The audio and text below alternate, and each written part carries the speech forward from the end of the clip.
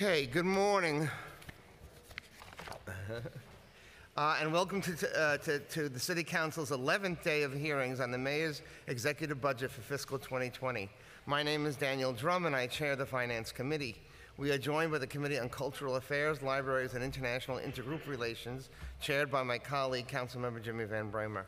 We have been joined by Minority Leader Steve Matteo, Councilmember Barry Grodenchik, Councilmember Adrienne Adams, Councilmember Karen Koslowitz, and others I'm sure will be joining us shortly.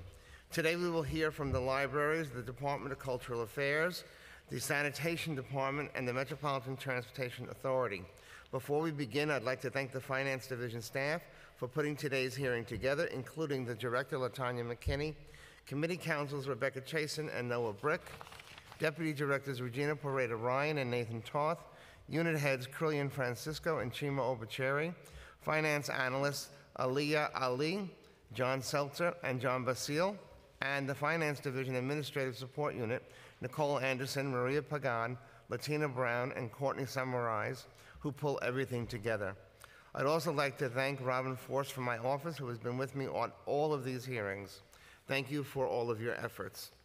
I'd also like to remind everyone that the public will be invited to testify on the last day of budget hearings on May 23rd, beginning at approximately 2 p.m. in this room. For members of the public who wish to testify but cannot attend the hearing, you can email your testimony to the Finance Division at financetestimony@council.nyc.gov, and the staff will make it a part of the official record. Today's executive budget hearing starts with the three library systems. In the preliminary budget response, the council urged the administration to add $27 million for the libraries in fiscal '20 so that they can continue to maintain, grow, and offer the programs and services they have been providing. Additionally, the council asked the administration to baseline the $8 million one-time funding that the council had allocated to the systems in fiscal 2019 adopted budget. However, not only did the administration not add to the library's budget as requested, they actually decreased the library's funding through an imposition of the PEG, which caused the systems to cut back on DVDs and other supplies and materials. On the capital side, the executive 10-year strategy reflects $778.3 million for the library systems. However, the 778.3 million is existing capital funding already earmarked for other projects from previous years and does not represent the accurate assessment of the need the strategy is supposed to contain. According to the libraries, over the next 10 years, the systems have identified an additional $963 million in capital needs that OMB chose not to include in the 10-year strategy. This is a prime example of what, the, of what the council has been criticizing the administration about throughout this entire budget cycle. The 10 year strategy is a planning document. It is intended to capture the anticipated capital need over the next 10 years. However, OMB is wrongly treating it as a funding document, thereby depriving the council and the public of the true picture of future capital needs. Libraries have an essential presence in every neighborhood in New York, providing indispensable services in a safe and reliable space to youth, seniors, immigrants, and incarcerated individuals, among others. Early literacy, English for speakers of other languages, and video visitation for incarcerated individuals are just some of the numerous agency partnerships and countless department collaborations the systems do each year. So I look forward to hearing your testimony today and working with you until budget adoption to ensure you have the funding you require to continue the good work you are doing. Before we begin, I'd like to remind my colleagues that the first round of questions for the agency will be limited to three minutes per council member, and if council members have additional questions, we will have a second round of questions at two minutes per council member. I will now turn the mic over to my co-chair, Councilmember Van Bramer, for his statement, and then we will hear from the president of the New York Public Library, Tony Marx, the president of the Queens Public Library, Dennis Walcott, and the president of the Brooklyn Public Library, Linda Johnson. Thank you very much, uh, Mr. Chair, for your very supportive comments on libraries uh, and this budget. I also want to thank Speaker Johnson for coming to our rally earlier, which was amazing. If you agree with what we're saying, you can do the happy hands. Um, and uh, my colleagues uh, who joined us as well. It was a spirited rally. Uh, let me be clear when it comes to libraries, this proposed budget is a disgrace. Uh, we should not be in a position where libraries are down uh, and begging for what they need simply to serve the neediest New Yorkers. And uh, I want to thank everyone who's here who works for libraries, uh, who cares about libraries, who advocates for libraries. Um, we are in a position where we need the $8 million that the council put in baselined and restored. We need the peg to go away. We shouldn't be in a position where we're asking libraries to cut by millions of dollars how many books and DVDs you buy so that people in the city of New York can actually have the information they need to live the lives that they want to lead. Uh, and libraries uh, aren't uh, looking for anything extra uh, when it comes to the full 35 million, this is what is basically needed to operate to serve people uh, in the city of New York. Uh, look, I said it outside. Our mayor is running for president, and I certainly don't begrudge his ambition. But I will say this there's nothing more democratic than a public library. There's nothing more progressive than supporting public libraries and the people who need public libraries. And I believe people love libraries everywhere in this country. Every state uh, uh, is going to have lots of people who love libraries. And uh, uh, if we want to be the fairest big city in this country, if we want to be the most progressive city in this country, we have got to get to a place where we are never cutting funding for public libraries. That should be where we are as a city and as a country. Uh, and uh, I certainly am looking for that commitment from our presidential candidates. Um, so, with that, I just want to say thank you to everyone who's here. Thank you to uh, our, our co chair. Um, I'm anxious to hear your testimony, and I know the council. Uh, the speaker said it outside, and our finance chair just said it. We are very, very united in our support for libraries and our belief in public libraries, uh, and we have a month to get it done. So let's get to work and make sure the public libraries have what they need. Thank you very much. Thank you, Chair Van Bramer. I'm going to ask council to swear in the panel. Oh, we don't, do we swear in this panel? No, okay, we don't do that. Right, um, somebody would like to start? Mr. Marx? Thank you, Mr. Chairman. Mr. Chairman, members, um, it has been and continues to be an honor to serve and to serve with you. You've done amazing work for the libraries in the past, but as everyone has said, it's crunch time. I think we all recognize that. So we're here this morning to talk about very real, serious challenges to the city's public libraries.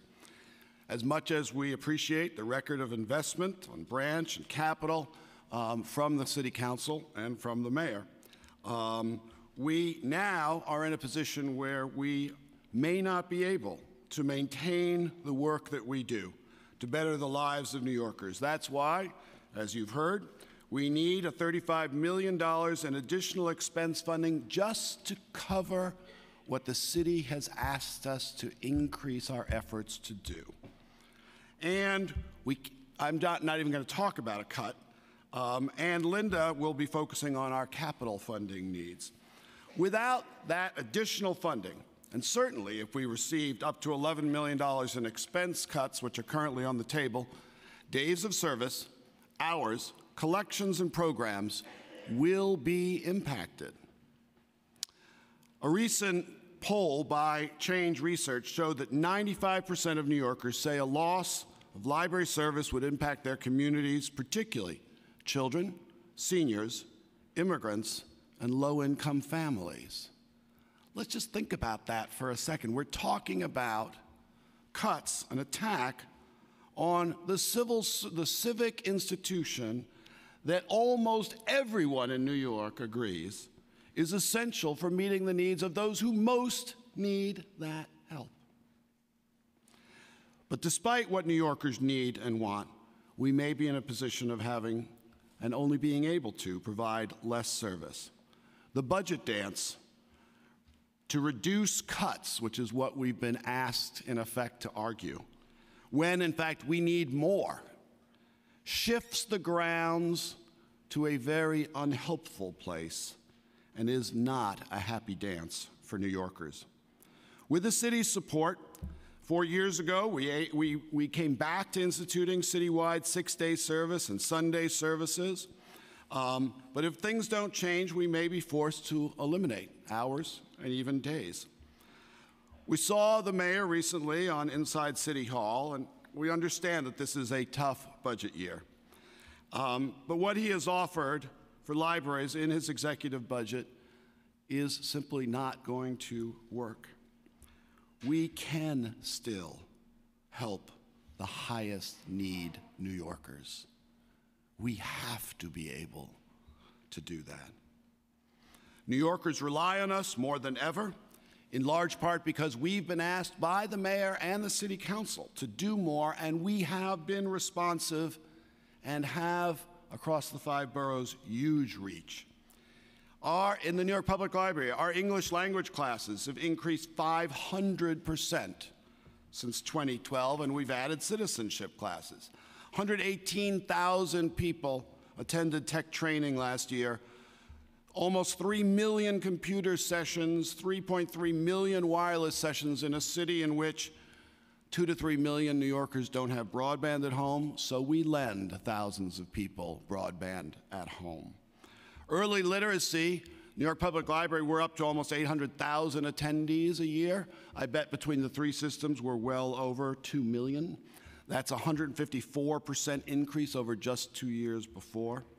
My Libraries NYC is providing over a third of public schools in New York with the library books that otherwise they would not be able to make available to their students. You asked us to do more, and we're delighted to do more in terms of correctional services. We created our first physical branches at Rikers and Manhattan Detention Center. You asked us to do video visitations, and we are doing that. We are offering over 6,000 programs to the homeless. We were the largest source place in which the city citizens could come and get ID NYC, again at the request of the mayor and the city council. But we simply cannot sustain this extension of our work without sufficient funding. The needs are only growing, they are not shrinking. And neither is our footprint, by the way. In the next year, we'll add, just in our system, almost 40,000 square feet. Bigger branches in Roosevelt Island, Van Cortlandt, Washington Heights, East Harlem, Macomb's is going to be five times the size that it was for decades. And of course, we will be opening our great central branch circulating library, the Stavros Niarchos Foundation Library. Construction will soon begin in Charleston, South Staten Island. Um, opening in uh, FY21, the Charleston Staten Island Library will need to hire 12 full time staff and build a collection. And that's just one example. More space means more collections, expert staff, program needed, security and maintenance. We need the spending budget, the expense budget, but we also need the capital budget, and it is essential. I just want to reiterate what you're going to hear that we have expanded amounts deposited into the 10 year capital plan. It's very simple. Without that, we cannot plan we cannot be efficient. We will lose the momentum that we're currently on of fixing up all of New York's branches, especially in the poorest neighborhoods. And the citizens of New York will get half as much, taking twice as long to get the renovations needed. We can't go back to that world. We also know that we have a new challenge coming up in terms of the 2020 census with billions of federal dollars and accurate representation at stake. Um, so we want to do more of that, and we are doing more of that. We saw a 30% increase in library card signups this year. More hours, more seats, more branches, more space, more programs, all cannot be lost. We know that you and the mayor have seen our value. Let me be very clear. We are doing so much more. This is not your grandmother's library anymore. We are everywhere, and everyone is coming to us. for the full array of needs. The city has asked us to do more, and I think we have proven, perhaps surprisingly, that we can be your best instrument because we can innovate, because we are trusted, and because we work at scale in every neighborhood.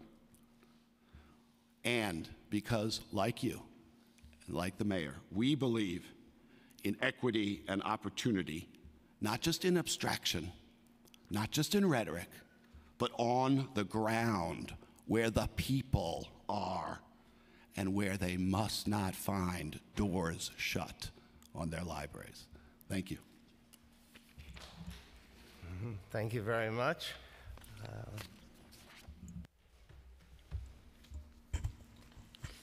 Thank you, Chairs Dromm and Van Bramer, for the opportunity to testify on the mayor's executive budget. We are grateful to you and your committees, to Speaker Johnson and Majority Leader Cumbo, to our Brooklyn delegation and the entire City Council for your outspoken support of New York City's libraries. I believe everyone who works in libraries believe, everybody who comes to libraries believe, and thank goodness all of you believe that every great city deserves great libraries. Your investment over the last few years has enabled us to provide reliable core library services a minimum of six days a week, create new programming tailored to our com- communities, and to upgrade our spaces to better serve the public. But our progress is being jeopardized by cuts proposed in the mayor's executive budget. Today, we implore you to reverse those cuts, increase library operating funds, and include $150 million in new capital, which is $50 million for each library system. It's baffling that our public libraries are facing millions of dollars in potential cuts instead of the increased funding we need to keep up with soaring demand and increased costs. The city co- consistently turns to us as partners on priority initiatives for IDNYC, enrollment in our branches, for hosting early voting and prospective candidate training, for providing free legal resources to immigrants, and next year, to ensure that every resident is counted in the 2020 census. We are proud to play this role, and our presence in virtually every community makes us uniquely suited to carry out the city's civic initiatives. Time and again, we have been there to bring them to life. We need the city to be there for us by making our budget whole and addressing the capital crisis plaguing our three systems. Even if the mayor's cuts are restored without additional operating dollars this year, our collections, staffing, and hour of service will suffer. Brooklyn Public Library's portion of the operating budget request, 9.7 million, is needed to support increased collections, programming, and staff, as well as physical improvements in our branches that are not capitally eligible. When I last testified, I detailed our innovative new programs, described the needs of our aging collection and our growing foot- footprint, including opening Brooklyn's first new library in 36 years. Thanks to the city's investments in our three library systems, we are adding seven new branches and 11 expanded branches. 133,000 additional square feet in total. It is, it was money well spent. We will be bringing libraries to communities that either didn't have, that either didn't have them before or were previously underserved. We urged you to help us see that investment through. The public is counting on us to open well-staffed branches, program-rich, and filled with materials our patrons need and deserve. Likewise, the public is counting on us to open branches that are functional, branches that are cool in the summer and warm in the winter, with roofs that don't leak and elevators that work. Our patrons deserve much more. Our aim is to, is to design welcoming and inspiring spaces able to support the countless ways people are using their libraries today. We truly appreciate the council's advocacy to include libraries in the city's 10-year capital plan. However, the outcome was disappointing for all of us. While we received welcome one-time capital, in Brooklyn Public Library's case, $25 million for central library renovations, the plan did not include recurring funding for libraries to manage physical plants over the next 10 years. This is extremely short-sighted. Brooklyn Public Library alone is the steward of over 1 million square feet of city-owned property. Denying libraries the long-term funding necessary to maintain and improve our facilities is frankly reckless. The council has the opportunity to make this right by pushing for a $150 million allocation in this year's budget. Each of our three systems needs $50 million to compensate for the lack of adequate funding in the 10-year plan. Libraries should not have to limp from year to year, only addressing emergencies. With your support this year, we can maintain building renovations already in progress, replace failing infrastructure, and keep our current projects moving forward as planned for the coming year. In every borough, value, valuable library projects are stalled because the city hasn't included capital dollars in future years. You know these stories all too well because you because we rely on your help in your districts to keep the projects afloat. Last year, for example, we initiated a project at the 111-year-old Leonard Library, one of the original Carnegie branches in Brooklyn. Armed with $33.3 million, I'm sorry, armed with $3.3 million, we sought to improve accessibility throughout the branch. DDC's front-end planning unit immediately identified a deficit of $2.1 million, halting the project before we got started. Because libraries lack discretionary capital dollars in future years, we are tethered to a vicious cycle of awaiting each year's budget outcome in order to advance critical projects. And the strategic benefit of DDC's early planning unit is diminished. New capital funding this year will allow us to restart the DDC-managed projects that have ground to a halt as Brooklyn Public Library faces $22 million in shortfalls. Other project budgets balloon during design. Consider Borough Park Library, which began as an HVAC upgrade and roof replacement. Investigative probing, probing early in the design process revealed that the exterior walls were deteriorating and, left, and if left untreated, water damage would threaten the building's structural integrity. Given the entire building would be renovated, the scope was further expanded to include accessibility upgrades, a bathroom renovation, a new elevator, and modest interior and exterior renovations. Years later, we are still in the design phase for a much-needed branch overhaul, and we are short $5.2 million on a $21 million project.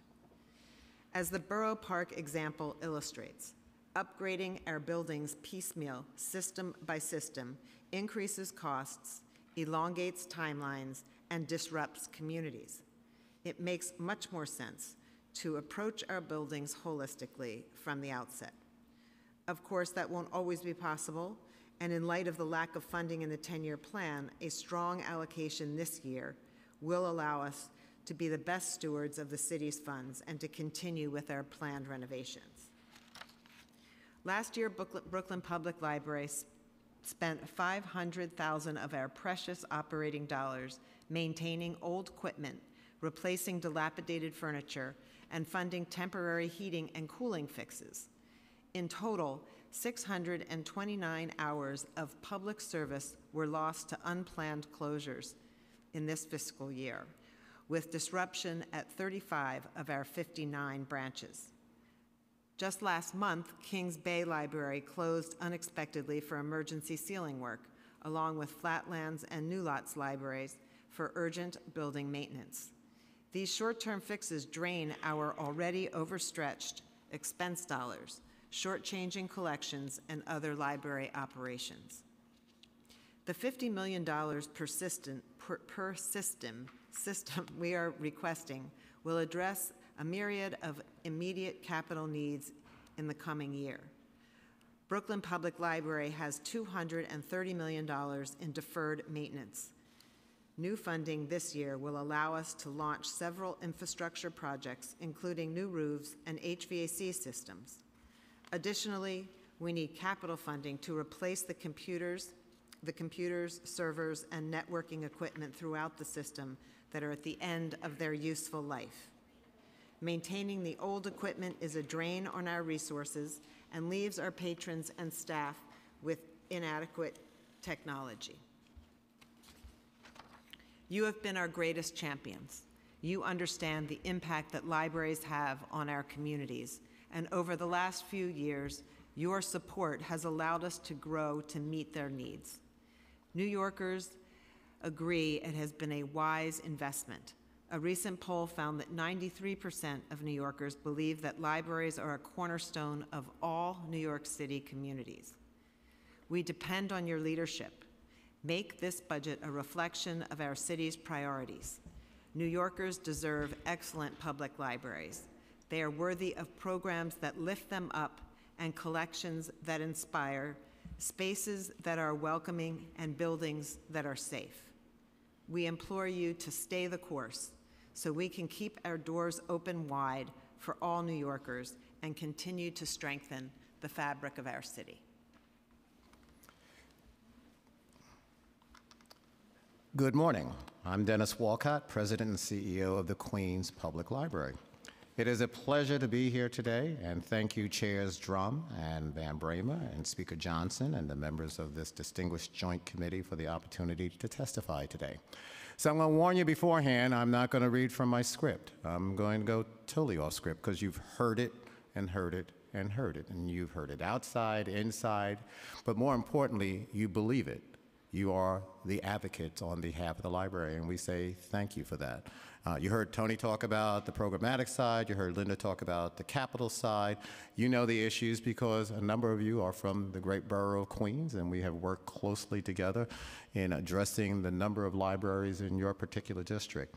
And I just want to take a couple of minutes to talk about this job itself because I've been very lucky in life, and I've had public service jobs just about my entire adult life. And this job to me represents one of the greatest jobs I've ever had, uh, in that we get the opportunity to serve our public, our customers, on an everyday basis. Plain and simple. We see them stream through our doors, we see them stream through the doors of our branches, and we're proud of what we're doing there. We're proud of our great staff who are there, but more importantly, we are there for children, for adults, for seniors. Just last week at Kew Gardens Hills in Queens, we had our Older Adult Day. I guess I qualified for that as uh-huh. well. And the number of people who poured into Kew Gardens Hills to receive uh, the programmatic services and to really be a part of that was just tremendous. Uh, and we've done that throughout our library system with a variety of programs. All of that is threatened. All of that is threatened if we are not able to not just maintain services, but to get more money for the basic core services that we provide. And to blend the Linda and Tony testimony together, it's not about the expense side solely. It's not about the capital side solely. It's about a combination of both because we take great pride in having the great titles of president and CEOs of our respective systems. But more importantly, we take great pride in our libraries that are part of our system. And we want to see those libraries thrive and grow and flourish for the public at large. I don't know about my colleagues, but I know when I go to other cities, I make it a habit of going and visiting other libraries just to get a feel of what's going on, to get the flavor of the programs that they have, the atmosphere they have, their infrastructure that they have. And when I come back, we always talk about what we can do to do better. But at the same time, people, I think, at times take us for granted. They think we're always going to be there, just growing and responding to the needs of the city. And that's not possible. In addition to being great advocates and great CEOs, the thing that uh, we pride ourselves on is also making sure we watch your investment. Not just your investment, but the public's investment to our libraries. And to do that requires us to sometimes make very difficult choices as far as that investment is concerned. And if we don't make those choices, then that investment will go up in flames. And what we're saying to you is continue your advocacy, continue your support, continue your funding, but more importantly, to make sure that we work collaboratively with the executive side to get what we need. Because without that, then we're going to have to make difficult choices. Plain and simple. We're just going to have to make very difficult choices as far as the futures of our systems. And I, as a competitor in life, serving the public, making sure we're providing the best services possible, do not want to be put in that position. And I know my colleagues definitely don't want to be put in that position. You guys are fantastic.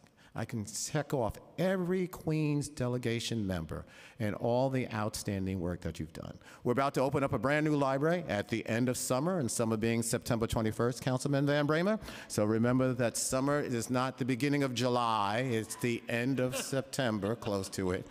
And we're going to be very proud of that.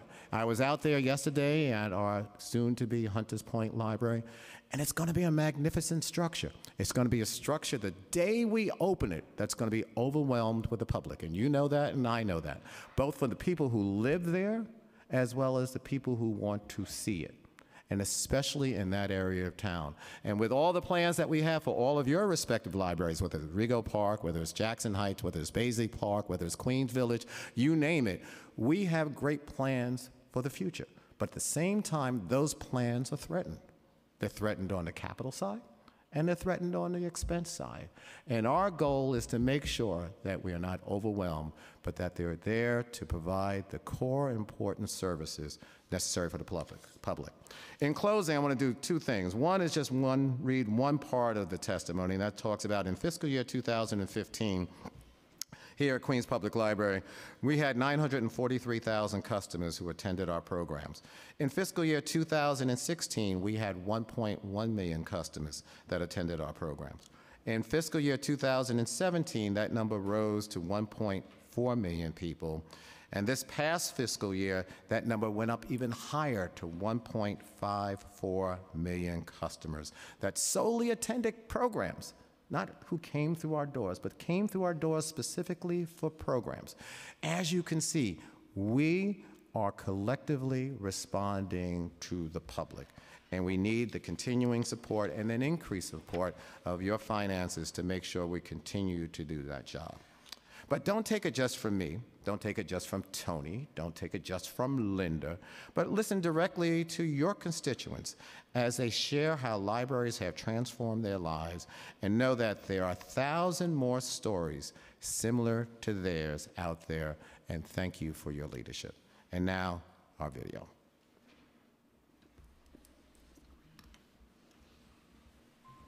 New York City's libraries are an essential provider of free books information, and ideas for people of all backgrounds and ages.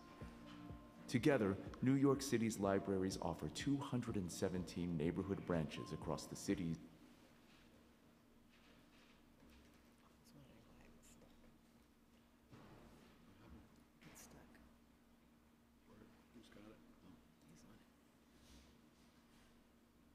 five boroughs.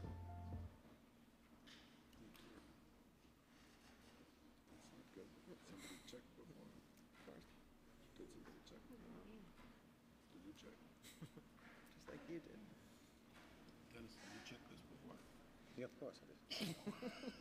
Especially if I just teed us up as doing an excellent job, so doing excellent. Yeah. New York City's libraries are an essential provider of Yep, not happening.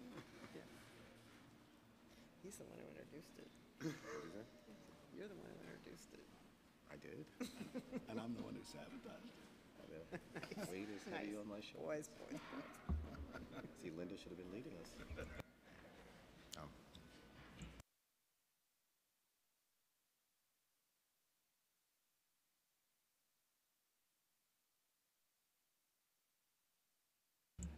Mr. Chairman, can I just note that you know, amongst the budget items are you know, our tech and digital uh, efforts. just, just saying. you really don't want to cut those more. You really don't.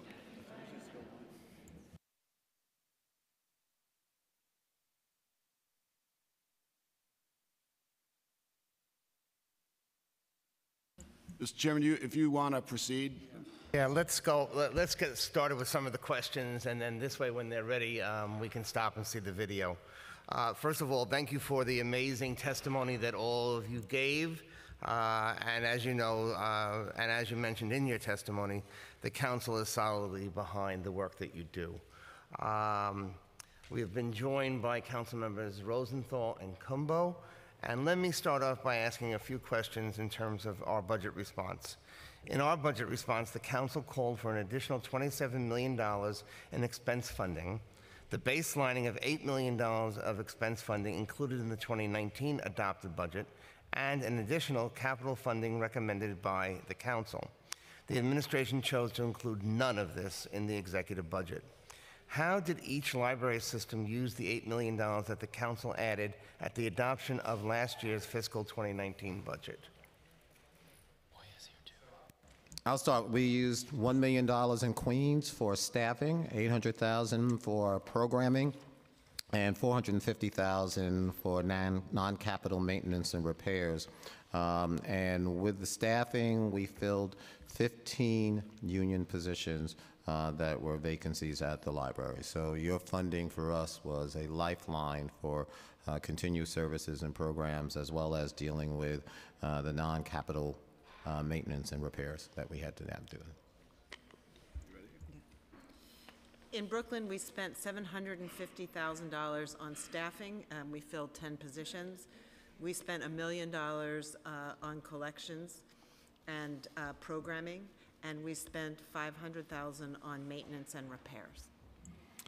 At the New York Public Library, we spent 1.7 million uh, to fund wage increases uh, associated with the uh, important minimum wage increases, as well as collective bargaining salary increases for our non-city funded union employees, including retroactive payments. 300,000 is being used for overtime expenses in the branch libraries, a million dollars for building repairs, maintenance, and equipment, and half a million dollars for books, supplies, and program-related expenses. What additional services would the branches be able to provide uh, if um, you had an additional $27 million increase in um, expense funding? Mr. Chairman, the, um, what's happening in these three systems is, again, because of the investment that you and the mayor have made, is we're increasing the number of libraries, in some instances significantly. The Mid-Manhattan is going to be, in, in the New York Public, as the biggest example of that, the biggest facilities project we've ever done. We've added hours, we've added days. You asked us to add programs, which we're happy to add because the citizens of New York apparently want those programs since they're coming to us by millions. All of that cannot be sustained if we don't have sufficient funding, and we simply don't at this point. It's that we've taken on more and you wanted us to, and we're delighted to, but we need to have the funding to pay for it. And in addition to everything Tony outlined, um, in this next fiscal year in particular, we know that we are going to be inundated with people who are coming to the library to get help filling out the census forms. They should be coming to their library.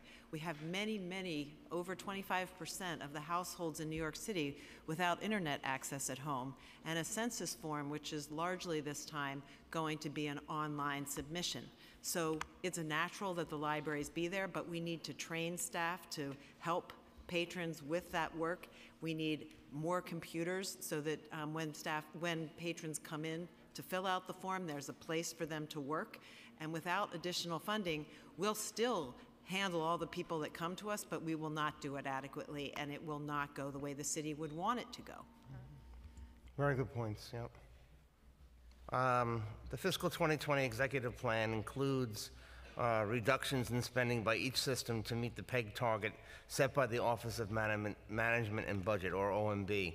How did each system achieve their target, and how will the PEG you choose affect the services you're able to provide?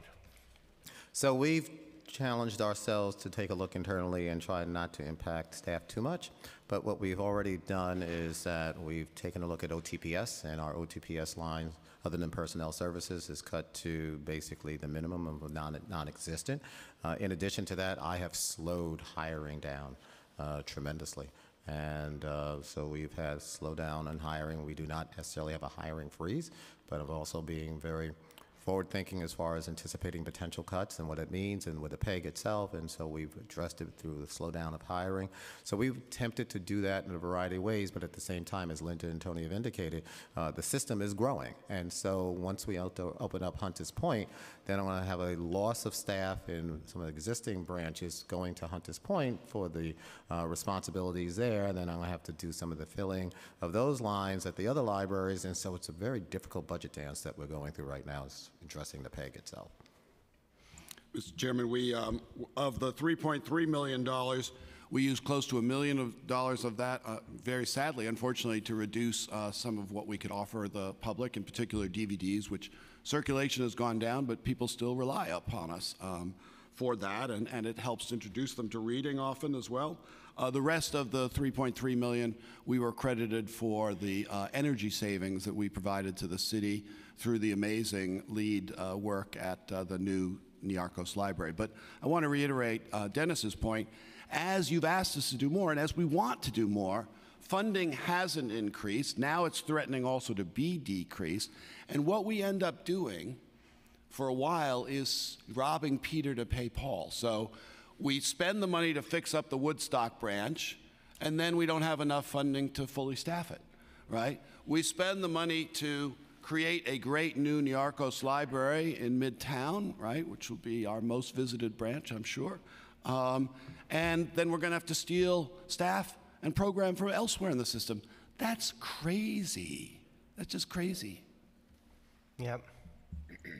Yeah, of course, Brooklyn is in a similar situation where we're looking at ways to reduce our budget other than reducing hours, which means other than reducing staff. Um, So the collections is always the first, um, the first area to be hit. Um, But also, we are taking a hard look at every open uh, position and making sure that we are only hiring those um, that are absolutely essential at this moment. So how did you uh, work, if at all, with OMB to determine the PEG target in the first place? It, It it was was imposed on, on yeah. us. You- you were we, told. we got a no, we got a letter. You were told, huh? Yeah, but I, I, want to pick up on that in that we have had a very constructive back and forth with OMB. I mean, so I know normally one does not hear from public testimony uh, talking about OMB in a very constructive way, but I think for us, we've had a very constructive engagement with OMB in the back and forth. We don't necessarily agree around different things, but at the same time, we said, okay, we have to absorb it, then what's the least painful way to absorb the PEG? And so my CFO, my COO, and I, to some extent, have been in ongoing conversations with them to minimize any type of pain because correctly so, they don't necessarily want us to impact the hours and the days of week of service, and we don't want to do that, obviously. And so, how do we work collaboratively to address that since this is being imposed on us as far as PEG targets are concerned? Is the video ready? You want to do the video now? New York City's libraries are an essential provider of free books, information, and ideas for people of all backgrounds and ages. Together, New York City's libraries offer 217 neighborhood branches across the city's five boroughs. These branches are the backbone of New York's neighborhoods. I feel right now, I feel like a family in my library. It's the best thing that the city has because what uh, resource does the city have that's most important of anything that they have? It's their people. It starts with our youngest visitors, where story times and other literacy programs help children discover the joy of reading and plant the seed of a life of learning. They communicate wonderfully with the children. They know them by name. And I think that's mind boggling because a lot of people come here. My husband is pretty severely dyslexic, so there's you know a pretty good chance that Charlie will be as well. And I think it's so important to have a, a love of reading because if he is going to end up struggling with it, at least there'll be this foundation of understanding, um, you know, that there is something pleasurable there and that it's worth the struggle. After school, our libraries become vibrant centers for teens to study, get homework help, and access technology and support services they may not have at home, all in a safe, supportive space. Before I was um, in high school taking um, practicing for the SHSAT, which uh, I'm in a specialized high school right now, so I'm sure having access to those books in the library was one of the reasons that I was able to um, get in. Right now, my dad is working. He can't take care of me. He lasted two weeks without working. We were with hunger. It's a, it's a kind of like hard life. My teachers like starting giving me homework. I didn't do it. Then, then my grade, but then my grades started going red. So since I got help from the from the library, which I think the teachers are like earning more trust on me. Yeah, the library like helps me and then keeps me ongoing. They like give me like the power to keep on going with my life. And then so far, I've seen a change in my grades thanks to them. New York City has always been a city of immigrants. We take pride in offering more English classes than ever before to people who may have no other option for building this essential skill. learning English in the library it, it helps me a lot. It, it's helped me everywhere, to my family, at the job. Yeah, it, it, it feel me better and proud. I go to work and uh, I think now I speak very nice. But if it's not it's not free and this library don't, if I don't get this library, I don't want to do. It's very hard for me. Libraries are a trusted place for immigrant communities, and they play a critical role on the journey to citizenship and encouraging civic participation and involvement in our democracy. Through the library, I was able to know more about American culture, American traditions, American background and history, government, in addition of the concepts of freedom, democracy, liberty, rights, all this stuff. It was beautiful. We're working to empower New Yorkers to sharpen their skills and build a stronger workforce, from computer classes to resume help and more. The skills offered throughout our programs also help older adults stay informed, active, and connected to their communities. So I was speaking to a friend and they suggested that I come here for career counseling. I found a job through the library. Right now, it's crucial that people continue to have these resources because it's becoming harder and harder, especially for people that are 40 and up, to stay in the workforce. So the library's offering this resource is so valuable. Libraries open doors to opportunity, especially for the most vulnerable New Yorkers. From support services for homeless patrons to books, education programs, and video visitation for incarcerated people, libraries help all New Yorkers make the city the best it can be. I got a sentence for eight months to be at uh, Rikers Island. I found this um, the ESL program. That's how I got into the uh, connection with the library, and they helped me. You know, it, the ESL program helped me so much. I got a scholarship uh, to go to Manhattan College, which I'm going right now. I uh, had no time to think about anything else, but like, I want to go to school. I want to take the best of this uh, bad experience and, and make it happen. Ooh, if the library closed, I, I mean, my first ever books has been around in this library. It's a shame to cut the funding. I mean, I guess there's other things we can cut. this, this is such a valuable thing. And I think the city should not be cutting funds to life. They should add to the library. You'd be surprised how many people are there on a Sunday. It's jam-packed. Oh, oh, oh. no, no. I would just stand right out the, the library door, and I, will, and, I will, and I will put like a little like a little tent there until they open, with, with some books to read if I get bored.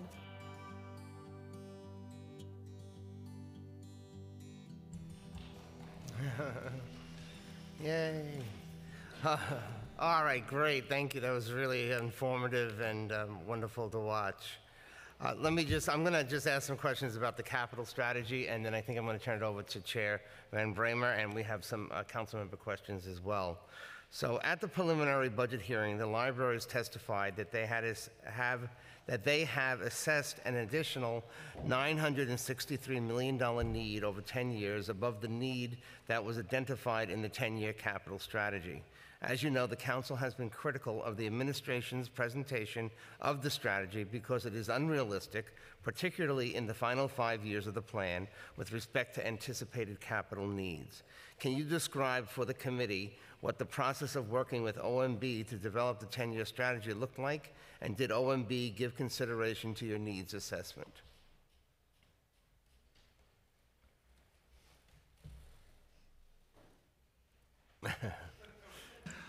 I think the um, I think the answer, Mr. Chairman, is in the result, which is um, you know we, the we got into the 10-year capital plan. Was it uh, four years ago? For the first time in a century, and we saw a night and day difference. We suddenly could increase your investment and have significant more return so we are all together probably, we are, are, have or are now working probably in roughly half of our square footage, which given 4 million square feet is unprecedented. The branches in, in many of the poorest neighborhoods hadn't really been touched in ages. That's a scandal, in my opinion. We now have a very, we, we're still in the 10 year capital plan, so thank God for that, just, but with almost no funding in it. Um, and that means going forward, we can do less with the city's resources. If we can't plan, we can't be efficient. We end up using expense dollars, we end up doing band aids. Only if we can plan can we get it done. And we still have a couple million square feet to go between the three of us. After you.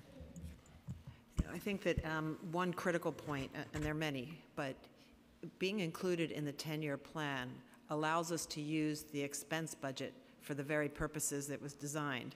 And having to reach into the expense budget year after year so that we can keep the buildings safe and, and not even making them inspiring, but just keep them tight, protected from rain, cool, warm as appropriate, it's, it's not a good use of our money, and it's a bad way to plan for the future. So we've done an amazing job um, for the first time in our history of committing the money that's been allocated, of working library by library to do important and significant upgrades, in some cases complete rebuilds. Um, but all of that is in jeopardy because we don't see how we're going to do continue this work in the future. So what we have here in Queens is a very detailed list of all of our capital projects proposed moving forward and basically what's built into the 10-year plan. But the reality is there are a number of shortfalls that go along with that as well. So we've done our internal analysis, we've planned it out, just like my fellow colleagues who also have done their own respective planning as well. And as a result of that, though, even though we are included in the 10-year capital plan, it doesn't address the amount of money that's required to do this. So in addition to what Linda talked about as far as uh, the capital emergencies that we have in the capital programs that don't qualify for capital dollars and then using expense dollars for that. Uh, what has happened is that money gets pushed to the back end, and as a result of the money getting pushed to the back end, then a number of the necessary projects are not done at the front end. And as you well know, we work collaboratively with DDC in identifying what those needs are, and OMB help deal with some of those shortfalls but still there are a significant number of shortfalls that we have that will not be addressed until additional money is provided in the 10-year capital plan itself. Uh, was any additional funding added to, uh, for the libraries in the executive 10-year strategy since the preliminary um, strategy? Yes. Uh, in Brooklyn, um, we received $25 million for the central library renovation.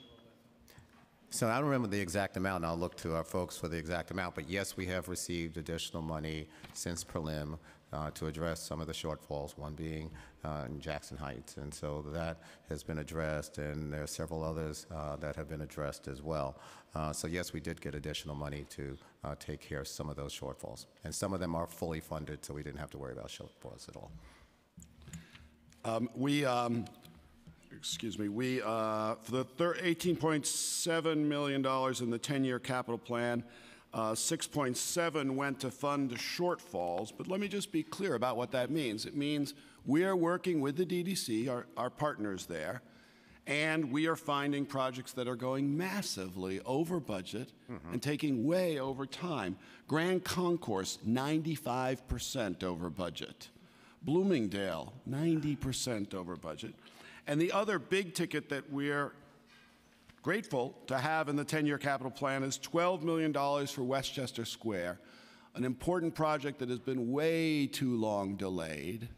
And because of its delay and because of, you know, how this process has worked with DDC and the city, it's massively over budget, significantly more than what we got in the 10-year capital plan. So we haven't gotten anything. We've just gotten some help to sort of make up for the problems that have been sort of imposed upon us up to now. So let me, I have it right in front of me and I didn't look down. So with the DDC shortfall so far, uh, 7 million was identified, one for Glendale, Steinway, Rochdale Village, uh, and one of the, probably the most complex projects we have coming up is the Flushing Elevator and also Hollis renovation. So some of the money was added. And then we have additional shortfalls. And I've had painful conversations with a number of you and those who are not in the room around some of the shortfalls that exist in your respective projects as well.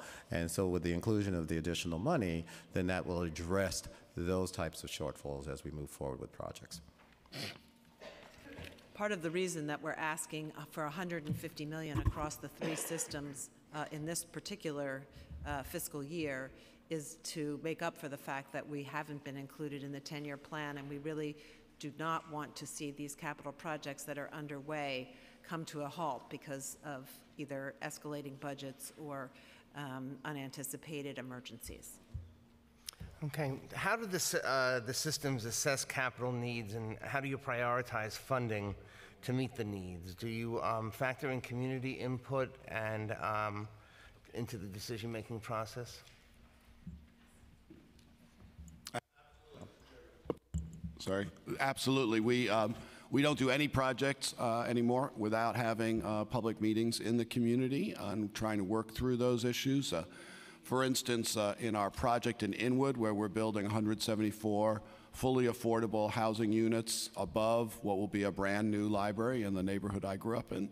Um, bigger, beautiful, for free for the, for the, for the taxpayers because of Robin Hood and a donor um, working with the city. Um, those are all projects, you know, that we, uh, we want to see more of. Um, but again, we need the capital funding um, to be able to plan to do that and to find those deals. So to answer your question, yes, we do. We can always do a better job. We meet with the local community boards. We meet with the various stakeholders. Obviously, we meet with you and then people who represent you as well. And so we're always out in the community. I think where the better job needed to be done, and we're putting that processes in place, is how we drive the construction of new projects and what it means and having that input there as well. Uh, we have some complex projects in Queens that are coming up, and we want to make sure that the stakeholders have input into that process, whether it was in Far Rockaway and having input there as we move to do something in Corona with our Corona Library. Uh, you name it, we have Rego Park coming up. So having that back and forth dialogue as far as those projects are concerned uh, for those that were already planned uh, as well as those that are being planned for the future. Okay, thank you. Uh, I just want to say we've been joined by Council Members Moya and Cornegy, and I'm going to turn it over to Chair Van Bramer.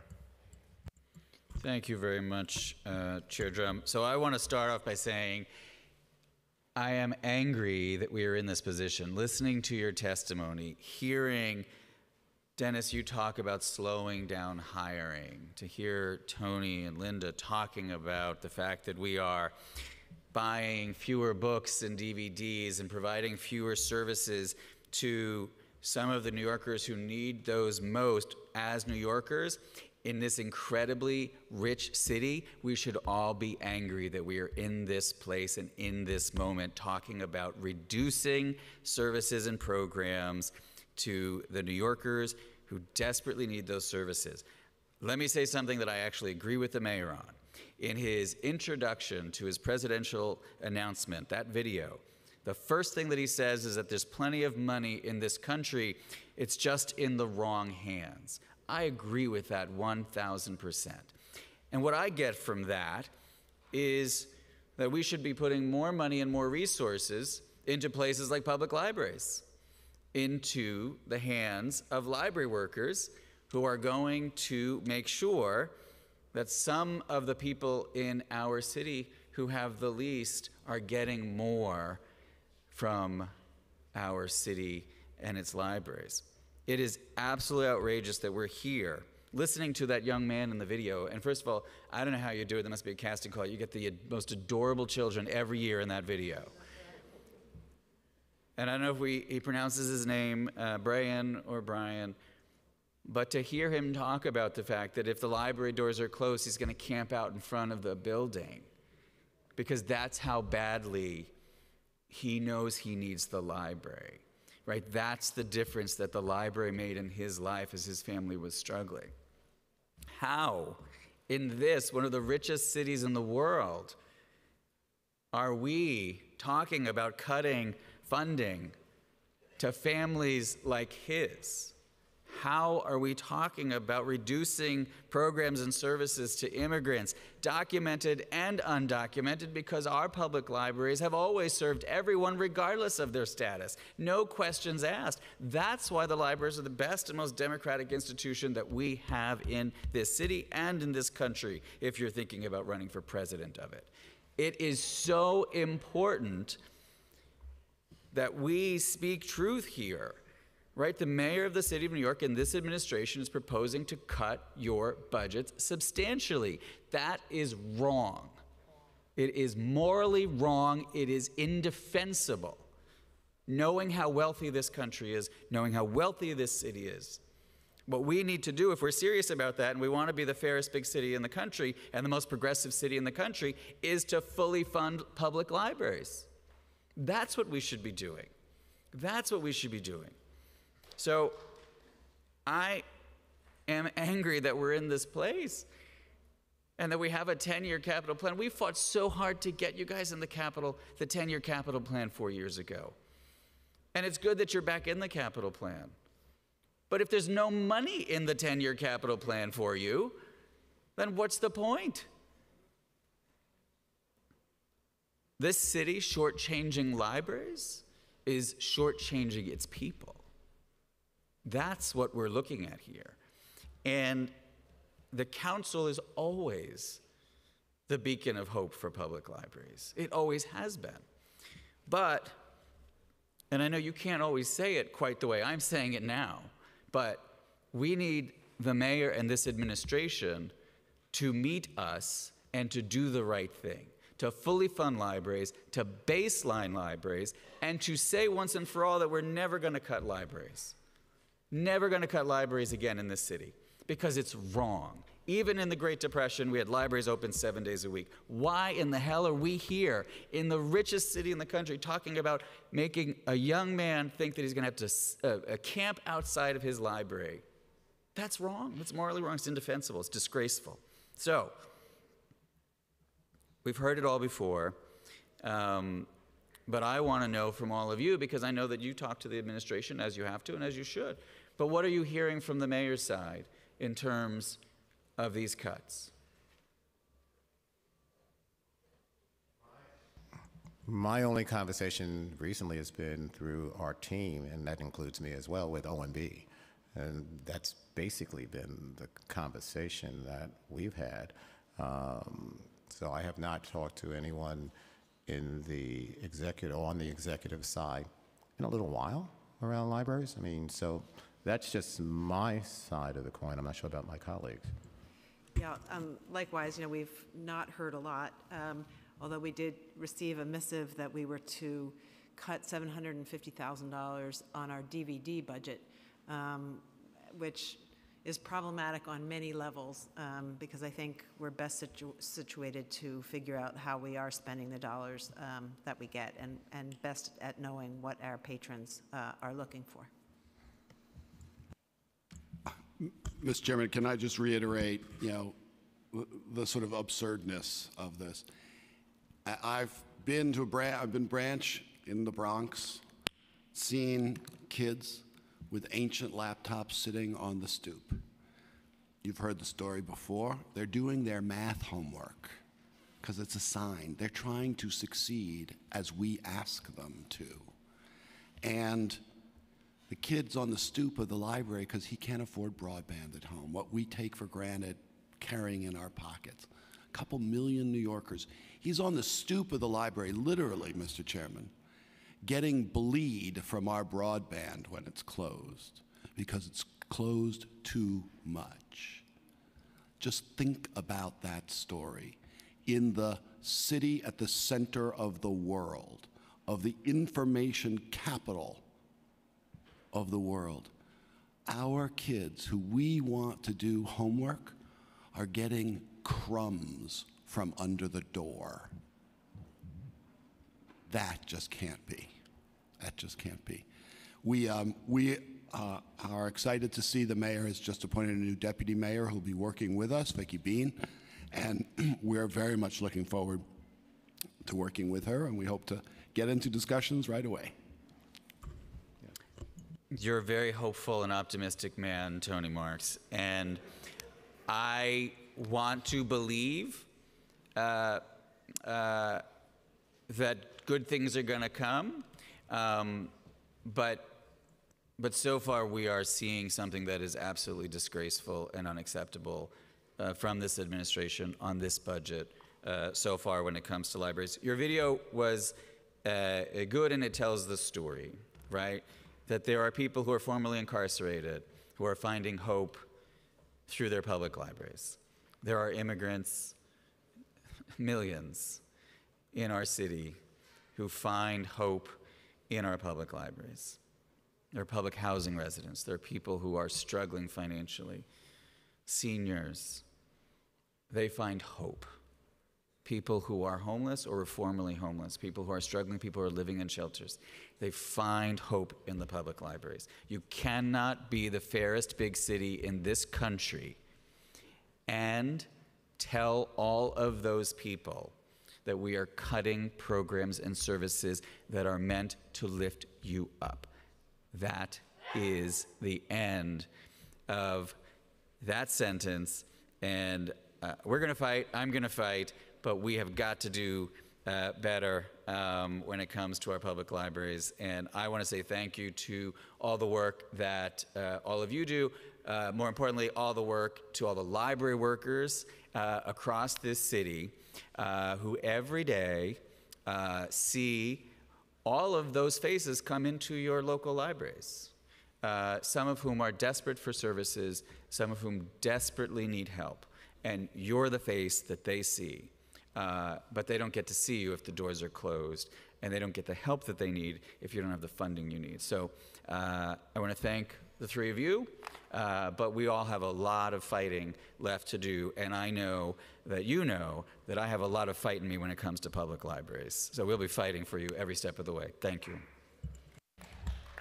Thank, uh, thank you, Chair Van Bramer. And we now have questions from members. I just want to remind them that we have three minutes. We are already almost 45 minutes behind schedule, so I'm going to have to be very strict about adhering to the three-minute limit. We'll start with Councilmember Barry Grodenchik, followed by Councilmember Adams. Thank you, chairs. Um, very quickly, uh, it's my great pleasure to work with uh, Dennis Walcott. I have seven libraries. He's in them uh, all the time. I don't know how he does it. He, he runs from branch to branch, quite literally. Um, we've had discussions, Dennis and I and other members here. Every person here has a library capital horror story, and I can tell you, I know it's Hunters Point in Jimmy's district. I know uh, in my district we're working on Hollis. Um, Adrienne Adams has her own issues. Karen Koslowitz has the Rego Park branch, the Kew Garden Hills branch. We could go on and on. Several years ago at a budget briefing, the mayor said he was looking at the possibility of allowing the branch systems to do their own capital construction. Uh, the Board of Trustees of the three systems are entrusted with literally hundreds of millions, probably north of a billion dollars worth of New York City property. We trust you uh, through the agreements to do this for us, um, and, and the mayor and the other elected officials appoint the trustees. I would like to hear from you in the next minute and 53 seconds. Uh, how much better would the capital construction process be? Because it can't get worse. How much better would it be if the library, the three individual systems, were doing their own work? And I've heard from Dennis about this, so I'd be happy to hear from either New York or Brooklyn. Uh, Can I just say on behalf of the New York Public Library, um, when we do self-managed projects, and we're spending hundreds of millions of dollars, I we're able to, but there's a limit to how much we can advance and still keep, keep our budget going, our operations going. But when we manage our own project compared to when we do DDC project, just as a matter of fact, costs twice as much, takes twice as long. You mean As a- DDC project? Correct, Okay, correct. okay. And, and, you know, look, I'm, I'm not a public administration genius, but that sounds like bad public administration, I, thi- I think everybody sitting here in this room would agree with you. I'm not, a, I'm not an expert either, but twice as much and twice as long is a disaster. I have been trying to get this conversation going for a while, but I appreciate your frankness on that. Brooklyn, anything? No, we all, we all love this question. You know, we can uh, lean in and tell you that we're doing things um, with half the dollars in, in half the amount of time.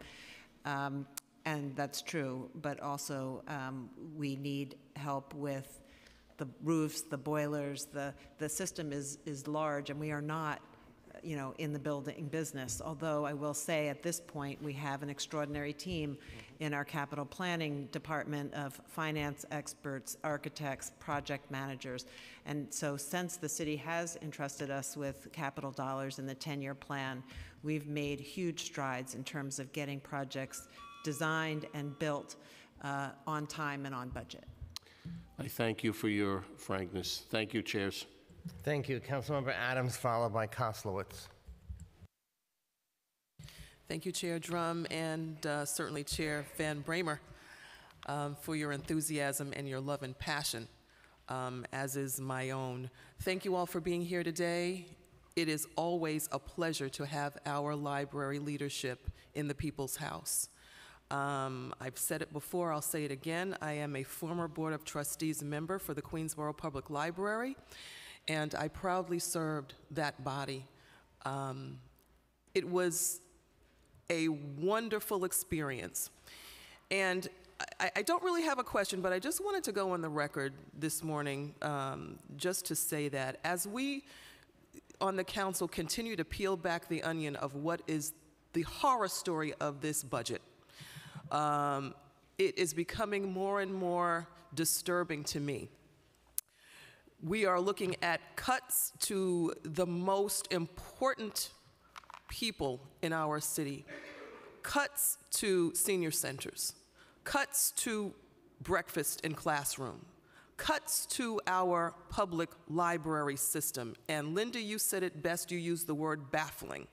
To me, it is baffling that we are sitting here in the year 2019 not looking to promote and propel and extend the great things that New York is, but instead we are looking to demote and demolish and destroy. And so, as we look at our libraries, I celebrate them in Queens. We had a fantastic town hall about three weeks ago, Dennis, wall to wall standing room only. It was a public safety town hall. For myself, a first time council member joining the realm of participatory budgeting, we had a celebration in the Rochdale Village Library celebrating the participation of our citizens of District 28 participating in sharing a million plus dollars in telling us what they wanted and how they wanted that money spent. So I just wanted to go on record just to say thank you. We have a lot to do. As I look at the project shortfalls, I noticed that this is my area, Richmond Hill and Baisley Park, in the shortfalls list. I don't say that proudly, but I humbly say to you that I will continue to fight with everything in me, every fiber of my being to ensure the success of our public library system. Thank you very much. Councilmember uh, Koslowitz, followed by Majority Leader Cumbo. Thank you. Um, I sit here a little bit nervous about my Rego Park Library. Since 1993, we've been working on this. And is that in jeopardy? Rego Park is fully funded. and it is fully funded based on projections moving forward as well. So, no, it is not. Matter of fact, uh, with Rego Park, uh, we've been working very closely with DDC, and our team has really been very out front in doing the work as far as the analysis, and so we're on top of Rego Park. Okay, because, you know, I don't have to tell you, you know the story. I The know it. library in 1993 started out at costing $20 million, and between the borough president going back to Claire Shulman, w- we kept putting money in, I as a council member and the borough president. And then the 20 million now became 33 million dollars. Uh-huh. And all that money got wasted because it took so long to get to this project. And the administration has to realize that when money is in the project, it has to go forward. So Rego Park is currently in schematic design, uh, and DDC is projecting completion of construction in the winter of 2024. So it's in schematic design right now. Okay, as long as they break ground before I leave the council. That's what our goals are for a number of projects. Yes. Thank you. Also, Richmond Hill, where,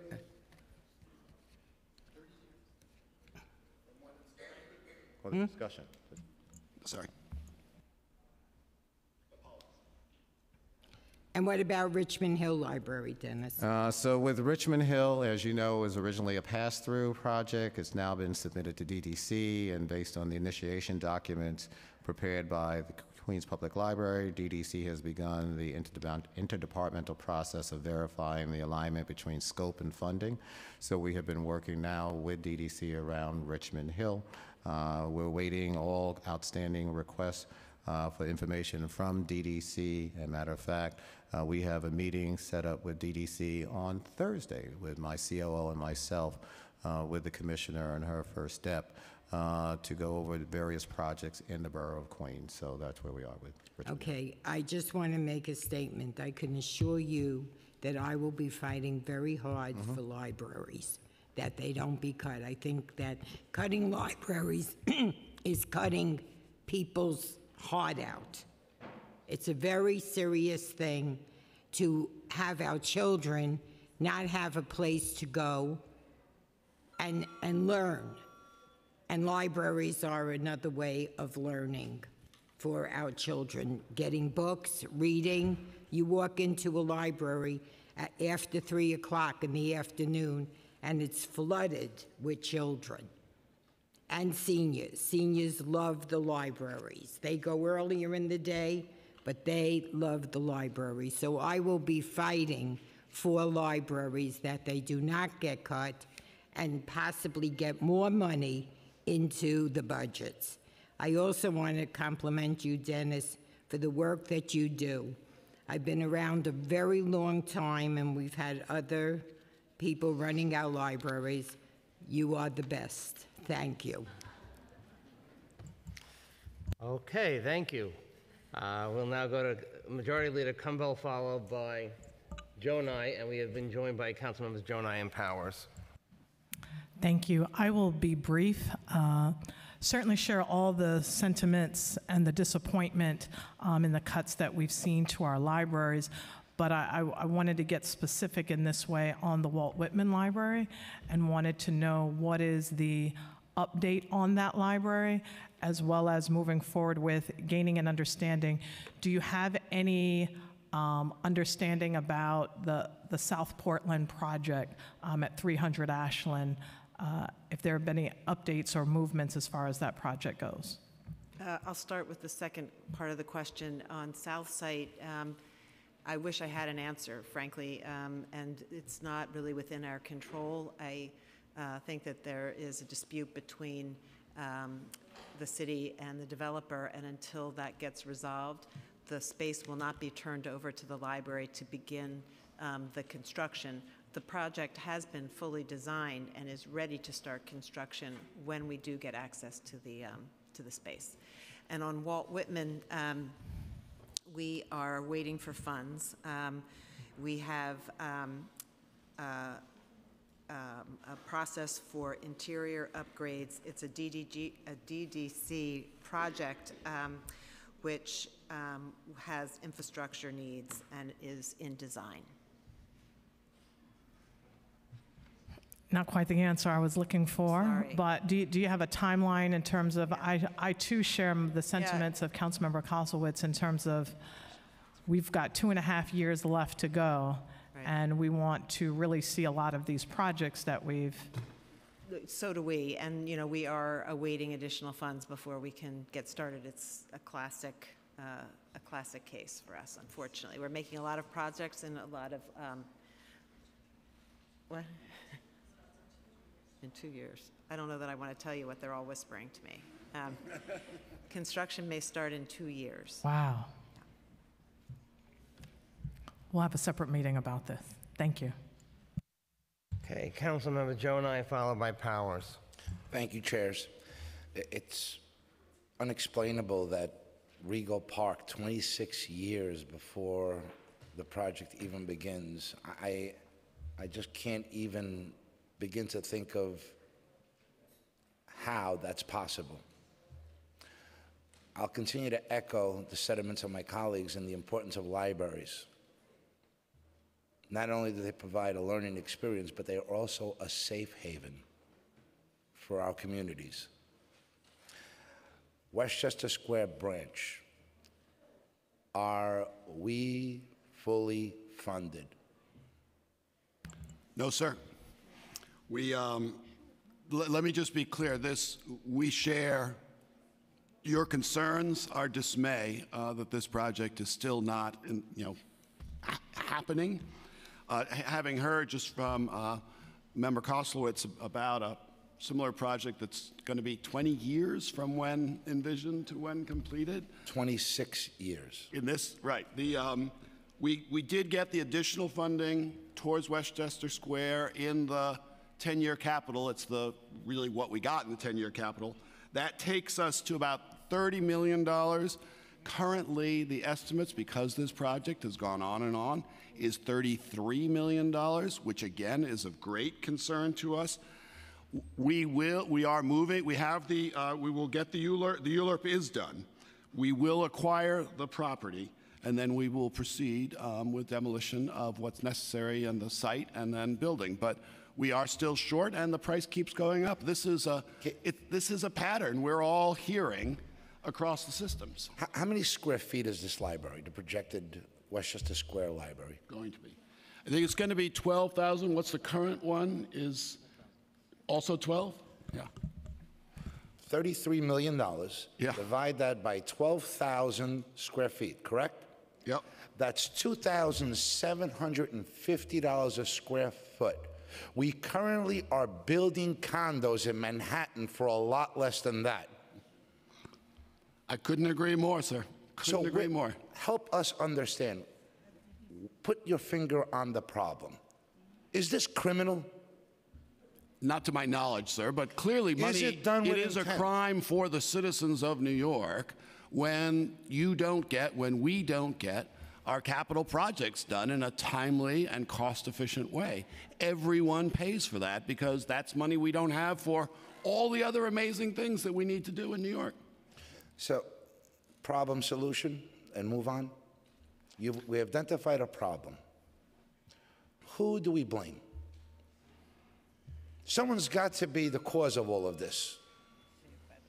And if you want us to help you, we need this information. You obviously see it day in and day out, and it's the sentiment of everyone in the council, and it's going on for decades. I think that's right, which is it's it's hard. Clearly, it's a hard political problem in ways I can't fully understand. I'm not on the, on that side of, of the of the of the wall, if you will. But the um, look, we work with DDC. They're our partners. We need them to be our partners. There are things we can't do, but there are some of these particularly large projects that apparently just are overwhelming the system. They get stuck the money keep, the cost keeps rising, then the budget races to try to keep up with the rising cost, and nothing happens. And the problem keeps, the, the hole keeps getting deeper. I, I I know that the administration shares our concerns with this. I know the head of DDC, who's, who's really come in with, with a breath of fresh air there, um, is trying, and I'm sure it's difficult, but something has to fundamentally be rethought, and that's always the hardest thing to do. So real quickly, I mean, there's several things going on in response to your question. One, I think, is what we've talked about earlier as far as uh, the 10-year capital plan and having the appropriate money to address some of these shortfalls built into the existing 10-year capital plan. That's one. I think with Lorraine starting, Lorraine Grillo starting as Commissioner of DDC and her role also as President of the School Construction Authority, Lorraine is bringing reform to DDC to help address some of the issues that you've raised as far as having the forecasting done properly as well. Uh, when you broke down rather quickly the price per square, I think part of the problem in the past has been not a realistic projection on the price per square, therefore we're caught with shortfalls. I think that's being addressed. I think the market is hot right now. And so with the market being hot as far as capital construction is concerned in New York City, uh, then you're going to see the price going up and up and up. And as you all know, many years ago, the market was not as hot here in New York City as far as the construction industry is concerned. And so we're living in that type of environment right now where, again, we're having our price points driven up higher and higher. And so it's all combined together, uh, painting this shortfall that we're facing. And I think, as I said to uh, Councilmember Koslowitz, that with the Rego Park in particular, that was way before my time, but since I've been here and since we've been here in this administration, both through the council and the executive side, that project was fully funded and was fully funded based on projections moving in the out years as well. And that's how you start to solve the problem, but I think part of the challenge that Linda talked about is the challenge of a city agency doing something, no matter how well intention the commissioner is and the type of reforms that are put in place versus an entity like the libraries themselves that can produce a product that is done in a more efficient way, in a more timely way. And that's as a result, I think, of the efficiency of the operation and also the less of the bureaucracy that we have in performing those tasks. And I think all those things working together will allow us to hopefully improve uh, the construction process as we move forward. Sir, Okay. thank you for that explanation, but again, we're coming up for excuses because this is I, I don't believe in, systematic. oh, no, no, no, no. I don't believe in excuses at all. I mean, from our point of view, and I think the libraries like you are all committed to building libraries in an expeditious but appropriate fashion itself. And I think our challenge as a system, as a city government, as a not-for-profit, is to work collaboratively in knocking out the excuses that you're referring to and making sure we're able to produce a product that we'll be proud of. I mean, it's unacceptable, and we've articulated this before in our hearings, to have you guys who have been great for us, who have been great for the communities, providing the funding, not to be in office when we break ground as a project starts eight years ago. That's unacceptable. We concur with you. We share your beliefs, and we want for our customers, not just for you, to make sure we're putting out the best product possible. And that best product is not just on the program side, but it's on the infrastructure side. And again, we're talking about huge construction projects, but also we're talking about the smaller projects and the projects that Linda referred to earlier in her testimony that are we feel capitally eligible, but they may not be deemed capitally eligible. Therefore, we're using expense dollars for that, and that's sucking money away from the expense side of our business. So we're not looking, and I- we're not trying, and I apologize if it sounds like I'm trying to put an excuse out there. That's not the case at all. We want the same thing as you as far as having libraries built expeditiously, but also in a way that it will allow us to do the job for our customers that provide high-quality services. Hey, Councilmember, I need to move on to Councilmember Powers. Thank you. I'm picking up on where he left off anyway. But the, um, you know, the the question from Councilor Grodenchik earlier about half the price and half the money to build if the library systems do it themselves versus DDC uh, is a, an astonishing uh, a number and an admission that the city is doing something wrong here. But can you tell us what you guys can do that they can't do to make that cheaper and faster? Why is it so that the systems can build half the price and half the time versus relative to DDC? Yeah. So it's hard to know how another agency is operating, um, and we're all hopeful with new leadership at DDC that we'll see a change. Uh, But we have a lot at stake in the projects that we're managing ourselves. In fact, if there are cost overruns, we're responsible for them. And so we're highly motivated, A, because we want the projects to be built on time and on budget, because We want our patrons to be able to take full advantage of the new projects as quickly as possible. But also financially, we have a lot at stake. And whatever disciplines we are imposing on our own operations need to be um, also applied uh, at the, uh, at the agency. H- how many projects do you build on your own versus having DDC build for you? So uh, in Brooklyn, we're new at this. Um, You're doing all. No, no, we're not doing all. And Oh. we, and by the way, we couldn't do all. Um, we couldn't possibly, with the staffing that we have on the expense side, sorry to get back to that, but we couldn't possibly have the staff we need to take care of all the roofs and all of the boilers and HVAC systems that need to be repaired routinely. This is just standard maintenance. Um, And so we've been selecting the projects that have a strong aesthetic component involved in them, new, new buildings or dramatic uh, renovations to do ourselves, and leaving the other projects uh, for DDC. Can you just give me an idea how many projects you have? Um, that- Right now, we breakdown? have eight zero. Yeah, the, um, uh, the pro, here, here lies the problem. We have 59 buildings with two more are coming online, and yet we have 80 projects that are currently um, registered with DDC. Got it, and awaiting to get done. Okay, um, just wanted to get a snapshot of that, but I, we, you know, we want to get these projects done fast too, so we're willing to work with you to figure out how to do that, and I think expense is being part of it. I'm just going to finish up. I've um, just one last question here is we had a hearing with the BOE last week talking about early voting places and polling places. Can you tell us each of the three systems how many libraries today serve as polling places?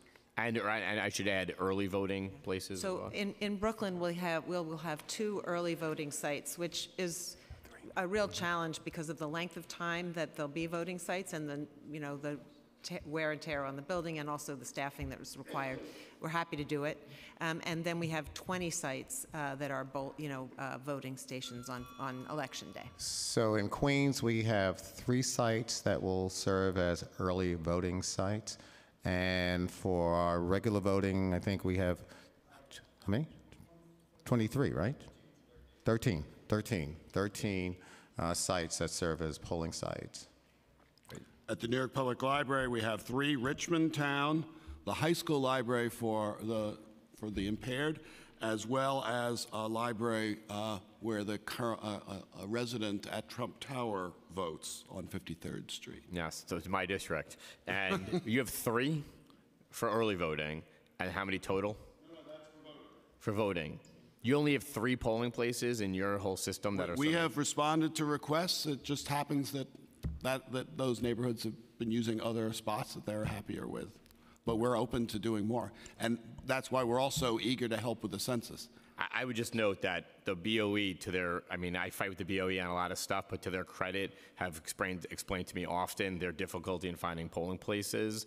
And it seems like having only three is, is. We'll, we'll go back to them. We'll go back to them and see if they need more. Okay, thank you. But I will note on other civic stuff, IDNYC, participatory budgeting, and other things, you've been partners with my office, so I, I, I- I appreciate that. And I will make a plug for you guys. You guys have the best app. I think the all system use it. The, the the way you can look at books is the best app, and if you are a reader, it is great, and I use it all the time. Thank you. Hey, just wait. When we go from 100,000 titles on that app for anyone to use to every book ever written, which is the goal. All right, we'll look forward to it. Okay, thank you very much. I want to thank this panel for coming in. Thank you to Thank you, Tony sir. Marx, to Linda Johnson, to Dennis Walcott. And we'll take a five-minute break, and then we're going to go to culturals. Thank you for your leadership. Thank you.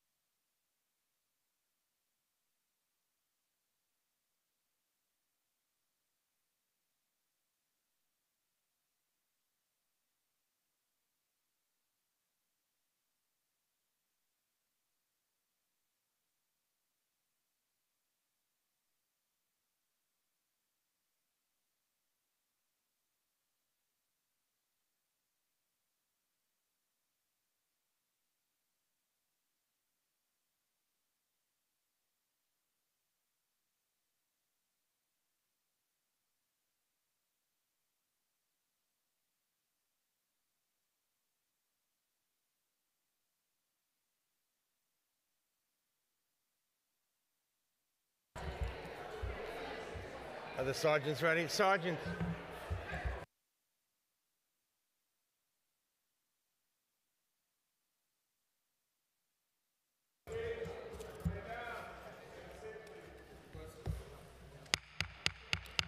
Okay, uh, we will now resume the City Council's hearing on the mayor's executive budget for fiscal 2020. The Finance Committee is joined by the Committee on, excuse me.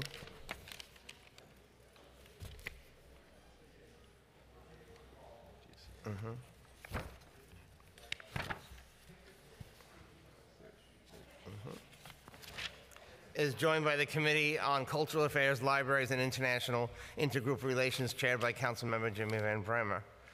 Uh, We are joined by our uh, Majority Leader Laurie Cumbo, and others will probably be joining us shortly. Uh, We just heard from the libraries, and now we will hear from the Commissioner of the Department of Cultural Affairs, uh, Tom Finkelpearl. In the interest of time, I will forego an opening statement, but before we hear testimony, I will open the mic to my co-chair, Councilmember Van Bramer. Thank you very much, uh, Chair Dromm. I want to thank all the members of the cultural community who are here today and who took part in the rally uh, earlier. Uh, obviously, I was only able to participate uh, in a portion of that, uh, but I was spirited in my defense of the cultural community uh, before I had to come back in here and conduct the library portion of the event. Uh, and I just want to say, uh, I am very, very upset that we come to this hearing in a place where the administration is doubling down on its cuts to the budget of the Department of Cultural Affairs, which is not just a cut to the Department of Cultural Affairs. Let's be frank about what this is. This is a reduction in funding, no matter how big or small, to every organization in the city of New York that is receiving funding. And to cut the budgets of our program groups, uh, some of which are so incredibly small, neighborhood based, nonprofit cultural organizations in all five boroughs, serving every community, many of which are uh, run by and serve um, uh, communities of color, immigrant communities. That's unconscionable. It's unconscionable uh, in a city with the wealth that we have, uh, with the numbers coming in from the personal income tax uh, across the city, above projections. There is a lot of money in this city. It is a very, very wealthy city.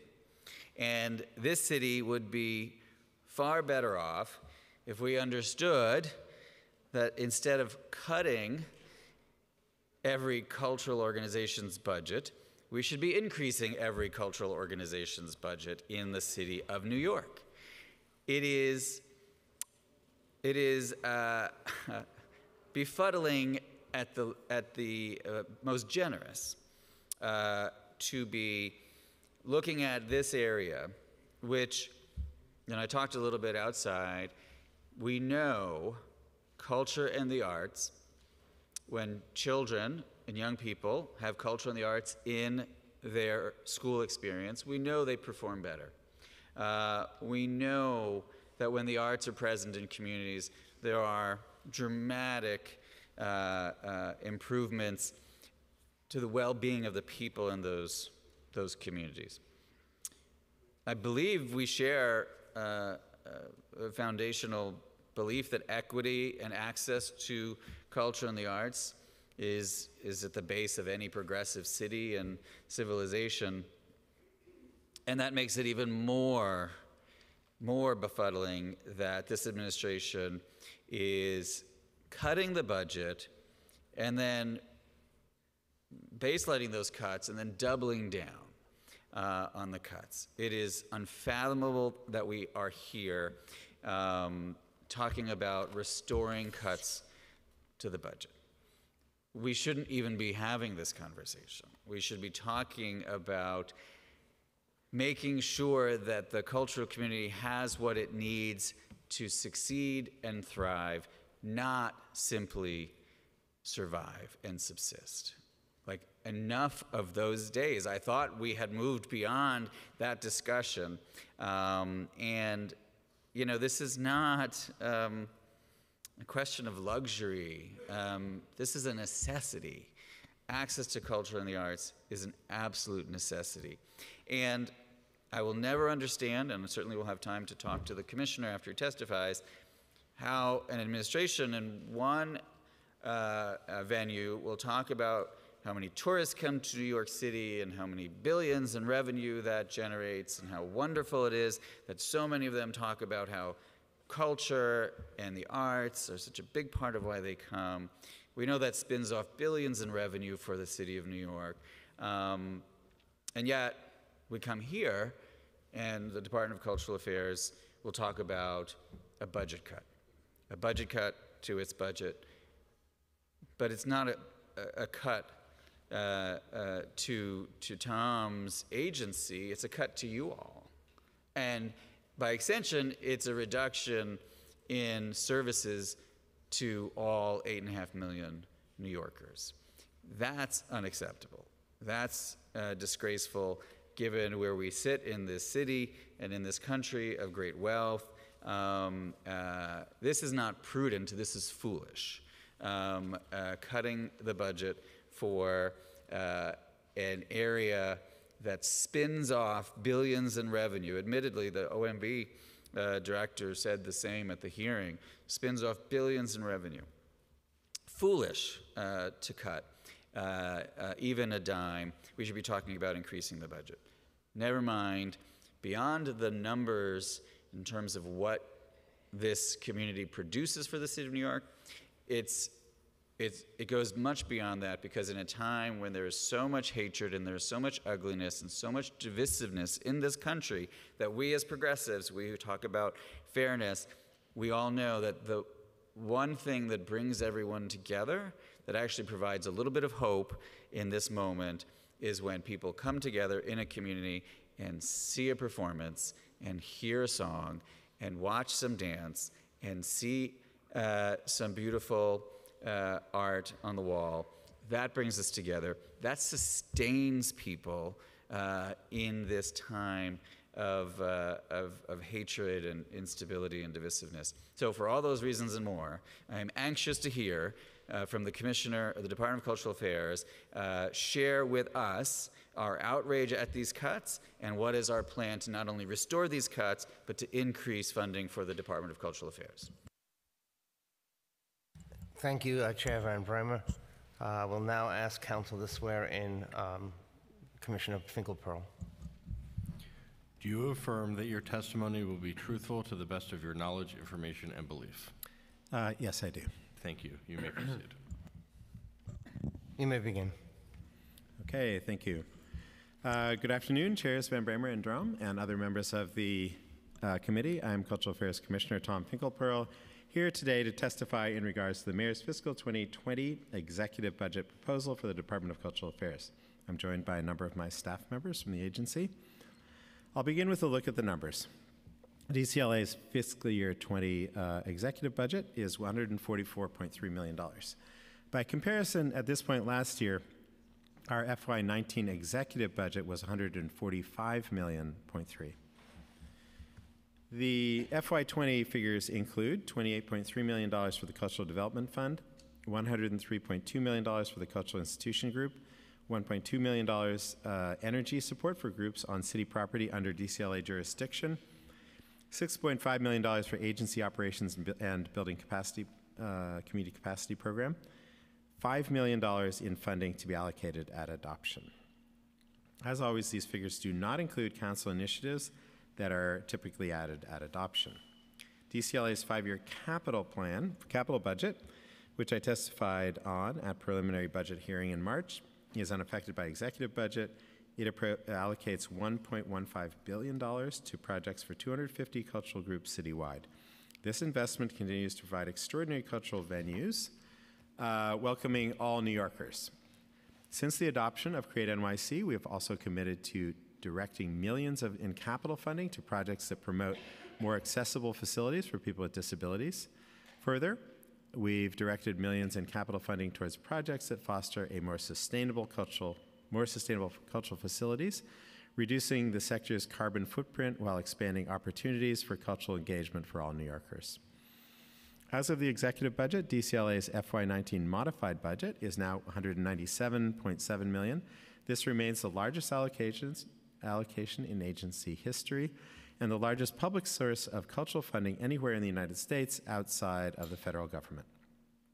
We're proud, we're proud to work alongside the City Council to make these historic investments.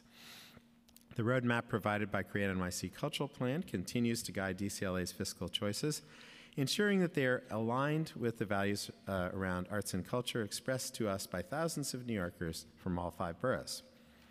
Uh, now for an update on a few um, agency programs and initiatives. This year's second cohort of the Create NYC Leadership Accelerator is happening now. We launched this program as a pilot last year to help mid level cultural workers grow into leadership roles. The demographic survey of DCLA's grantees that we released in 2016 showed that there are far less, there's far less diversity at the top of the org chart for many cultural groups. This, along with the input received during the cultural plan public engagement, indicates that barriers indicates that there are barriers within the cultural sector prevent advancement for underrepresented groups. The Leadership Accelerator program participants examine systematic issues that prevent more diverse leadership. 26 individuals took part in the previous round earlier this year, and another group just started. The feedback on the program has been excellent. Participants report that they learn new strategies to advance, um, to advocate for themselves.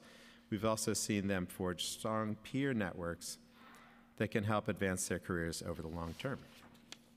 On May 2nd, we announced the launch of another program tied to the cultural plan's findings. Community Organizing 101 Engagement Tactics for Cultural Organizations is a pilot course that will train staff from cultural organizations around the city in strategies for sustained community building. During public engagement conducted for Create NYC, residents and cultural workers called for the city to support cultural groups in efforts to establish stronger connections with their neighborhoods. Representatives from 30 DCLA funded organizations from all five boroughs are participating in the free pilot course, providing them an opportunity to learn how to integrate the tools of community organizing into their work in the cultural sector. On May 4th, the latest group of CUNY Cultural Corps students celebrated their graduation at Lehman College in the Bronx. Supported by DCLA and the Rockefeller Found- Foundation funding, these extraordinary students, more than 130 of them, have paid internships with 63 partner uh, cultural organizations. To date, 340 students have completed the CUNY Cultural Corps program. About 20% of participants have received job offers from their host sites, and many have gone on to explore careers or areas of study in arts and culture. The Cultural Corps has brought hundreds of students into cultural community who might not have otherwise considered art and culture as a career path. Cultural organizations have been thrilled with the 62,000 paid work hours contributed through this program. They've been even more excited about the smart, skilled students that they've had the opportunity, opportunity to work with. This is laying a solid foundation of professional and personal relationships on which these students can build their careers. Last year, we hosted Create NYC office hours with the Commissioner at MoMA PS1 in partnership with Chair Van Bramer, where we discussed the intersection of arts, culture, and LGBTQ history and activism. Just yesterday evening, we hosted a follow up to uh, Create NYC office hours in, the, in advance of Pride Month and the 50th anniversary of Stonewall Uprising at the Bronx Council on the Arts titled Voices Unheard. The focus um, of this public dialogue was LGBTQ artists and art spaces since Stonewall. Many people took part, including our fellow members of the Stonewall 50 Consortium. We look forward to continuing this dialogue in the weeks and months ahead. It's important that while we celebrate our victories and those who sacrificed uh, to achieve them, we don't forget the challenges that still lie ahead. In April, we announced four new public artists in residence, or pairs, who will work with four city agencies over the next year. The pair and their host agencies are Taja Lindley, uh, working at the Department of Health and Mental Hygiene's Tremont Neighborhood Health Action Center. She will start her residency by exploring how the voices of pregnant and parenting black people in the Bronx can advance reproductive justice and inform changes in medical practices and government policies. Laura Nova, working with the Department of the Aging to deepen the city's understanding of ageism and its impact on older New Yorkers. Julia Weist, uh, working with the Department of Records and Information Services. She will start by focusing on DORIS's colonial collection, exploring how artists might help present the colonial records to better represent the perspectives of indigenous and enslaved populations of the period. And Janet Zweig, working with the Mayor's Office of Sustainability to support MOS's efforts to convey new- um, to New Yorkers how they can make positive difference on issues around sustainability. And I'm pleased that two of our previous pairs, Tatiana Fazlalizadeh with the Commission on Human Rights and Rachel Barnard at the Department of Probation, had their residencies extended by their host agencies. Their work addressing anti black discrimination and street harassment and improving relations between DOP officers and their clients continues. And finally, last month, the 33 members of the Cultural Institutions Group submitted their diversity, equity, inclusion (DEI) plans to the agency. This new requirement has was originally announced by the mayor when we released Create NYC. As you know, the CIGs consist of a wide range of organizations, from large museums to community-based performing arts centers to zoos and gardens. Their DEI plans will reflect these disparate sizes, disciplines, and audiences. But across the board, the group sees um, the group see this as an opportunity to dive into critical issues that will shape the future of the sector. As our population grows more diverse, our cultural institutions need to keep pace in order to continue offering programs that make these vital, relevant institutions. We've started our internal review process and look forward to working with these institutions to foster a more inclusive workforce for the rest of my tenure as commissioner.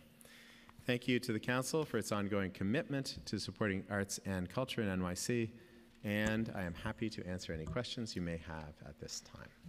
Thank you very much, Commissioner Finkelpearl, for your testimony. I want to start off with some uh, general questions about uh, the PEG.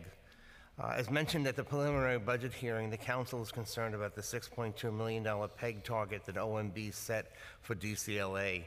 The PEG was achieved through the hiring, through a hiring freeze, a reduction in the Cultural Development Fund, and a reduction of subsidies to cultural institution group members. Uh, Why are we de-emphasizing the cultural community by cutting funds, particularly in light of the work we just did regarding the cultural plan, when now is the time to be adding money and not cutting it? So, I mean, I think that probably is a fundamental question that's going to be asked a number of times at this hearing. And I will say that, look, uh, uh, between the time that I sat here last and, and now, there has been progress made on this. First of all, uh, there were ways in which the PEG was mitigated using agency savings, but also I think the most fundamental thing is it's a one year PEG. So many agencies at, uh, across the city are facing baseline pegs that are permanent. This PEG money gets restored next year. So it's something where I think, in recognition of, of the discussions that we had at the last hearing, um, that, that we were able to make a bunch of progress in terms of the size of the PEG and the, and the um, the uh, duration of the peg primarily. But you know, I, I think that the the answer also is simply that the um, the administration does care about arts and culture. We have ha- we do currently have the largest budget in the history of this agency. We're within a million dollars of where we were exactly at this time last year, and we look forward to working with the council towards adoption. Um, you know, for a healthy cultural budget for New York City. So Commissioner, only about um, 5% of the department's total budget supports direct agency expenses. The remaining 95% supports cultural institution groups and other arts organizations. So uh, why did you have such a high peg target for an agency where really the only room for a reduction would necessarily hit the arts community directly? So, I mean, I think there are two parts to, to answer that question. So, as I understand it, in the nonprofit sector, if you're spending more than 65% of your money on grants, if you're a, a, a, foundation, that's considered to be an efficient agency. There's no other uh, agency that I understand that is anywhere close to as efficient, if you might say, as the Department of Cultural Affairs in New York City. So, you said um, a minute ago, which was that 95% of the agency budget is grants. is a remarkable thing in America. Most foundations, and even if you look at the National Endowment for the Arts or New York State Council on the Arts, spend a much larger percentage of their funding on the operations of the agency. So I think it, you know, you've pointed actually one of the, the good things about the agency is how incredibly efficient it is. So that having been said, um, if the city is facing budget cuts and we're looking at $750 million of savings in this budget, a cut, a you know, uh, to the agency necess- necessarily includes cuts to the um, to the groups. But all I'm saying is that you know, if you are looking to cut proportionally different agencies, there's just no way at our agency. Like if you were to take a six million dollar cut out of our agency budget, we would be left with two hundred thousand dollars to run the agency. Do you understand what I'm saying? Almost all the money is going to our fantastic cultural groups there.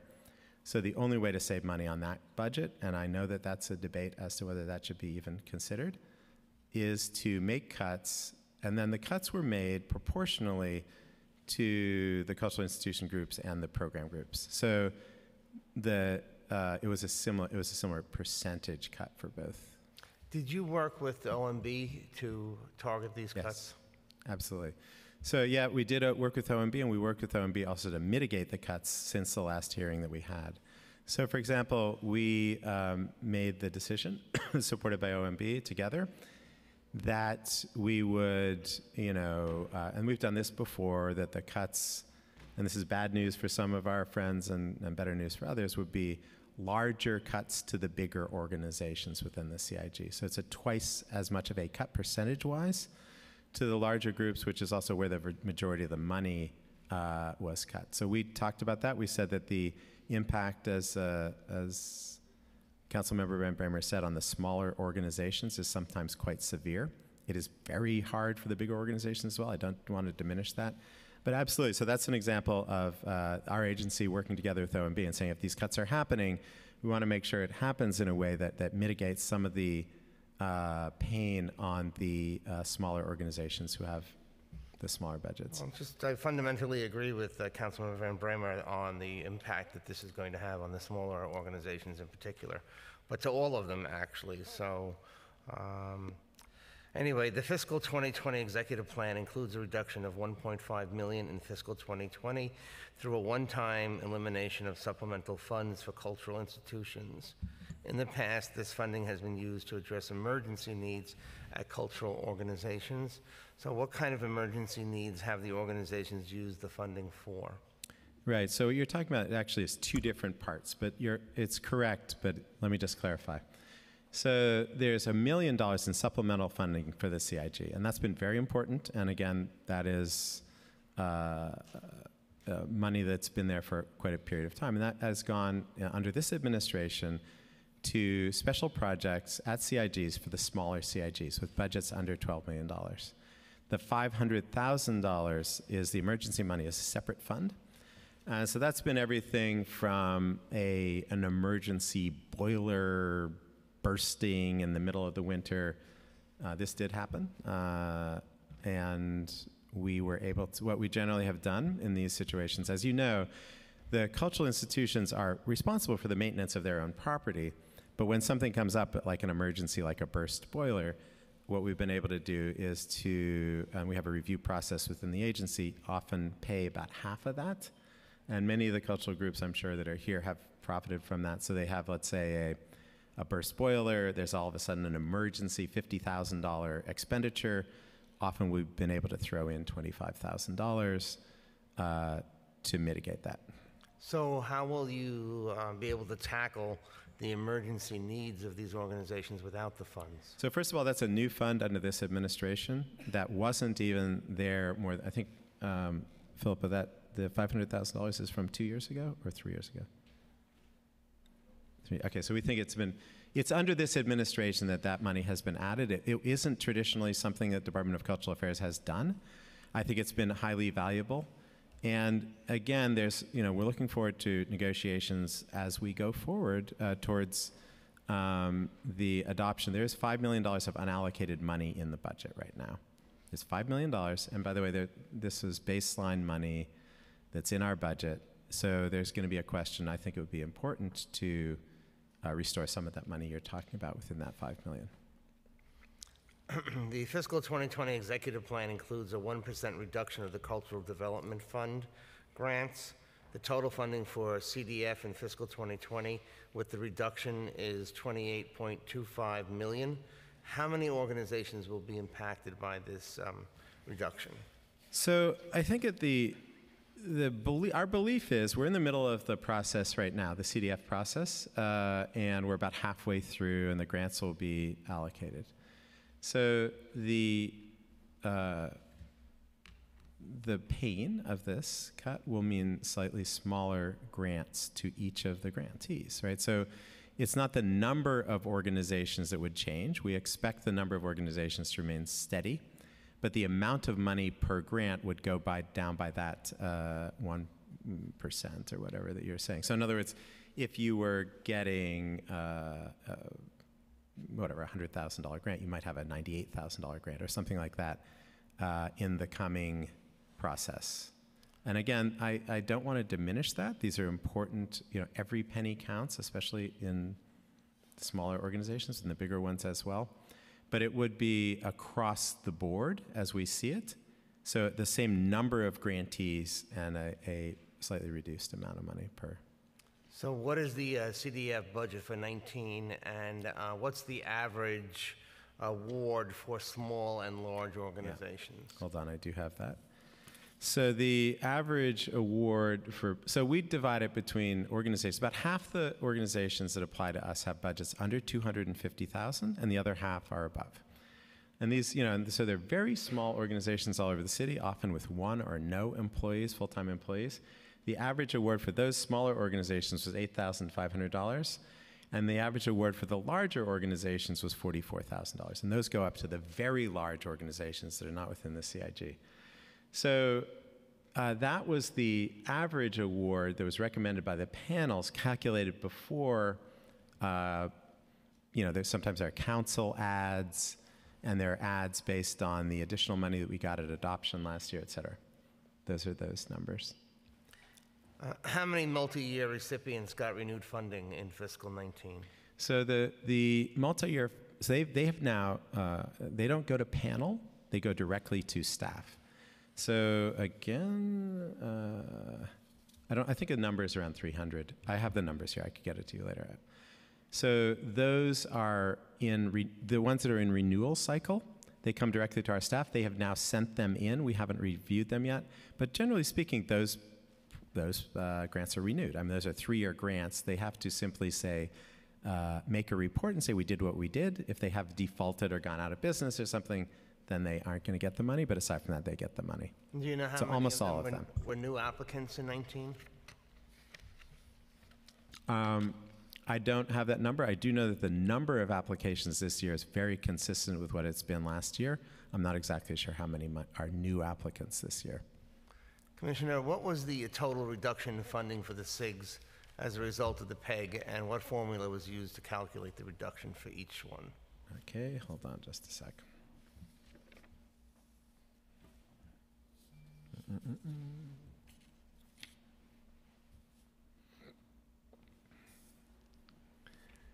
Um, I do have this.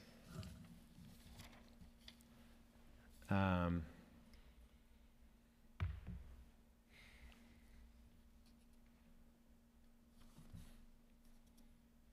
I mean, I can tell I can tell you the formula. I don't have the exact. I think I have the exact number in here. If anybody has that, and you can tell me what it is. One million dollars. Okay. So the formula. Thank you, Philippa. Uh, the formula that was used, I believe, was a 0.9 percent reduction for the smaller CIGs and a 1.8 percent reduction for the larger CIGs. So again, the larger CIGs, which again we feel uh, have more capacity to absorb. So the smaller groups got a uh, nine tenths of 1% cut, whereas the bigger groups got 1.8% cut. Again, that was something I mentioned before was negotiated with uh, OMB, you know, discussed, and that was our recommendation. That was what was uh, enacted. In our budget response, the council urged the administration to baseline the one-time funding of $13.7 million in fiscal 2020's executive budget and additionally called on the administration to increase the budget for the Department of Cultural Affairs by $10 million. Uh, What programs will be affected if the 13.7 million one-shot funding is not included in fiscal 2020? So the the twenty million dollars was added at adoption. Five million of it was baseline, and the other fifteen million was not. That twenty million dollars was uh, divided essentially into three different parts. One part was uh, across the board increases for uh, the CIG, with smaller organizations getting larger bumps than the that was six point five million dollars. Uh, about the same amount of money went to uh, increases for the CDF, again, targeting uh, organiza- smaller organizations, organizations in low income communities and serving low income communities. And the other 6.5 went to essentially cultural plan initiatives. This is all great stuff, including the additional money for individual artists through the arts councils in each borough. It included Disability Forward Fund. Uh, it included the Mayor's Grant for Cultural Impact, those, those uh, cultural plan initiatives. Okay, thank you. Um, Let me ask a few questions now about the cultural institutions retirement system. Um, I have been um, unable to get some solid answers uh, uh, regarding the cultural institutions retirement system. You know, as you know, the city's early learn initiative caused a significant drop in the number of daycare employers, and thus the employees participating in the multi-employer pension plan uh, This caused a large uh, liability to be imposed on the plan, known as a withdrawal liability. So what is the status of that liability, and is it just an unpaid bill? So I am. I know that there was a meeting yesterday. I believe I don't. I haven't talked to people who've been in that meeting, but there was a meeting between OMB and some representatives from the CIG. And I'm not a, an expert in ERISA and you know employment law when it comes to pensions. So that's something that's being handled by OMB and the law department. But I am aware that there was a meeting yesterday, face to face meeting here at City Hall uh, about that. Do you know if that liability will grow if it's not paid soon? Again, I actually don't know that. I do understand what a liability, with a uh, withdrawal liability is. I actually don't know how it's calculated exactly, or whether there is a precise calculation of what the entire liability is. But again, that's something being handled by OMB and the law department. Okay, so I think the council feels strongly that this is something that um, the um, members should not have to take on, that the city should really take that on, the cost of that. Uh-huh. No, I understand that that's Okay. the position. Um, Just some general budget questions.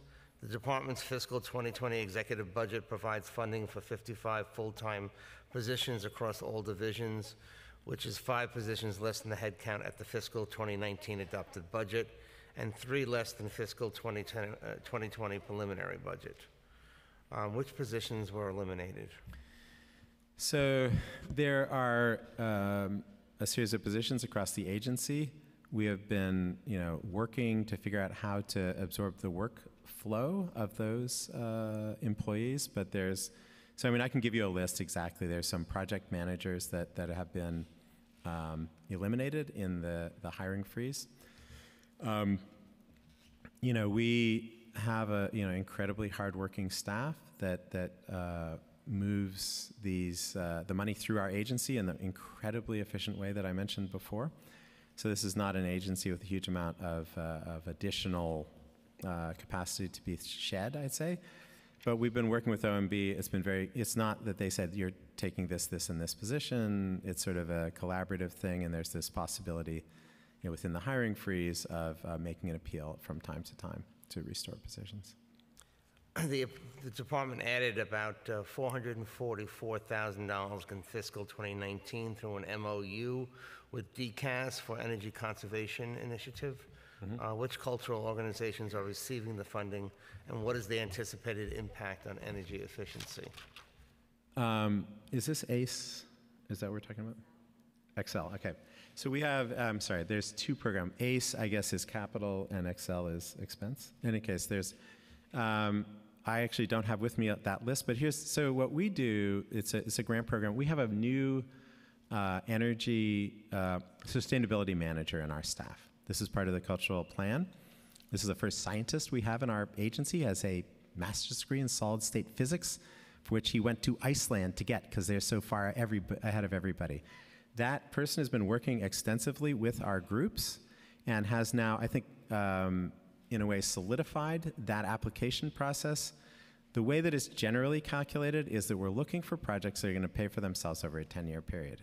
So, again, we could report back to you have those um, awards been made already this year, or they're in the process? The application is in the process?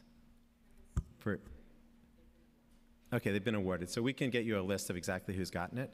But I will say that that's something that we're very proud of the progress we've been making on that. So that having a sustainability director at the agency, we spend a lot of our agency budget on energy. So it's a huge amount of the CIG budget, and it's, it's this new energy coalition. So we've been working carefully with them and also through this process um, to award those grants. Okay, thank you. Is the agency still implementing the Arts and Residence Program? Yes. And which are the participating agencies? So that was in my testimony. Where's my testimony? Oh, okay. Uh, no, hold on. I get it. So there are four agencies. Uh, the way that it's working, and, and we've been sort of really living and learning uh, with this, it's been a, a, very successful program. The agencies are Department of Health and Mental Hygiene, Department of the Aging, Department of Records and Information Services, and the Mayor's Office of Sustainability. So what we're doing, it's a partnership with the agencies. The, age, the artists come on board after a, a process, uh, an application process in the fall. They come on board in the spring. They do their planning, and then they work for the second uh, year uh, with funds from the agency. Uh, so these artists are all in. They're doing their planning, and they'll start executing their projects in the new fiscal year with the agency. Okay, thank you. How much of the budget is for, uh, for the annual design week? Can you describe the agency's role in Design Week and how it collaborates with other agencies? Um, so that is a contractual arrangement. I'm going to have to get back to you about all the details on Design Week. It's been, you know, it's been an ongoing thing. The money comes through our budget. It is a, a successful program. What's that? I'm sorry. It is no longer in our budget. Thank you. I'm sorry. This is why you have experts on your staff who come with you. I'm under uh, I would like to say that that was wrong, that the, that project has now been, this year, moved over to EDC. Okay, thank you. Okay, sorry about that. All right, and this will be my last uh, questions, and then we'll give it over to Chair Van Bramer. The baseline funding of $5 million for Create New York City Cultural Plan initiatives has not yet been allocated. When and how does the agency plan to do so? Okay, so first of all, I just want to say clearly that that money was spent this year. To say it's unallocated in the coming budget does not mean we did not spend the money, okay? So we are, this is something that will be uh, uh, part of adoption to work towards allocating that money. Uh, and that money is, uh, it again, remains unallocated at this time, but by adoption we intend to allocate it. Okay. All right, thank you. Uh, Chair Van Bramer. Thank you very much, Chair Dromm. Uh, so, Commissioner, I uh, we've known each other a long time. You know I have respect for you, but I have to say I'm disappointed. Your your testimony did not, in any meaningful way, address the situation that we're faced with, um, and your agency and this community are staring down potentially enormous, enormous reductions in funding. Uh, because the mayor is proposing uh, and doubling down on the PEG, while at the same time there is no guarantee that this administration, uh, in any way, shape, or form, wants to fight for and wants to restore uh, uh millions of dollars on top of the PEG. So I'm shocked that there isn't a sense of alarm, there isn't a sense of urgency, um, and, you know, where is the passion to fight for this? Um, so I just have to say to you, do you support cutting funding to your department? So you know, I believe that a robust cultural budget is extremely good for New York City. I believe that the money that we spent this year was well spent. Uh, and I, you know, we're very similar in a very similar state right now. We're one million dollars different over- out of a hundred forty-five million dollar Tom, budget. I have a lot of respect for you. You're better than that. I know that there are people in Intergov and others who work with you on this testimony. We're not where we were last year, right? The, the numbers tell a different story given the PEG.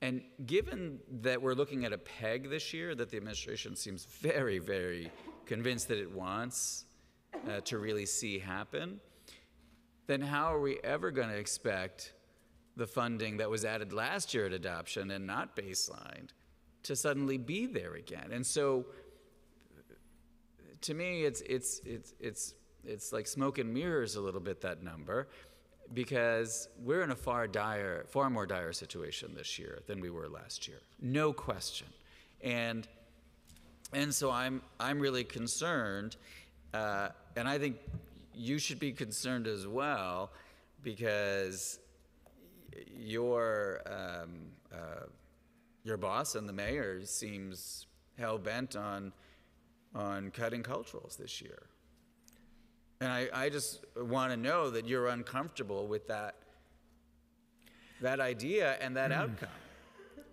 So uh, let me just say in terms of where we are in relationship to last year, again. And so look, there was $20 million added adoption, 5 million of that was baselined at adoption, right?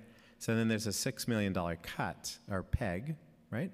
So that means because the $5 million was, uh, was baselined, that the peg, you know, it's baseline, the baseline went up by five and the peg brings us down a million below that. I'm, so whether you, so I'm just saying in terms of I believe that the numbers that I reported on in the testimony are accurate that we're a million dollars lower than we were. Whether we're in a more dire situation is your other part of the question. And do I support? Look, I support a robust cultural budget for the city. I so I worked in this sector my entire adult life before I got to the agency, and I understand that this is a you know a fantastic part of this city, and that that all the cultural funding that we do is important. We're also facing a financial reality where the mayor is, in, to balance the budget, looking for $750 million of reductions.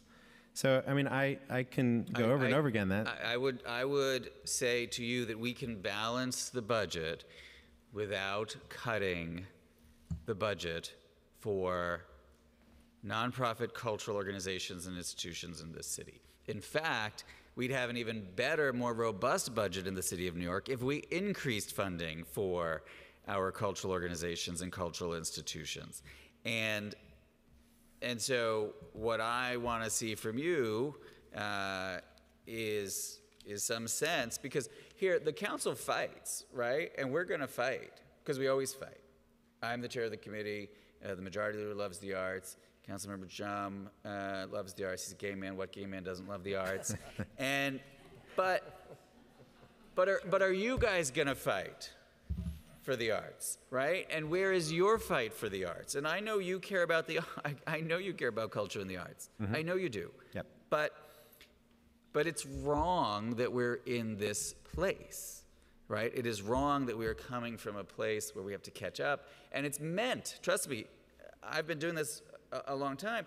This is intentional. This is absolutely intentional to keep us behind. It is absolutely intentional to keep us from achieving what we really need to achieve.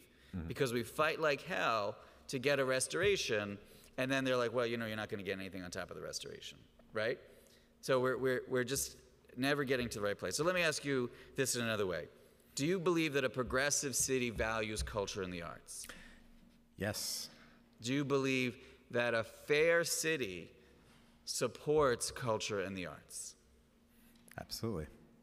And artists are the backbone of a city that is progressive and hopeful and inspirational. I agree. So then, why would we cut the budget for culture and the arts and artists? So, I mean, look, I mean, I can go over and over. Let me just actually say one other thing, because I want to just refer back to one of your pieces of test when you were um, speaking earlier.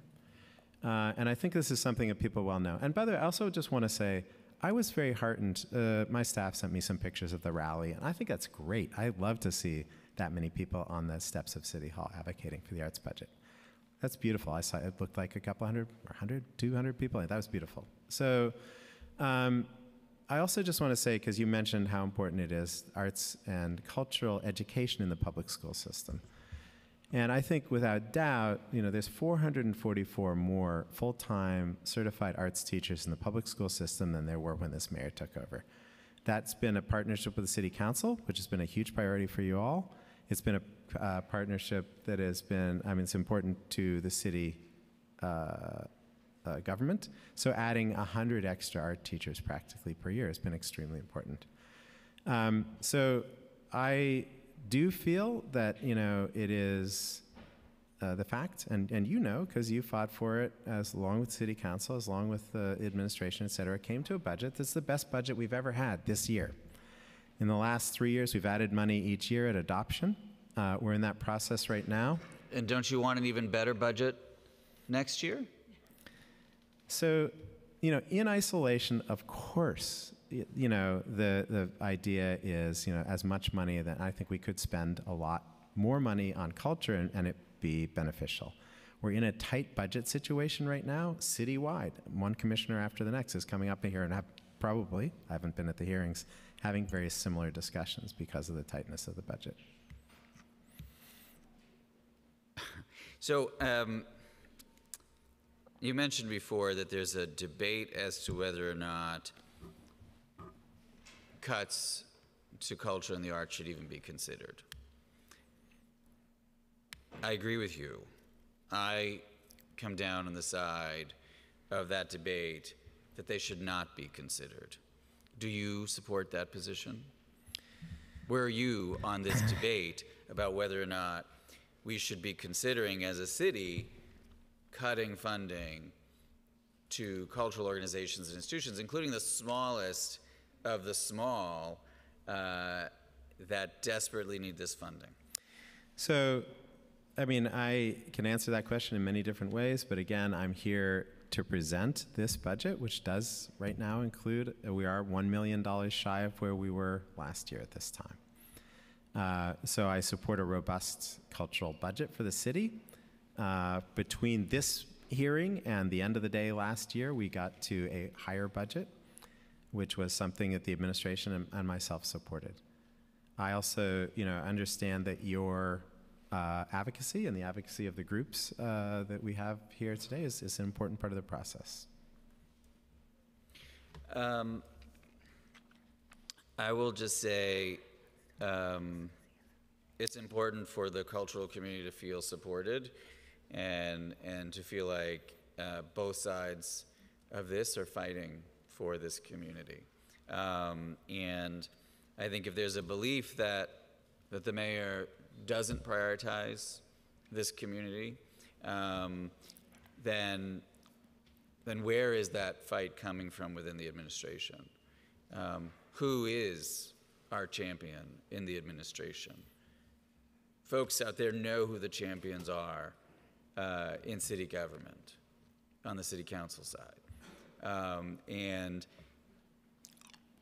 and, and I think that if we're going to get to a good result at the end of this budget cycle, um, you know, you're certainly going to need to be uh, very aggressive on the inside to make sure that uh, the folks who you uh, report to and work with understand this is a priority. Do you have a sense from those people that they're listening to you?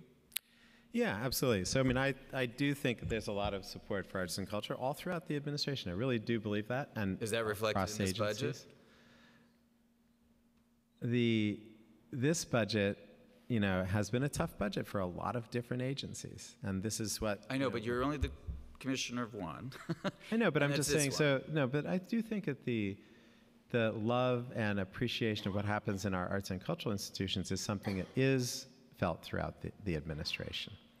And it's felt, you know, across different agencies, and lots of different agencies are, are uh, investing in arts and culture, and we've had really wonderful partnerships.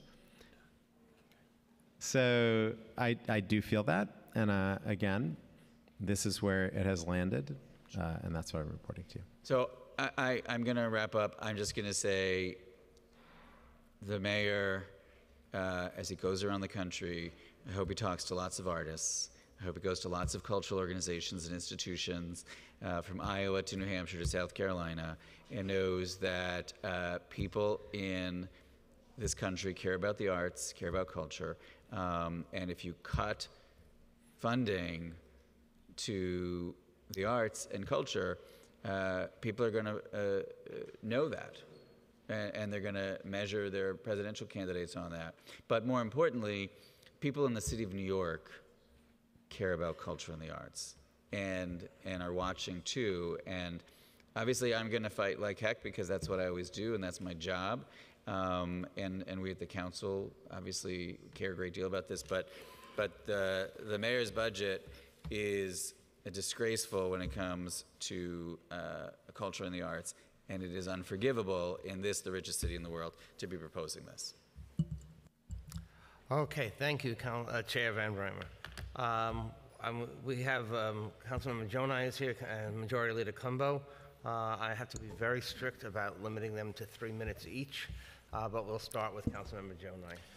Thank you, chairs. Um, I- I do want to compliment um, my colleague, Van Bramer, on those hard questions that were just asked, but I'm going to compliment you as well, Commissioner, on your skilled, reserved responses. If we recognize the importance of arts and what makes New York City such a vibrant, such a colorful attraction to the world, you shouldn't be so reserved. We understand the importance, and every dollar that we invest in the arts and our cultural institutions, we yield a great return, which leads me into my question. Has the DCA designed any programs specifically targeting tourism industry? So, um, first of all, just let me say that, that I'm not reserved in my championing of arts and culture. I absolutely believe in its value. I, we've done more research in relationship to the value of arts and culture, I think, than any administration has done in the past. So, the social impact of the arts uh, initiative, which was privately funded, many hundreds of thousands of dollars went into millions of data points coming back. So, I am 100% with you on that, uh, Councilman.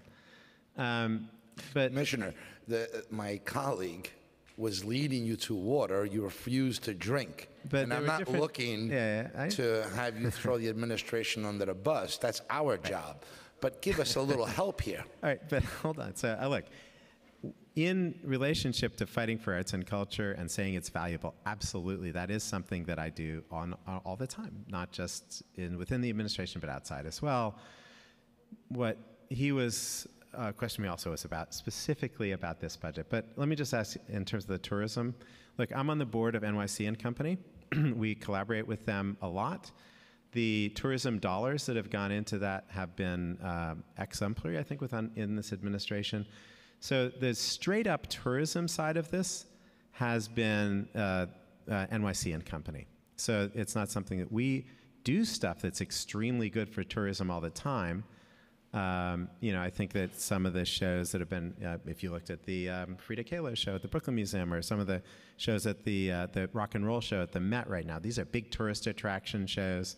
These are in organizations where we're the, their biggest uh, uh, long-term funder. So you're providing a product for them to market, correct? Exactly. That's and in They're marketing, marketing it. We're what providing you're providing makes for a tourist attraction and yes.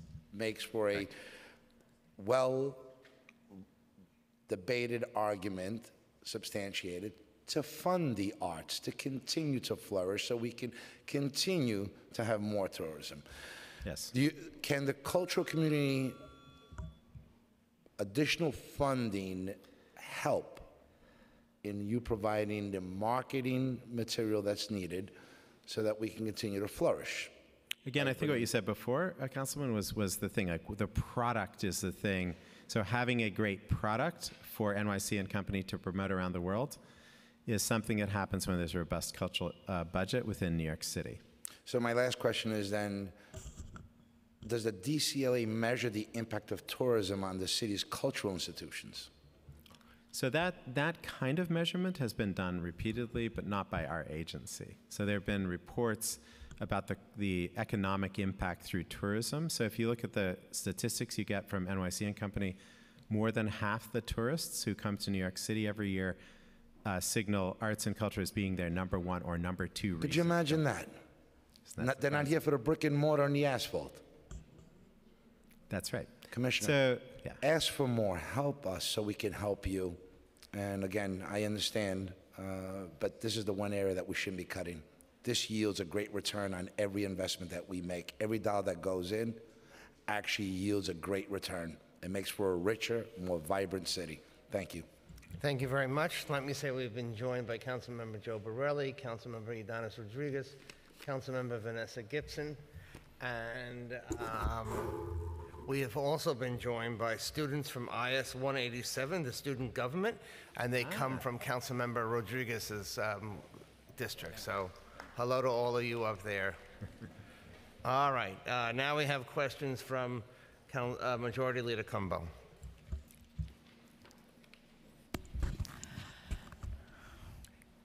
Thank you. My colleagues have pretty much summed up many of the questions um, that I had, but I wanted to focus in on, as you know, and it's coming, uh, wanted to focus on is there a calculation that is made when these types of cuts are made to the Department of Cultural Affairs in terms of how it will impact the economy of New York City?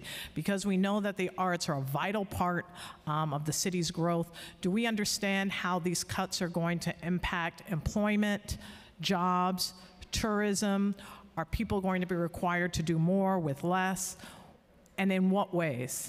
So the answer is that we haven't done specific research that says this exact amount of cultural funding produces this exact number of tourists. And We that needs to be done.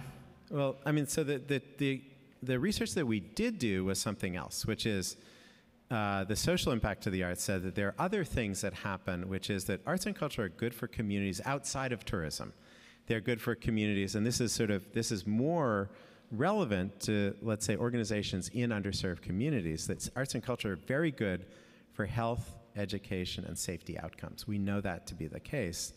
But so that is so we we have done a lot of research. Um, we haven't done the one-to-one correspondence between the city's cultural budget and tourism and those funds. So I'm just saying that the that kind of argument has been made over and over and again. I think it has been very important to make the other argument, which is a better argument for lower for smaller organizations in communities throughout the city.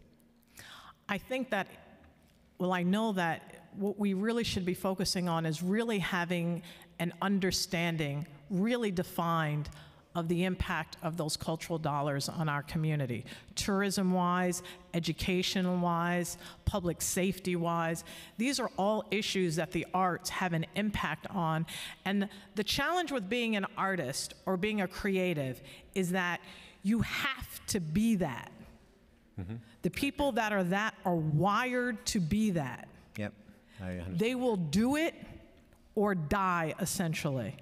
I know so many people who cannot afford to pay their bills, live in their homes, eat their food, send their children to top schools and daycares and all of these different things, and their families essentially fall apart because these individuals are often so wired to do their God given talent.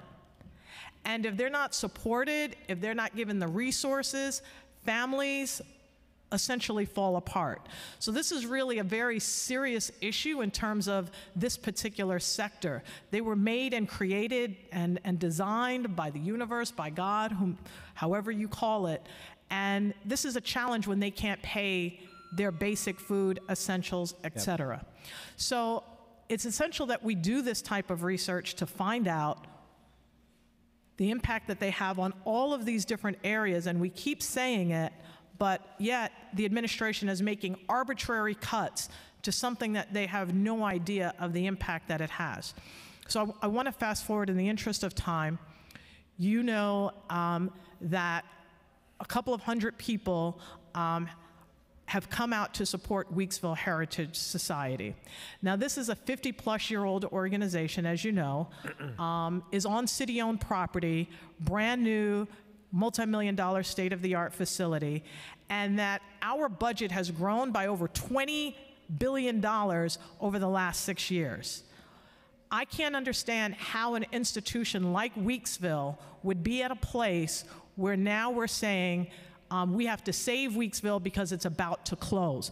Weeksville's not opened on the weekends, so a major cultural institution is not open on the weekends. They don't have late nights, they have limited staff, they don't even have a development director to be in a position to help them at this time.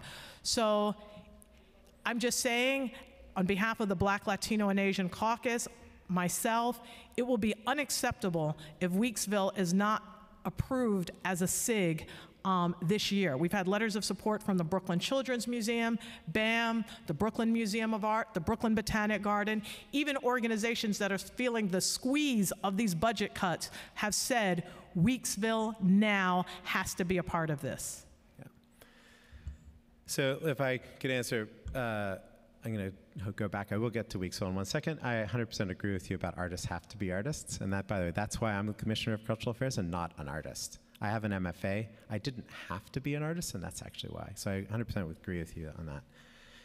Weeksville, we, through our agency this year, Weeksville received $456,000 of support. They are in a city uh, owned facility that they don't pay rent, we pay their energy. Um, so we are 100% supportive of this organization. I have been talking to Rob Fields on a practically daily basis, the director of the organization. And, you know, I, uh, we're absolutely, uh, you know, working towards stability for Weeksville. I think that's all I can say at this very moment, but I'm very aware of what's going on there. I have to say that the, the way that that 4,000 people came forward with an average $63 donation for $256,000 or whatever, I mean, whatever. $250,000 in a week's time Yeah, is impressive, which means that the community Yep. and people care about this institution greatly. I agree. Here's, here's Ma- the issue. Madam Majority Leader, we I ju- have I'm to gonna move close along. with this one. Okay. Here's the issue. The community in which Weeksville is situated in is systemically been under-resourced all across the board, education-wise, cultural-wise, safety-wise. This has been a, an, an community that has been underinvested. We talk every year about the CIG process, and next year will be the year that we get to it. But now we're going into our sixth budget. The issue with Weeksville has not been uh, uh, situated. We have to look at how these community-based cultural institutions are faring in this process. We have to open up the CIG process. In this process, we have to get Weeksville into this process because the CIGs that came forward in Brooklyn are not people of color led. They're not board majority wise people of color. So you're asking an organization like Weeksville in a community that is economically challenged to do more with less and to put them through some rigorous process of how they're going to sustain themselves. Are they eligible for the funding? Are they going to still be sustainable after the funding? Is not fair when our other institutions have access to big donors, big pockets, deep pockets, all of these different aspects that they do have access to. Weeksville doesn't have any of that, and they're not a CIG, and they're an economically depressed community. So to look at them to say, let's consider it, and should we consider it, to me, it's a no brainer. Weeksville now, Weeksville's ready, it has to be in the budget, and that's something that's important to me in this budget process. Okay, thank you. I hear you. Yes. All right, we're going to move on to our last question from Councilmember Borelli. Hey, Commissioner, how are you? Greetings. C- Can you explain the diversity bonus policy? So I'm not sure what you mean by bonus, but I can just I Well, can that- right, explain to you the diversity, equity, inclusion plans. Yes, absolutely. So what we have said is that the members of the cultural institution group, which, as you know, uh, is a large percentage of the cultural budget of New York City, Uh, we've been working with them for each of those organizations to develop diversity, equity, inclusion plans. Uh, they have all sent those plans into us. They're under review by our staff. It's been a very collaborative process. We've worked with the groups to push back the deadline a couple of times to allow them to um, uh, work through this. Uh, it's been, again, uh, something I know that the groups in Staten Island collaboratively hired with some funds from the Department of Cultural Affairs a diversity, equity, and inclusion uh, consultant to help them define what they meant by diversity, equity, inclusion, and how they were going to achieve the goals.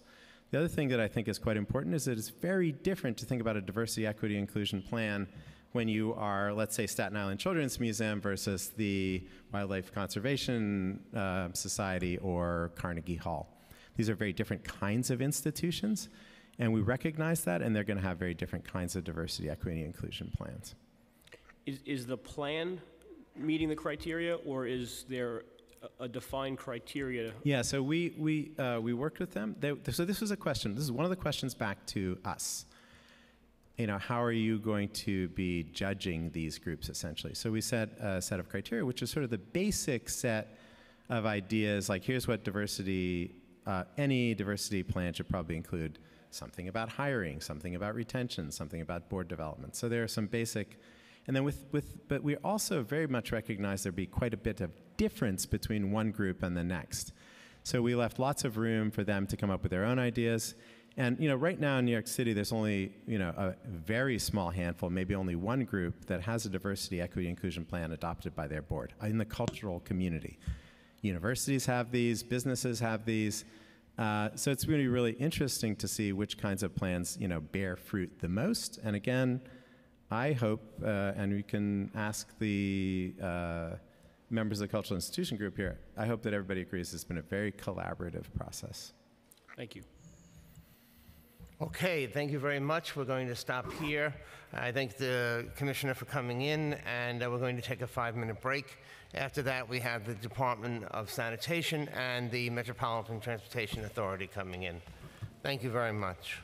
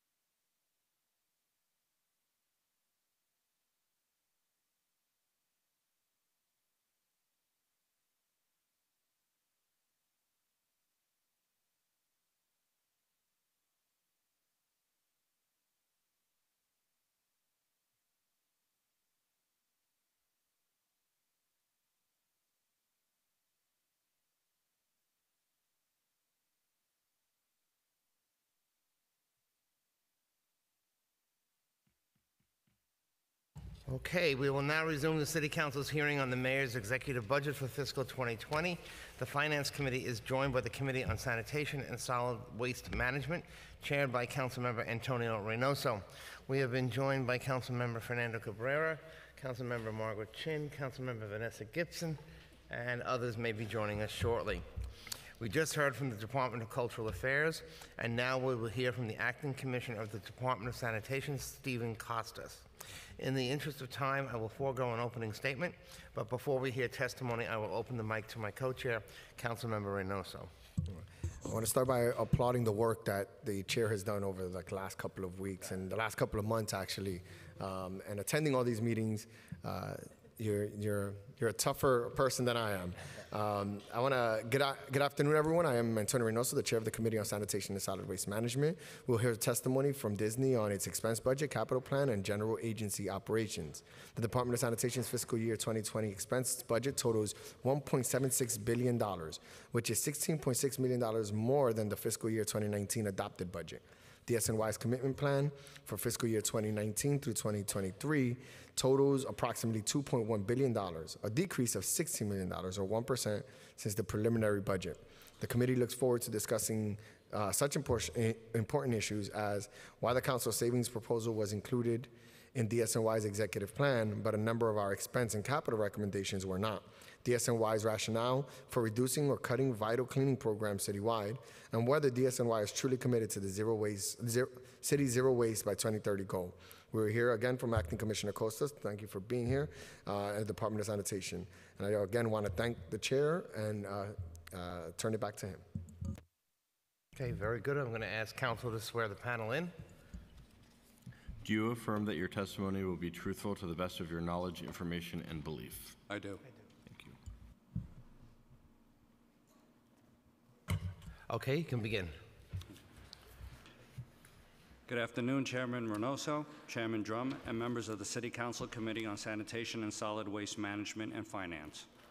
I am Acting Commissioner for the Department of Sanitation, Stephen Costas. I'm joined by Larry Cipollina, Deputy Commissioner for Administration and Financial Management, and Gregory Anderson, Assistant Commissioner for Policy and External Affairs. We appreciate this opportunity to testify on the department's fiscal year 2020 executive budget. At the Department of Sanitation, our mission is to keep New York City healthy, safe, and clean by collecting, recycling, and disposing of waste, cleaning streets and vacant lots, and clearing snow and ice. The men and women of this department provide critical services to all New Yorkers, services that help make our city a thriving, vibrant place to live. This budget maintains our ability to provide our core services, but as I mentioned at the preliminary budget hearing two months ago, it also reflects the new realities and tough choices that we face together as a city. The department's fiscal year 2020 executive budget includes 1.76 billion in expense funds that will allow us to deliver services across the city. These funds include 771 million for the Bureau of Cleaning and Collection for household refuse recycling and organics collection, litter basket collection, street cleaning, and other core operational functions. 529 million for the solid waste management operations, including waste export contracts, the operation of city-owned transfer stations, and the closure of Fresh Kills landfill. 132 million for support services, including building maintenance, engineering, and fleet services. 111 million for snow budget to support snow removal, planning, and operations. 55 million for recycling and zero waste programs, including recycling processing costs, education, outreach, and operation of non-curbside waste diversion programs. 23 million for enforcement of street cleaning and recycling laws, and 138 million for administration, centralized purchasing, information technology, and other programs. The fiscal 2020 executive budget includes some new funding items and readjustments in the expense budget.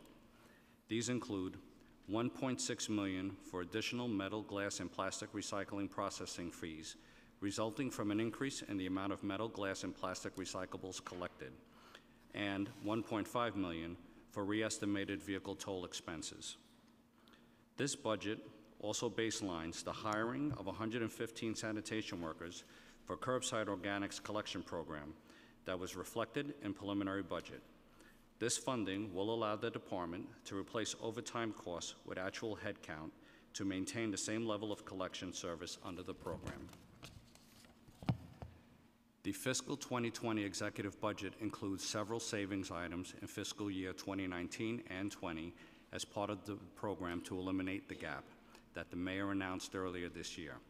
These include 6.7 million in additional revenue associated with the sale of renewable natural gas and associated environmental credits generated at Fresh Kills landfill. 1.5 million in additional revenue from alternate side parking enforcement, and 4 million in savings associated with the hiring freeze. In evaluating potential areas for cost savings in this budget, the department and OMB look to service reductions as a last resort. However, in order to meet our target, certain service reductions were necessary. The executive budget includes 1 million in savings over 2 years from the elimination of supplemental highway shoulder and ramp cleaning. It also includes 1.9 million in savings in fiscal year 2020 from a reduction in headcount for the department's lot cleaning unit by 37 uniform positions. These staff will be reallocated to fill vacant positions elsewhere within the Bureau of Cleaning and Collection. The department's proposed capital plan for fiscal 2020 to 2029 is 3.2 billion and includes the following. 1.8 billion for capital equipment purchases, including collection trucks, mechanical brooms, salt spreaders, and support equipment. 1.3 billion for garage rehabilitation and new garage construction. 117 million for maintenance and construction of solid waste management facilities, and 49 million for information technology and communication systems, including hardware. In the four-year plan, the department is funded to advance several major facility improvement projects, including begin the construction of the new Brooklyn District 3 garage this summer, construct a new Staten Island District 1 and 3 garage beginning in fiscal year 2020, design and construct a new Queens District 1 garage, and entirely reconstruct the Bronx District's 9, 10, and 11 garage complex, and rehabilitate the Queens District's 11 and 13 garage, the Queens District's 8, 10, and 12 garage complex, the Brooklyn District 6 garage, and the Bronx District 6 garage. Snow fighting is a critical function of the department. Our snow budget for fiscal year 2019 was decreased from 97.8 million as of adoption last year to 83.9 million in the executive budget. This decrease reflects a lower total snowfall accumulation this past winter when compared to previous seasons. However, even though the total accumulation of 20.5 inches was less than the annual average, the department issued 13 snow alerts and responded to at least 18 separate winter weather events. In addition, the department prepared numerous times for forecast precipitation that produced less snowfall than predicted or that changed to rain. Our snow budget for fiscal year 2020 is 111.1 million. As we testified last month, the department is very pleased with the state, pleased that the state has taken legislation action to address single-use carry bags. We thank the council for its swift action to enact a city paper bag reduction fee, in addition to the state plastic carry-out bag ban. These policies, both of which will take effect on March 1st, 2020, are an important step towards our goal of sending zero waste to the landfills. We encourage all New Yorkers to avoid the, pa the paper bag fee by bringing a reusable bag with them to the store. We look forward to working with the City Council members, civic leaders, and community organizations to distribute reusable bags across New York City in advance of these policies taking effect. On Earth Day, Mayor de Blasio released One New York City 2050 and made commitment to create a Green New Deal in New York City. This landmark report sets aggressive climate goals, including a commitment to transition to mandatory organics collection citywide. The department looks forward to working with the City Council to establish the mandatory organics recycling citywide, starting in low and medium density areas that already have access to organics collection, and then expanding over time to include the entire city so that all New Yorkers can participate. Until then, the department continues to focus on diverting organic material from landfills, where they generate harmful methane gases. The department's curbside organics collection currently serves 3.5 million New Yorkers and 23 districts in the Bronx, Brooklyn, Queens, and Staten Island. Also, as of today, there are more than 2,000 high-rise apartment buildings with nearly 118,000 households enrolled in curbside organics collection services. The department encourages owners and managers of apartment buildings in the Bronx and Manhattan to enroll with the department so that New Yorkers residing in those buildings may also participate in the organics program. In addition, today, more than 1,000 schools, institutions, and city agency buildings are now receiving organic collection service. The department will also continue supporting food scrap drop-off sites across the city and promote the expansion and growth of new community composting sites across all five boroughs. Today, we support more than 160 drop-off sites citywide, including at green markets, commuter hubs, community gardens, libraries, and other locations. We continue to seek partners to host additional drop-off sites. The department's organics outreach team continues to leverage multiple strategies to engage with New Yorkers about the program. These include staffing informational tables in high-traffic locations, giving presentations to community boards, civic associations, and other key stakeholders, conducting door-to-door canvassing and participation surveys, and hosting events for street tree care and free compost distribution events to community gardens in, and in parks. To date, in fiscal 19, we had direct interactions with approximately 41,000 residents in areas that receive organics collection service. This spring, we launched a Make Compost Not Trash, a, an intensive outreach effort in two community districts to test the full range of outreach strategies to drive participation in the program. We have been giving away compost, organizing street tree care events, and going door to door to encourage residents to make compost, not trash. The initial response on these efforts has been promising, and local elected officials have been key partners in helping us spread the word. We look forward to working with the Council to advance efforts to make the organics collection program successful. Our efforts to reduce organic waste also extend to New York City businesses. Earlier this year, the department began enforcing the second round of commercial organics regulations. Today, large restaurants, food retailers, and certain food chain services establishments are required to separate their organic waste for composting or anaerobic digestion. We are focused on giving businesses the tools they need to reduce food waste and save money. This March, we launched the Donate NYC online food donation tool to connect businesses interested in donating food to local organizations that feed hungry people. This Thursday, May 23rd, the Foundation for New York Strongest will hold its 2019 Food Waste Fair. The fair is an interactive experience connecting food, beverage, and hospitality professionals with the resources and education they need to reach zero food waste in their businesses. The 2019 Food Waste Fair will provide businesses with hands-on workshops, skills, training, and access to resources that only lead to more sustainable operations, but also save businesses money when less food goes into the waste. To learn more about the food, to learn more about the fair and our exciting Zero Food Waste Challenge, please visit foodwastefair.nyc. We continue to, adv to advance efforts to reform the commercial waste sector, which is estimated to generate 3 million tons of waste per year. Last November, we released our implementation plan for commercial waste zones, a comprehensive reform of the commercial waste industry that will create a safe and efficient collection system for the commercial waste that provides high quality, low cost service while advancing the city's zero waste goals.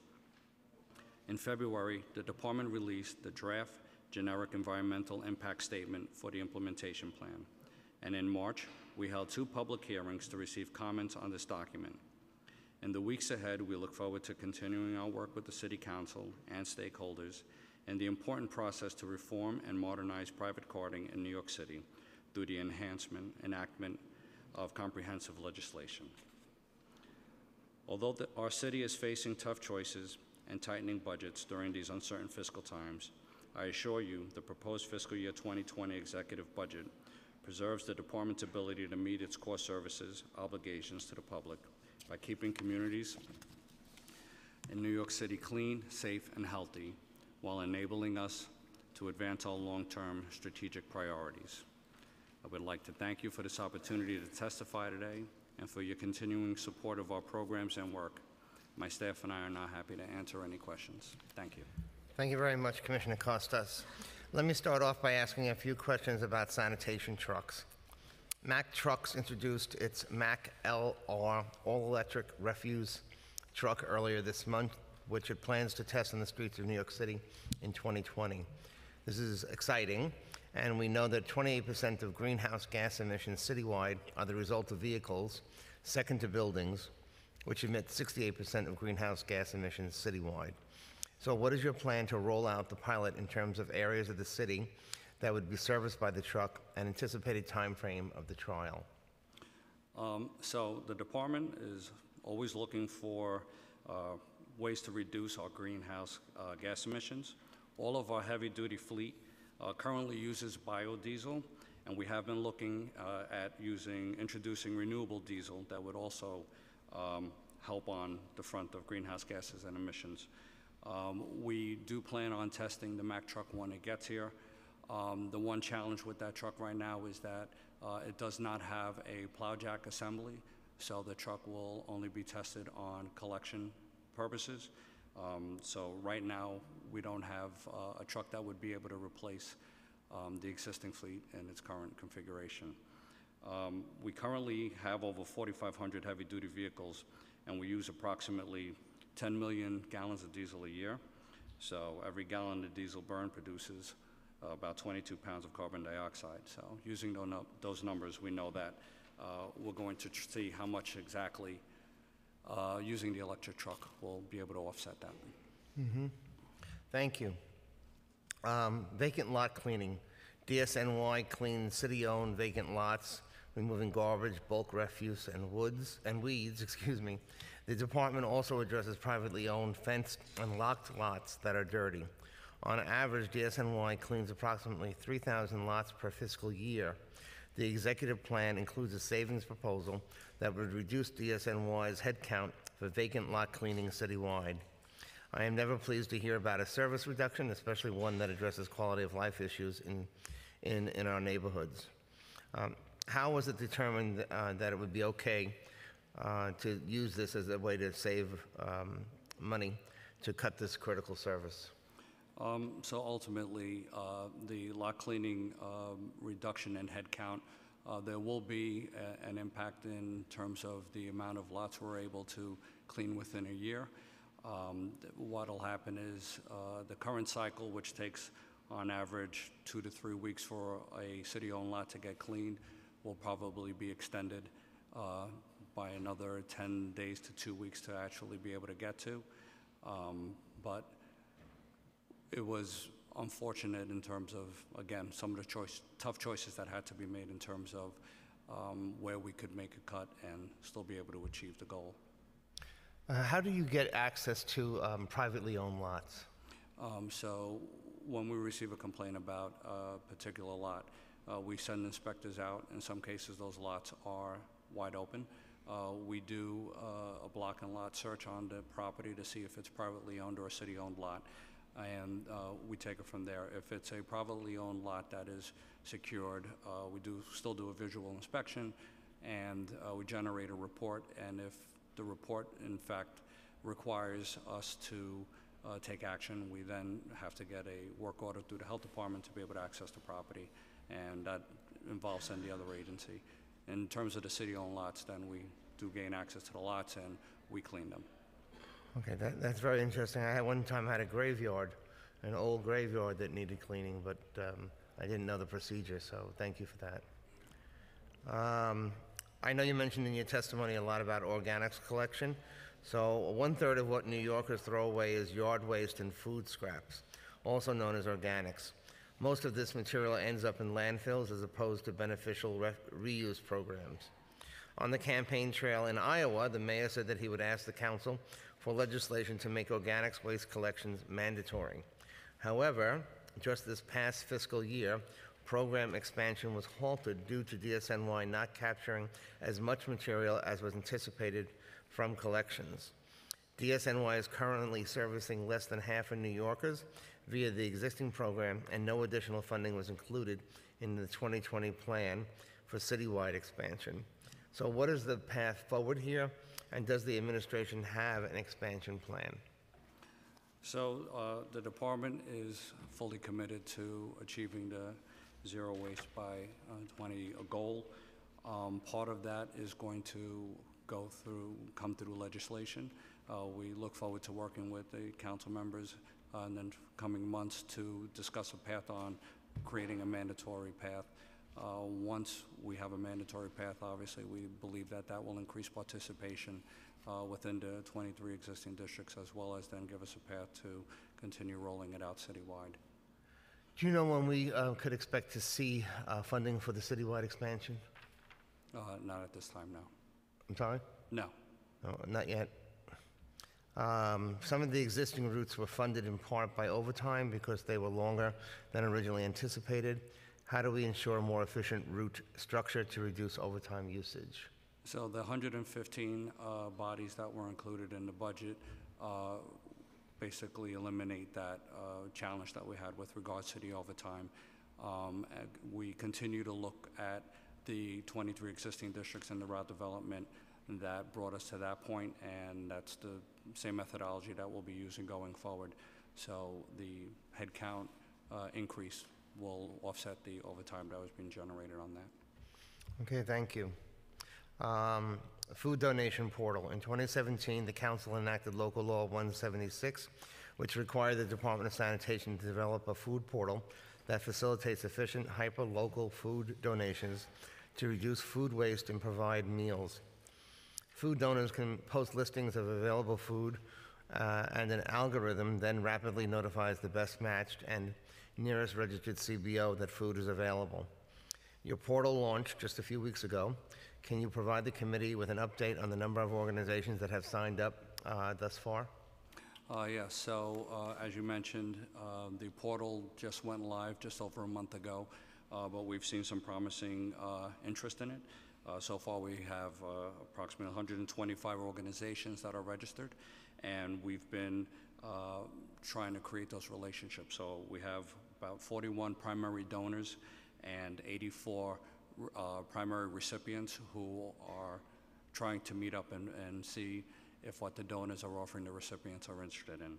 Um, Additionally, we've successfully completed eight donations slash, uh, you know, recipients, and uh, we have some more scheduled. Hopefully, that will happen in the near future.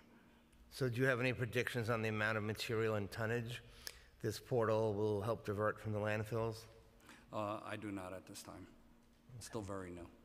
Sounds like a very interesting program, though. Yes. Did I see something on New York One News on it? Uh, Yes, there was, yes. Yes, that was good.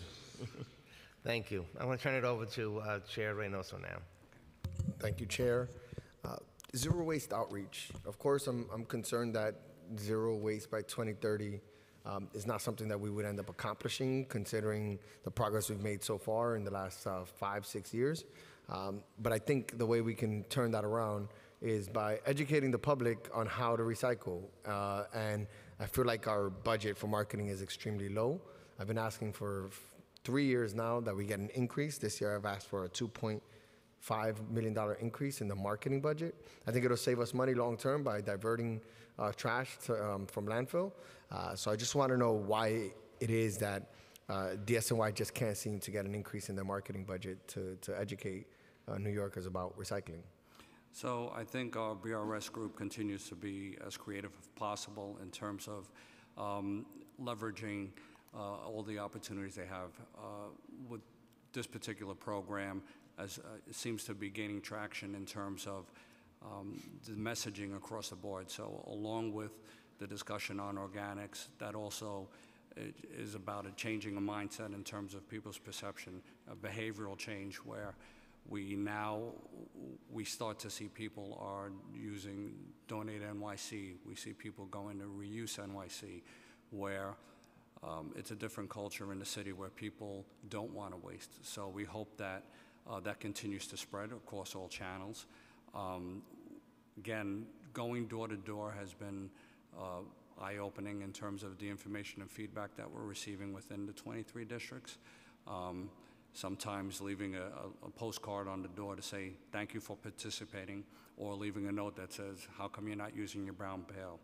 So we continue to engage the public. Uh, The intense uh, outreach that we've been doing in Make Compost Not Trash, both in uh, Queens and in Brooklyn, uh, is giving us additional tools and information for us to continue uh, how we go forward in terms of uh, trying to meet the public and get them engaged. So, it, and I hear you. I don't think there is a, a cultural change happening. Um, I'm the chair of sanitation in the city council, probably one of the more informed people related to trash, and I'm still doing. I still find something new related to how to recycle every single day. Uh, whether it's uh, not putting contaminated, uh, you know, cardboard or, or or paper inside the cardboard or paper bin. Uh, uh, the fact that I got four four cans now, I'm happy to have four cans, but I don't think many people do have four different locations to, to throw their metal, glass, plastic, paper, general refuse, and organics. Um, so I'm just concerned about the education component. I don't think it's there. It's not strong enough. Um, Vision Zero has done a great job with its education. Everyone knows about Vision Zero. They see the commercials uh, that come up on TV, uh, and I think it's been one of the more uh, successful marketing campaigns by the city of New York. I'm just upset that we can't have something uh, close to um, Vision Zero for zero waste. And again, I just think that this seems to be like a, um, a goal that was said, uh, and you know, we talk the talk, but we don't seem to be able to walk the walk in trying to get a zero waste by 2030. Um, I do want to talk about uh, the single stream study. Uh, it's something that you put together. Just want to know, uh, we spent $1,717 $717,000 on it for fiscal year 2020 on a single stream study that was completed the current fiscal year. Um, when are we going to get that study and have that information? So we completed that study over over the last year and a half or so, um, and basically what it was is a, an engineering study looking at exactly what would be necessary from the city's perspective in terms of capital investment to move from what we have today, which is two different bins, the blue bin and green bin, to one bin for all of your recyclables. And we discovered, which we're not surprised by, that it would be a relatively significant capital investment um, that we would need. We'd need a bigger facility in uh, Brooklyn at the South Brooklyn Marine Terminal, where Sims has their materials recovery facility today. Um, and so the real focus of that study was understanding what kind of investment would be needed, what kind of equipment uh, is out there to process single stream recycling, because it's slightly different uh, sorting equipment than what we have today. Um, so we'd be happy to to share the, the results of that study with you, to sit down with you and, and discuss it in more detail. I think the challenge that we face with single stream recycling, because as I know as you have said before, uh, Chair Reynoso, um, you know, it, it does offer the ability to go from those four bins in your kitchen down to back down to three, Yes. uh, which could make the program more convenient. The challenge that we face is uh, last year at the beginning of 2018, China implemented the national sword, which basically closed their markets to mixed paper and mixed plastics from uh, the US and elsewhere in the world, which had a really traumatic effect on the recycling markets. So we are actually better positioned uh, in New York City today because we have those two separate bins. We can keep the material separate, we can keep it cleaner, uh, we can make those processing costs lower. Uh, so I think for the for the time being, we're sort of putting the single stream recycling on hold until the markets recover and can sort of stabilize. But we'd be, be happy to have those conversations with you going forward. so there, in the study, there wasn't a, a, a look into uh, the potential increase in diversion because of the single stream? We've we've looked into that as well, um, and looked at other cities, uh, Boston, uh, Denver, lots of other cities over the last two decades that have gone to single stream recycling, and, and can share that with you as well. Okay, I'll ask a couple more questions just to give my colleagues an opportunity to ask questions, give them a courtesy. Just the highway shoulder and ramp cleaning seems to be cut from the, the budget. I get extremely concerned where uh, we make cuts to, to quality of life related issues. Um, Are we saying that on and off ramps, we'll be seeing the, the mattresses and the, the cup, the coffee cups and the cans, that those won't be something that you will take care of? I want to know um, what the alternative is and who will take care of that, or whether we just are going to relegate the city to looking dirty. Um, and that's just kind of how we're living because we need to cut $864,000 from the budget. So, uh, Department of Traffic is ultimately responsible for highway sweeping. Um, The Department of Sanitation, back in 2016, uh, as a supplemental assist to Department of Traffic, started doing um, some highway ramps specifically, not shoulders for the full length of the highway, just the ramps, eh, on and, uh, entrance and exit ramps.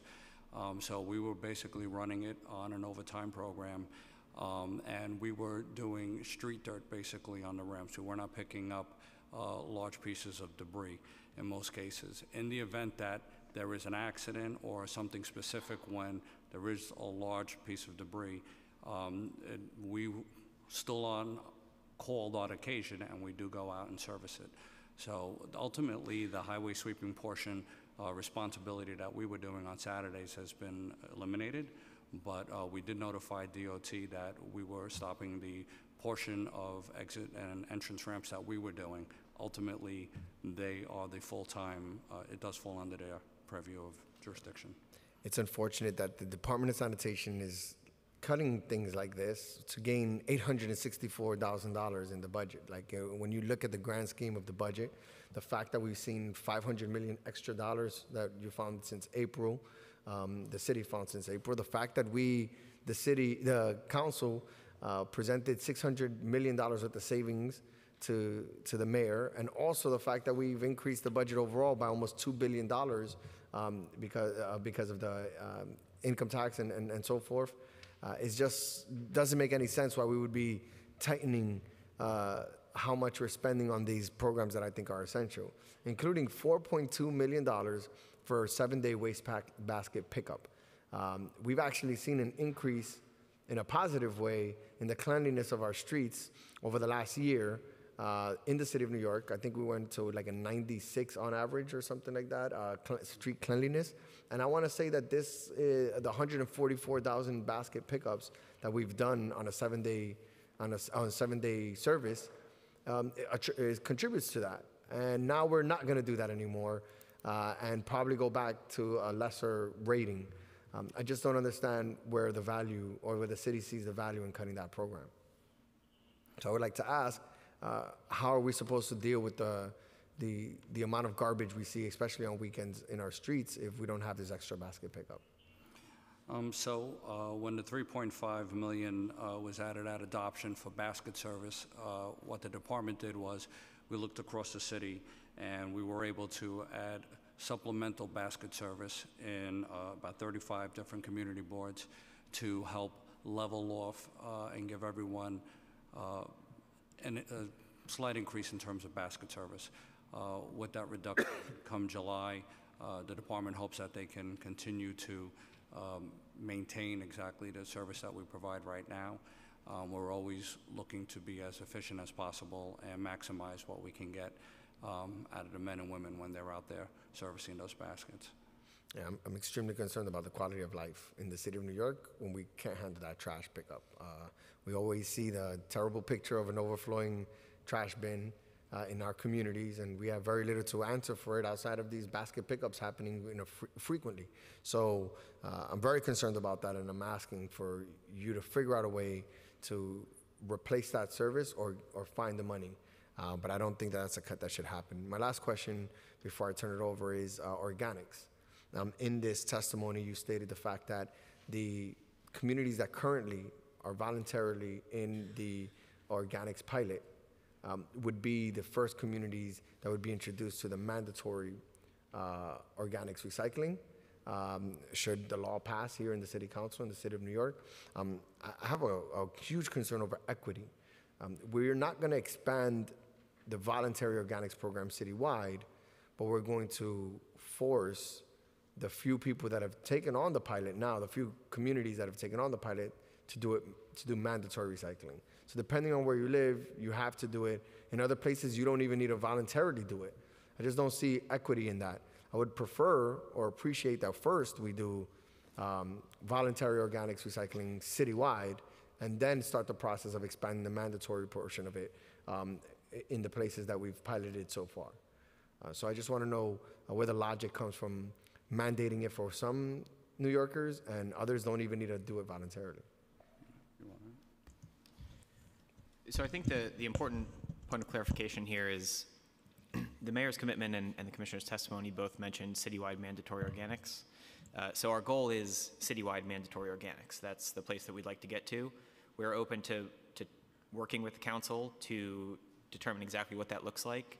Um, when we, if you go back to 1989, when we uh, started implementing Local Law 19, which created the citywide mandatory recycling program, that allowed us a, a period of time to phase in recycling, going uh, neighborhood by neighborhood, uh, and actually going, you know, from one type of recycling to another.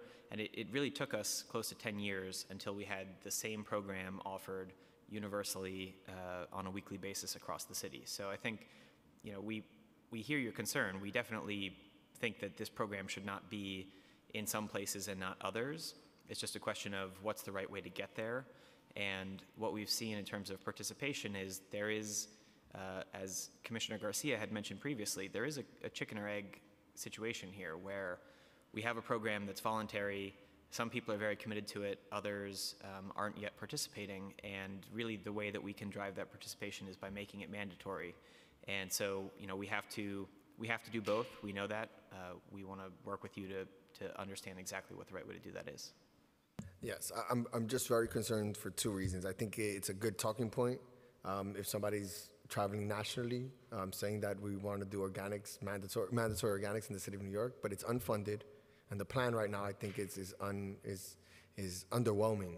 Uh, so, you know, we can say, I can say a lot of great things. If I don't have a plan and I don't have the money behind it, then it's for naught. So right now, it's just a talking point, and, and it's hard for me to see that the Department of Sanitation or the mayor's office is actually taking this seriously. Um, again, would love to see a more robust plan, and would love to see money in the budget that speaks to the fact that you actually want to do this. Two things that don't exist. Um, so yes, we can have a conversation because it's something I really want to do the right way. Um, but I'm not going to just talk about it. I'm actually going to ask for plans and data and information as to how we're going to get that done. And right now, that just doesn't exist. Um, I have a couple of other questions, but I'll do that in the second round to allow for my colleagues to ask questions. Thank you. Okay, we have been joined by council members Deutsch, Espinal, and Vallone, and uh, we have questions from council member Deutsch, followed by Chin. Thank you. Um, So my first question is, uh, good afternoon, Commissioner. Um, s- There was a pilot program um, on manual street cleaning in uh, Staten Island. I think it was in in Councilmember Borelli's district and uh, Councilmember Matteo's district, where there were two people from each garage uh, assigned for manual street cleaning. Um, Now, the local BIDs, they don't get any supplemental uh, street cleaning uh, beyond, uh, beyond the regular street sweeping that comes down, provided by sanitation. So um, how, how did that pilot program go? And is, will it be expanded? Um, I'm not familiar with the pilot program that you're discussing on Staten Island, to be honest with you. I'd be more than happy to uh, go back and get all the information and then contact you specific, you know, directly, so that we can discuss it further. Okay.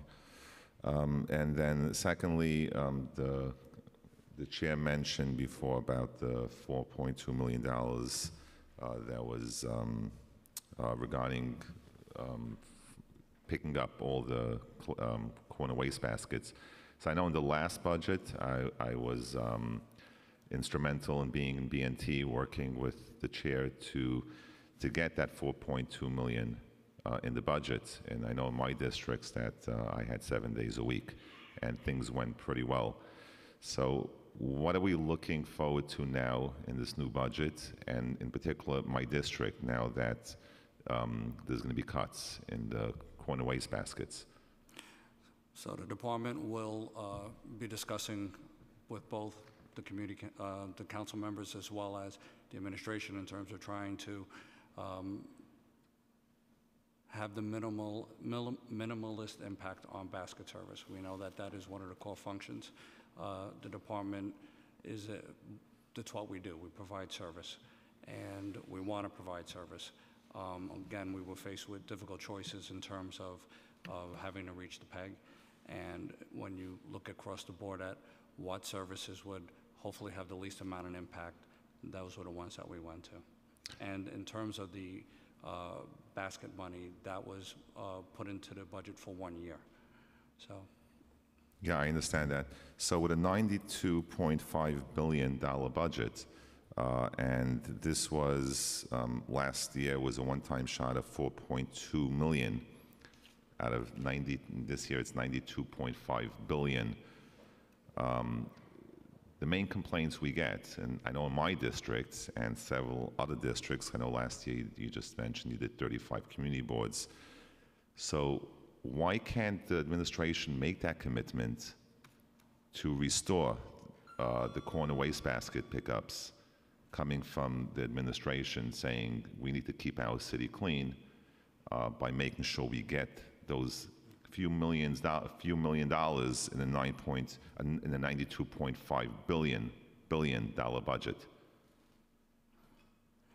again, difficult choices, uh, ongoing conversations with OMB in terms of uh, where we can uh, achieve the PEG, as well as still be able to provide our core services and functions to the city. Who makes, who makes those choices um, from the administration? Like, who gives the inf- the information to the commissioner to say, okay, we have to make these cuts? Uh, Those are ongoing conversations between OMB and ourselves. So it's, it's OMB who makes the ultimate decision? Um, In I can't imagine sanitation is going to say, cut my, cut our funding, because um, um, every agency wants to get the funding that, that they need.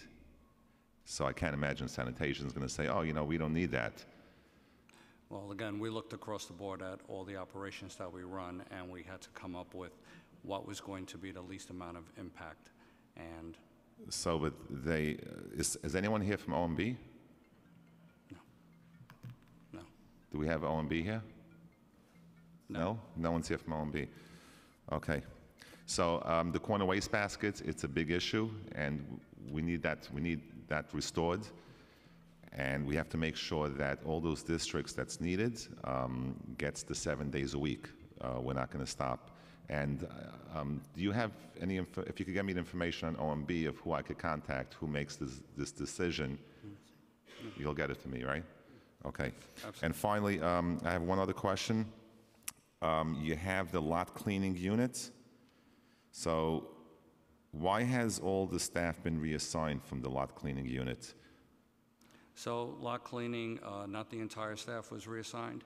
Uh, What's happening is there's been a reduction in 38 individuals, which is 31 sanitation workers and uh, seven supervisors.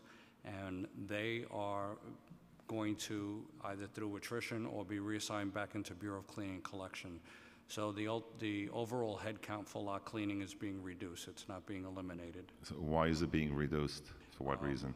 again, in a- an effort to offset overtime on the Bureau of Cleaning and Collection side, as well as be able to achieve um, savings.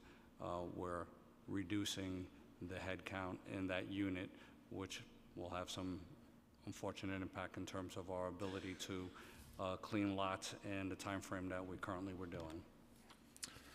Um, so how long does it take from when DSNY, when Department of Sanitation inspects a dirty lot to when it gets cleaned? Um, It can take up to approximately 40 days for a city-owned lot. 40 days?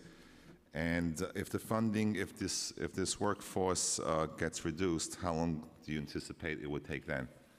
Uh, The impact will probably be an additional 10 days. Additional 10 days? Uh, You did mention in your testimony, uh, fiscal year 2020 executive budget uh, preserves the department's ability to meet its core service obligations to the public by keeping communities across New York City clean, safe, and healthy. So you just mentioned that um, you're going to do, you're going to try doing um, more with less. And you just um, mentioned that you're eliminating 37 uh, staff and seven employees, and then Uh, You're not looking to restore the corner waste baskets.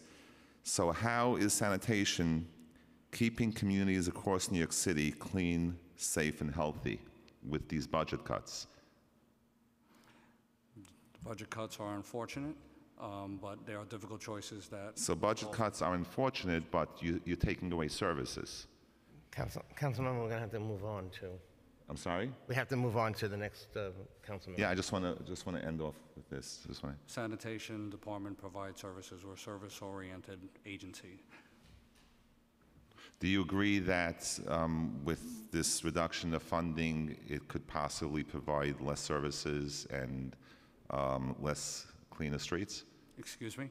Do you believe that with this, with this, with these budget cuts on sanitation, that services will be impacted, and uh, there will be corner waste baskets overflowing? Uh, lots will take a lot longer to uh, actually get cleaned, if not never. Um, I think we'll have to wait and see exactly what the impact is. Uh, Hopefully, the uh, service that we're currently providing will be able to keep up with uh, the way to, in terms of overflowing baskets. So we're hoping, so there's no, so we don't know, we can't say now that everything is going to be good, so we're hoping. Thank you. Okay, thank you, Councilmember. Uh, Councilmember Chin. Thank you, Chair. Hi, Commissioner. Um, well, the plastic ban is coming, right? It's going to start next year. Uh, and also the council, you know, passed imposing a fee on, on paper uh, bags. So do you anticipate, uh, in terms of an estimate of reducing uh, the tonnage uh, of plastics and paper that we're going to be put into the waste stream? And also, do you anticipate savings? Because we've been saying that every year city spends, you know, 10, 12 million dollars just shipping these uh, plastic uh, to the waste stream. And so now that the ban is going to be in place, do you have any preliminary estimates? So as, as we discussed at the hearing last month, um, what we've seen from other jurisdictions that have put these kinds of policies in place is around a 60 to 75% reduction in the number of bags used. So we think that's a, a huge opportunity for New York City. Um, obviously, there are some exemptions to the, the ban. Uh, bags from restaurants, for example, are exempt. Uh, produce bags, bags for um, from the meat counter. Uh, so there are there are some things that I think we're we're still looking at uh, in terms of that. Regarding savings, you know, I, I think that there is a cost to disposing all of these things. Uh, there's also, you know, it, it's sort of baked into our larger uh, export budget. So I don't think that we're anticipating savings. We'll be definitely relieved if we see them uh, actually materialize. Um, but it's, you know, it's one, one part of our uh, export budget that's several hundred million dollars. Well, I hope you do anticipate some saving, and that's what we're looking for. And whatever money that we can save, I hope that it will go into um, education uh, to the public, re- producing more reusable bags that we can give out uh, in the community, and really help um, every New Yorker understand the importance of recycling in terms of the education budget. So I, I hope that whatever saving that is from you know the plastic ban that you would put back uh, into the recycling efforts. Uh, the other question that I have is that you know, we trying to implement that rat mitigation zone, and the good thing that we got out of it was the big belly, uh, and that helps a lot uh, in the neighborhood.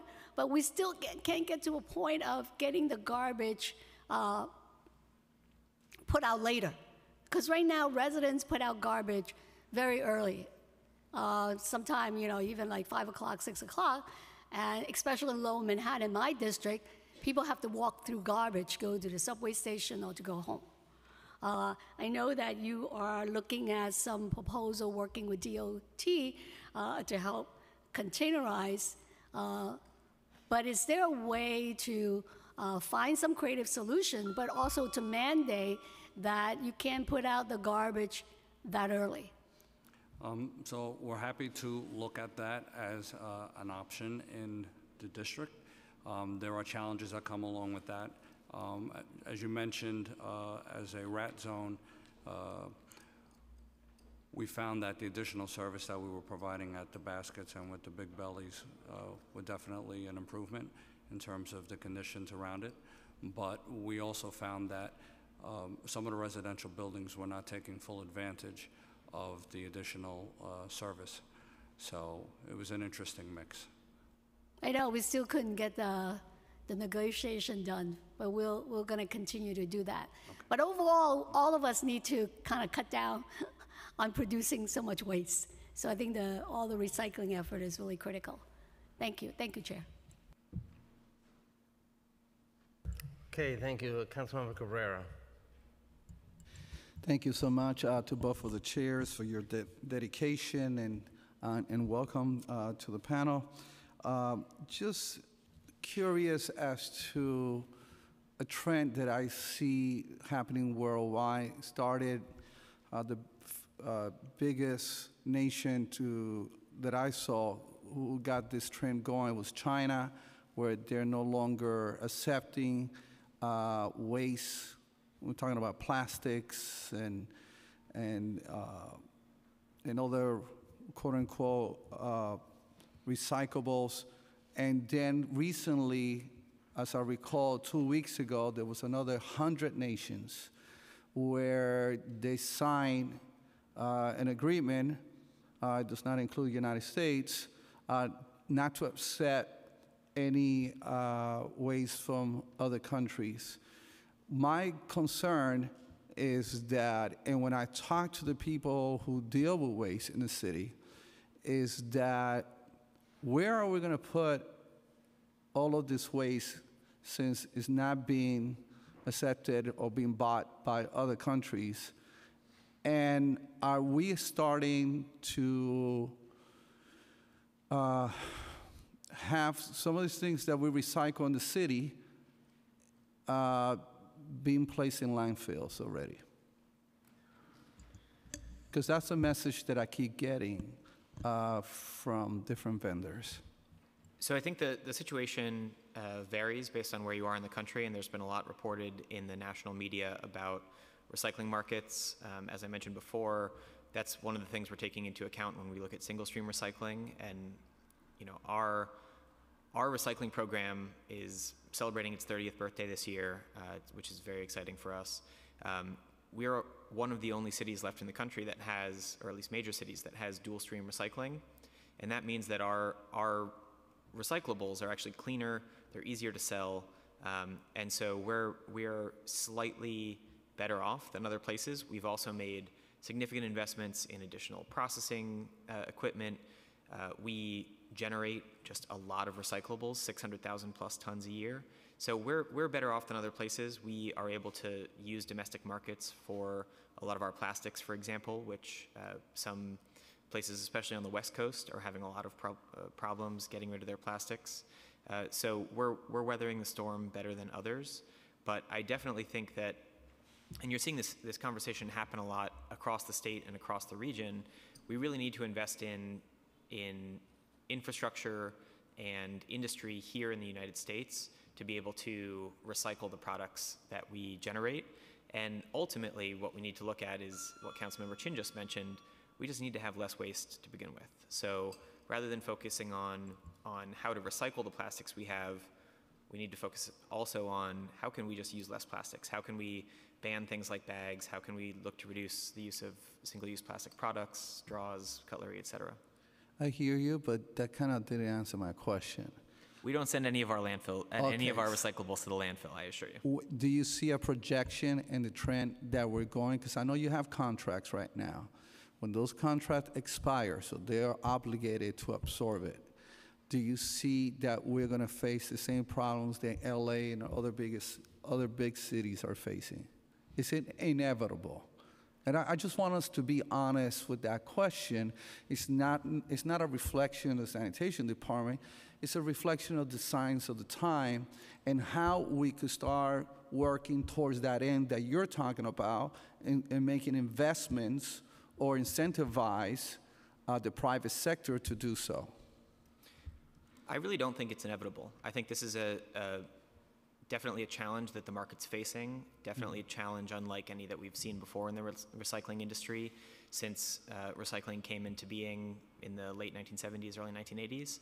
Um, I think that the, the real promising uh, element is that you're seeing major corporations, uh, corporations that don't have the best name, Walmart, McDonald's, uh, lots and lots of others that are making commitments to investing in recycling technology, investing in recycle, recyclable packaging, uh, investing in, in curbside recycling collection. So I think we're seeing those, those investments counteract some of the uh, international trade policies that we as New York City have no power over.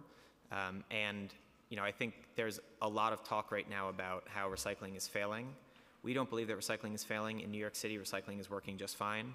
Um, nationally, I think what we need to, to think about is where do we want to be in 10 years? Um, and unfortunately, we don't have the kind of leadership in this country uh, at the national level to think about recycling the way that, that they do in the EU or in uh, Japan, other Asian countries. So I think that you know we do have an obligation as New York City, the largest recycling program in the country, to be that leader, and we're you know always looking for ways to step up and and work with other cities, corporations, states um, to fill the gap that the federal government is. And I appreciate that answer because that's the direction that I think we should all be moving. Uh, and I sure hope that we could come up with some innovative ways to incentivize uh, any effort that goes towards that end. Uh, because otherwise, I think we're going to find ourselves at a point where going to everyone is going to do their part at home, but it's going to end up in the same place. Uh, and with that, I want to thank you for the work that you're doing. You guys are doing a fantastic job, and I want to turn it back to my wonderful co-chairs, that are leaders uh, in this issue. Thank you. Thank you, Chairman Oso. I just have two more questions. Uh, the Manhattan Six garage, uh, it seems to be delayed again. Um, it's like a never-ending uh, issue that we have. Um, I've talked to the council members of the district, and they're asking for a study to be done to identify locations for the Manhattan Six garage. Um, I know that we thought we had a location. Um, they think it's unsatisfactory, that, that, that they don't like the location that was chosen. So what process are we taking to try to come to a, a place where we're just concluding with where the Manhattan Six garage is gonna go so we can finally get these trucks off the streets and the sanitation workers from having to take showers and get prepared in a storefront as opposed to a, like a legitimate building. Um, so I just want to know what's the idea with Garage 6? Um, So we continue to look for real estate uh, and options. Uh, We recently looked at, to this point, over 20 different locations to see if they might be able to accommodate uh, the garage and the trucks. Um, M6 is not uncommon in terms of trucks being out on the street and other locations as well. Um, But ultimately, we hope that Brookdale, you know, is the, is the final solution. Brookdale is ultimately where we hope to eventually wind up. So in the meanwhile, again, we're more than willing to look at any location that city council or any of the local elected officials uh, thinks might be able to accommodate it. We're more than happy to see if it fits our needs. Is it easier to find a alternate location for Brookdale than it is to find a new spot for a garage? I don't know because of uh, the limitations right now in Manhattan in terms of real estate. Um, So, again, lot. similar to the other question, chicken or the egg, whichever, which, whichever we could find first, we'd be happy to, to accommodate. We have a lot of, there's a new building. JP Morgan just got a new building in Midtown. There's just uh, so many new buildings going up. Uh, maybe there's a space for them there in Brookdale. I just want you guys to look into it. Um, my last one is Save As You Throw. I really want to start that study as soon as possible.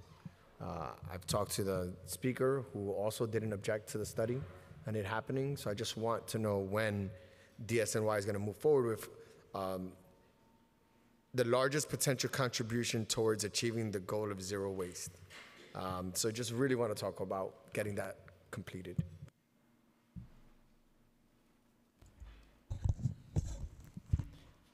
I think we'd be, we'd be happy to sit down with you and talk about how we can move that forward. Um, Right now, we, we are not funded to, to advance that study, but um, we've had a, a number of conversations, especially with some experts in, uh, in the recycling community here in New York City who are interested in helping out as well. So I think there are ways that we can definitely investigate uh, the potential there, the potential to incentivize uh, people to recycle and to compost um, and to, to reduce waste overall. We get rid of the politics if we inform people with data. So if I ca- if we get that study, it'll make it easier for us to make the case. So that's just me advocating for it to happen. We appreciate your advocacy. All right, I'm, I'm done with questions. Thank you so much. I just want to thank you for coming, uh, for Acting Commissioner Costas. Thank you as well. Um, oh, we actually have, oh, talking about Manhattan Six Garage. Uh, Councilmember Powers. Sorry for the late entrance, but I can't miss every no-so hearing, you know? Um, Thank you guys for, and I'm sorry I missed your testimony. Um, it- I- You know, I was on New York One this morning, actually, or a tweet of mine was on New York One this morning at Pat Pat Kiernan's. They were discussing um, different areas where there is a high need for trash uh, pickup and improvement around um, trash. And, um, you know, no, I I have a number of notable areas around subway stations in Midtown and other high pedestrian areas where I just, I just be frank, like we get complaints all the time about trash cans that are broken, lack of service, lack of, um, of, of clean streets, and wondering, and we, you know, as a council fund this. This is why I think this is a fight that um, the, the chair and the speaker have talked about is so important. But um, I get them all the time, and you know, I, I guess the question here is, you know, just just a just trying to get an honest read on how we address sort of high trafficked areas where we either don't have enough trash cans there, they're getting broken into, they're getting, not getting enough service, because I'm getting calls from constituents every day, and it's a, it's a repeat question around Upper East Side and Midtown and down to even near Union Square, and I don't have an honest answer for them. We fund cleanup stuff in the, I, I fund the sanitation cleanup, um, and we need, you know, there are, there are like sort of high area, high trafficked areas that are problem spots, and I'm wondering if there is a, a way that whether it's through funding or through, uh, you know, better, better connection communication, we can address some of these high trafficked areas where we're getting a lot of, you know, frequent calls around uh, cleanliness. Um, If you have specific areas, we're more than happy to look at them on a one-on-one basis. Um, Many of the council members are extremely supportive of the department in terms of lending additional funds for supplemental service. Um, There are some instances where a basket is being pick- tipped multiple times a day and tends to still fill up, so that's when a lot of that supplemental service comes in. Um, We try to uh, make it specific to the area in terms of, in some cases, a second basket can solve the problem. In other cases, um, if it's being improperly used, sometimes it means removing the basket. But if it's just based on um, heavy use in terms of it being an overflowing situation, please let me know the area and we'll try to take a look at it specifically and see how we can address it. Um, Big bellies, uh, high-end baskets, there are lots of options. If you have a particular basket you mentioned that you thought was uh, not aesthetically uh, holding up, please let us know. 14th Street and First Avenue, but I'll send it to you in an Yes, email. we, uh, Um, And, and, For the and spring, we replace, we're in the process of replacing uh, some of our damaged baskets from this past winter. And when, when does Big Belly come into effect? 'Cause I know they're expensive, but you mentioned Big Belly. So wh- where, when would you put a Big Belly into an area where if they're based on complaints or? Big? Belly was a pilot that we ran in Brooklyn. Um, We found that it itself had its own challenges. Uh, They tend to be expensive. The maintenance contract on- them is also expensive. Uh, What we have found is that in areas that have BIDs, they do tend to work a little bit better because uh, they have more, more of a white glove treatment in terms of the BID being able to um, keep it clean, uh, graffiti-free, and pull the liner out when it's full. Um, Whereas if you start to spread that out, it also impacts the department's ability to service how many, uh, it starts to impact in terms of how many we're able to service on a route. Got it. And let my, my, my, thank you for that answer. My last question, respect of all the chair's time, especially Chair John, who's been here, who's here all day. Um, I, I live in Stuyvesant, Peter Cooper. I think you're doing organics recycling there. I think it's one of your places where you're doing it. I- as I understand it, the city hasn't done the expansion. I know this is, I'm, I'm certain this has come up already, but um, where I live, they're doing it. There a reason there aren't, I mean, it's a, it's a unique place because there's 25,000 people who live in one place and you have a sort of centralized management, but is there a reason you're not expanding that to other areas that would be at least similarly situated, where you have, they themselves own other properties that are somewhat like it, where you have uh, a willing partner, Kips Bay Court, for instance, Parker Towers out in Queens, um, where you have a, a, a property owner who's willing to do it? If we have property owners who are willing to do it, management companies in districts that have existing uh, organics collection, we are welcome to uh, meet with them and see if we can actually incorporate them into a route. And is that your hardest challenge right now, is finding property managers that are willing to do it? Uh, It's interesting right now. We actually have, uh, I won't call it a waiting list, but we do have uh, interested parties. So we're welcoming that, and uh, our BRS group will go out, meet with them, meet with the management group, uh, train the management, uh, the maintenance staff within the building, and and we'll figure out how we can incorporate it onto an existing route. Okay, thank you. Thanks. Thank you very much. And I think that is it then for this panel. We thank you for coming in and for providing testimony. We will uh, start again at about 3 p.m. with um, uh, MTA.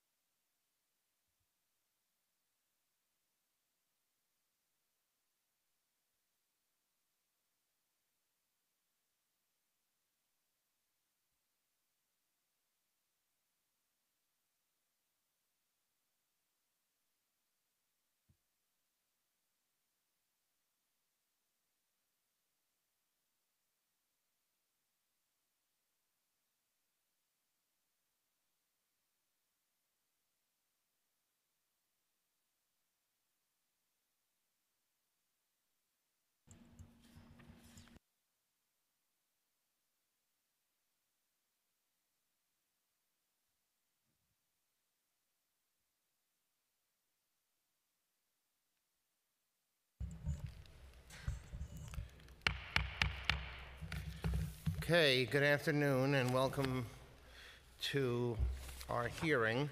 We'll now resume the City Council's hearing on the Mayor's executive budget for fiscal 2020. The Finance Committee is joined by the Committee on Transportation, chaired by Councilmember Ydanis Rodriguez. We're joined by Councilmember Keith Powers, Councilmember Fernando Cabrera, and I think others will be joining us shortly. Uh, we just heard from the Department of Sanitation, and now we will hear from Patrick Foye, Chairman and CEO of the Metropolitan Transportation Authority. In the interest of time, I will forego an opening statement, but before we hear testimony, I will open up the mic to my co-chair, Councilmember Rodriguez. Thank, thank you, Chair. Good afternoon and welcome to the City Council joint hearing with the Finance Committee and the Transportation Committees. Today we will be looking at the MTA's calendar year 2019 adopted budget and the calendar year 2015-2019 capital program. I'm Councilmember Rodriguez and I have the privilege to chair the Transportation Committee. Before we begin, I would like to thank Council uh, Chairman uh, for his leadership that he held on this Committee of Finance. Two weeks ago, the committees heard testimony from the Departments of Transportation and the Taxi and Limousine Commission. Today, we will be continue the budget process and will hear testimony from the Metropolitan Transportation Authority. The MTA's calendar 2019 adopted operating budget is balanced and included more than 1 billion in city subsidies. The authorities proposed 2015-2019 33.1 capital program is fully funded. We look forward to having the chairman update the committee on the state of the transit system and the future. We hope to hear about some of the MTA's ongoing projects including the city's 418 million contribution to the subway action plan, as well as phase two of the Second Avenue subway, East Side access, Penn Station access, expansion of the Select Bus Service, and the proposed fast forward plan. In addition, we hope to hear details about the upcoming 2020-2024 capital program, including its funding sources. On April 1st, the state authorized MTA to establish a congestion tolling program in the city. The congestion tolling zone include areas of Manhattan south of and including 60th Street. This plan is expected to take effect in 2021. We hope the MTA will elaborate on the details of this congestion tolling program, including confirming how, mo how much drivers will be expected to pay for driving within the zone. It, I want also to highlight that today, before the hearing, we stand with the Yellow Taxi medallion owners, uh, recognizing that they already had been paying a type of congestion price when riders jump into the car and they made a 50 cent contribution. So we hope again that we can continue conversation and look into extent the yellow taxi medallion owner from uh, the congestion price. With that, we go back to Chairman Dromm. Okay, very good. I'm going to ask council to swear in the panel. Do you affirm that your testimony will be truthful to the best of your knowledge, information, and belief? Thank you. Okay, you may begin. Good afternoon, Chairman Dromm, Chairman Rodriguez, and members of the City Council. I'm MTA Chairman and CEO Pat Foye, joined today by my colleagues to my left, MTA Managing Director Ronnie Hakim, to my right, New York City Transit President Andy Byford, and to the far left, MTA CFO Bob Foran. We're here at the committee's, plural, invitation to discuss the state of the MTA and our transit network. As you may know, council members, I was confirmed as MTA Chairman and CEO about six weeks ago, and as you most certainly know, the MTA faces significant challenges right now. We have a great deal of work ahead to bring truly innovative and meaningful reform to the agency and to provide New Yorkers with the transportation system they deserve. To rebuild not only our system but our agency, I've laid out a series of priorities for the MTA. First, we must continue to improve safety, service, and the customer experience and continue to turn our system around for the millions who depend on us.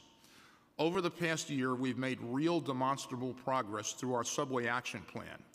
As, as Chairman Rodriguez mentioned, paid for by the city and the state, thank you, and smart, effective management from my colleague Andy Byford and his team.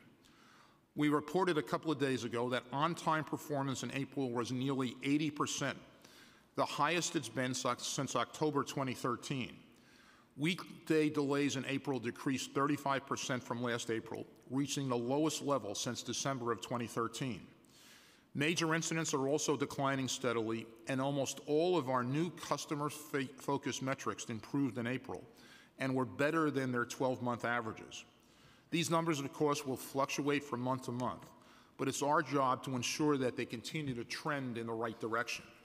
Despite the success of the Subway Action Plan and the improved performance on the subways I've reported, we also realize that we've got substantial work ahead of us. Second, we must transform the way we work and fundamentally rethink how we do business to create a far more streamlined, efficient, and effective organization. Toward that end, by the end of June, we will deliver to our board and make public a personnel and reorganization plan. We're also revamping our FOIL and open data processes. We have a number of new board members. We will soon undergo a legislatively required independent forensic audit to be completed no later than January 2020 and subsequently presented to the MTA board and made public. And it is now required by law that any new MTA capital project over $25 million use the design build method of delivery.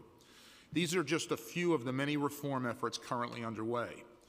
Recent reports of overtime abuse at the MTA illustrate the critical need for fundamental reform. Overtime is an important and useful tool as we urgently seek to modernize our entire system, but we must be sure it is being used effectively, accurately, and appropriately. I've asked the MTA Inspector General to conduct an investigation of our timekeeping and attendance systems and overtime abuse. We owe the taxpayers and our customers an explanation of both management failures and how some have abused the system, so this never happens again. As we streamline MTA operations, we must also continue to drastically cut costs out of our organization. In this regard, I'm proud to say we're making progress. We've set aggressive and mandatory savings targets totaling $500 million for all MTA agencies. This is on top of the previously realized $2 billion in annual cost reductions that our CFO and his team, Bob Foran, working with the agencies, has already achieved. We're applying the same scrutiny to outside consultants and vendors to achieve savings of 10% on each contract and a total savings target of $75 million. And we're working to consolidate a number of back office functions within operations and enterprise wide. All of this represents a real and tangible start, but there is much more fundamental and radical work to be done. Next, we must rebuild our credibility because the harsh truth is many of our customers and elected officials, such as yourselves in Albany City Hall and here at the New York City Council, don't trust the MTA. For too long, you've heard this organization make commitments only to miss deadlines or not follow through. We must work together tirelessly and steadily to earn back your trust. Finally, we must increase accountability and transparency. Gaining back trust will take time, responsible management, and improved performance. We must hold ourselves accountable to our goals and honestly communicate what and how we're doing, including the challenges we face and the steps we're taking to tackle them. As you may remember, Council members, the MTA testified before this body in March to discuss our budget. At that time, we said we're at a historic crossroads where desperately needed funding must be secured to ensure a successful future for mass transit in New York. Fortunately for our transit system and our city, one of those funding sources has come to fruition after decades of false starts and failed attempts. Central Business District tolling, otherwise known as congestion pricing, the first such program in the nation. While the governor and our partners in the state legislature have shown tremendous leadership in passing Central Business District tolling to help fund the next MTA capital program, no new funding for operations has been provided. As a result, the MTA continues to face steep fiscal challenges and a bleak future forecast with projected operating deficits of nearly $1 billion in 2022. In the next 12 months, we must reduce expenses by half a billion dollars. State law requires that the MTA break even each year. The consequences of not breaking even would be severe. On the capital side of our budget, funding for the upcoming 2020 MTA capital program went from $0 to $32 billion overnight at the beginning of April, thanks to the historic passage of CBD, Central Business District tolling, and additional revenue sources in the 2019 state budget. These include $15 billion from Central Business District tolling, $5 billion from the real estate transfer tax, $5 billion from an internet sales tax in New York City, and, and, a, and an assumption of roughly $7 billion from the federal government, assuming a similar commitment to the 20, that the federal government made to the 2015 to 2019 capital plan. These funds can and will serve as the foundation for a robust MTA capital program. But Central Business District tolling will do far more than improve our transit network.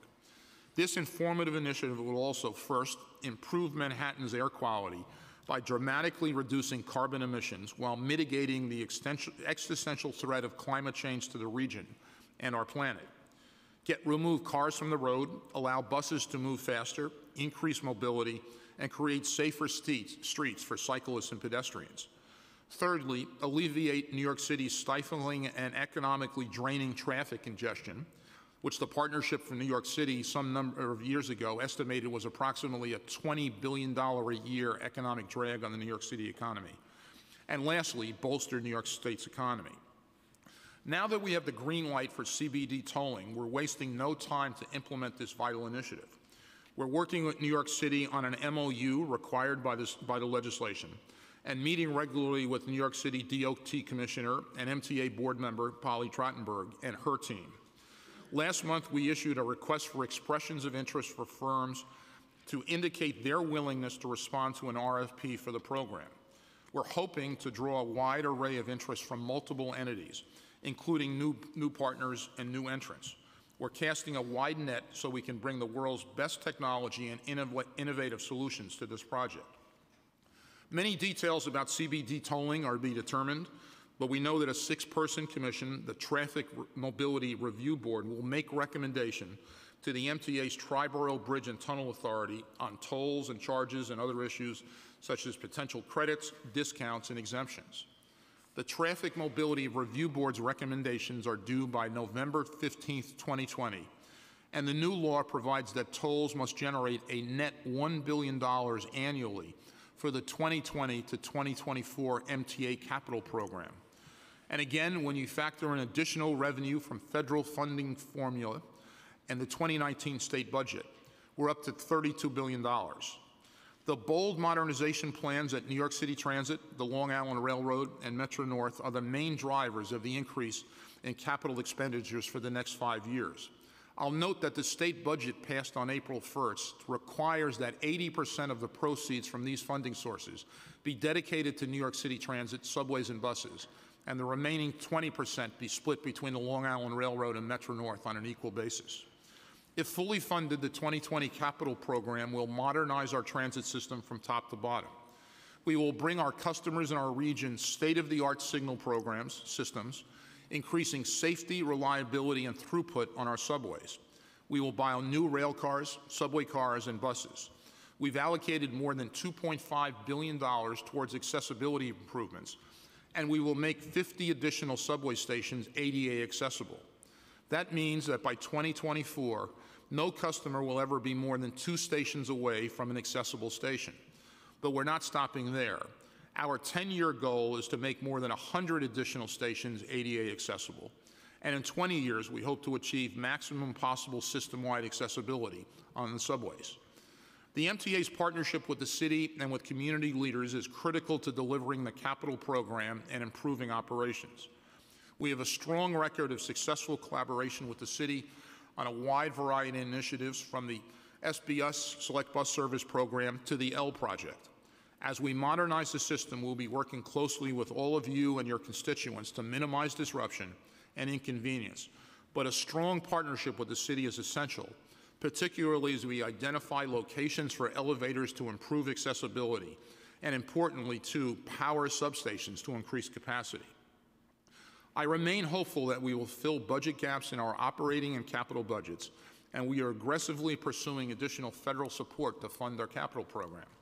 Because while we're grateful for the significant past contributions to our transit network from the federal government, the truth is we deserve more. The New York metropolitan region's $1.7 trillion economy is the largest in the nation, and it's no coincidence that we have the nation's largest transport network as well. What's more, on a per capita basis, the federal government subsidizes the MTA's transit network less than any other system in the nation.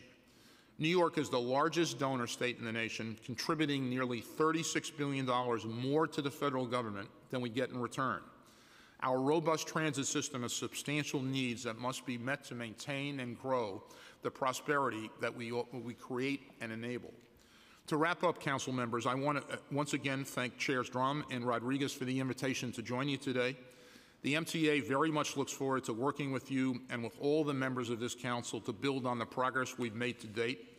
There's no doubt in my mind that with funding for a robust capital program, the support of New York City, New York State, and the federal government, and the MTA's new leadership team, we will transform the MTA to give New York the world-class transit system it deserves. Now, at this point, my colleagues and I are happy to answer your questions. Thank you. Thank you very much, and I want to thank you, um, Chairman Foye, and uh, your whole team for coming in and providing testimony uh, today. Uh, let me start off by talking a little bit about something that you did mention in your testimony, and that's overtime spending. As has, as has been widely, widely reported in the media, and an employee of the MTA Long Island Railroad is being investigated for having logged in 3,864 hours of overtime last year, earning $344,000 in overtime and bringing his total pay to $461,646. The MTA has stated that five employees at Long Island Railroad were being disciplined for overtime abuse and has called for an independent investigation of the problem. Who is responsible for assigning overtime at the MTA? Is it the responsibility of management to ensure that all employees are working efficiently, effectively, and safely? Uh, Chairman, the answer to your question is the responsibility of management. Uh, no union member, no union generates its own overtime.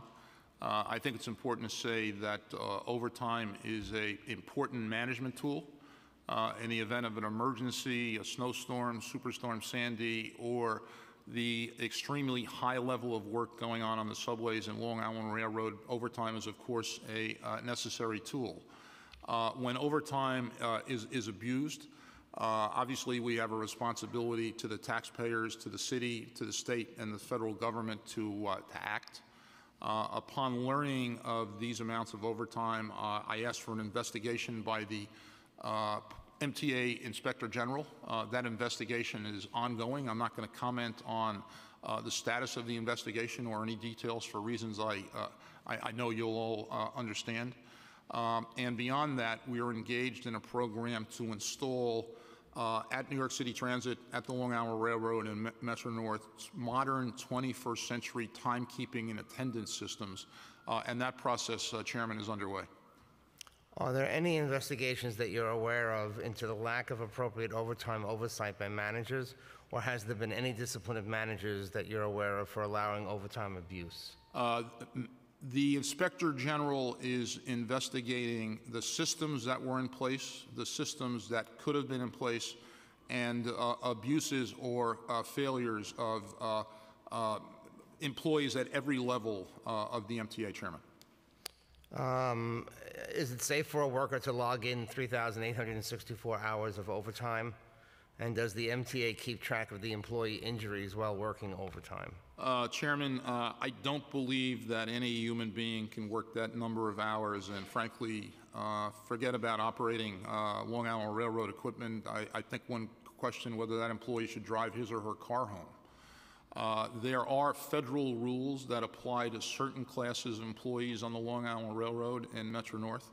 They don't apply to maintenance of way uh, employees.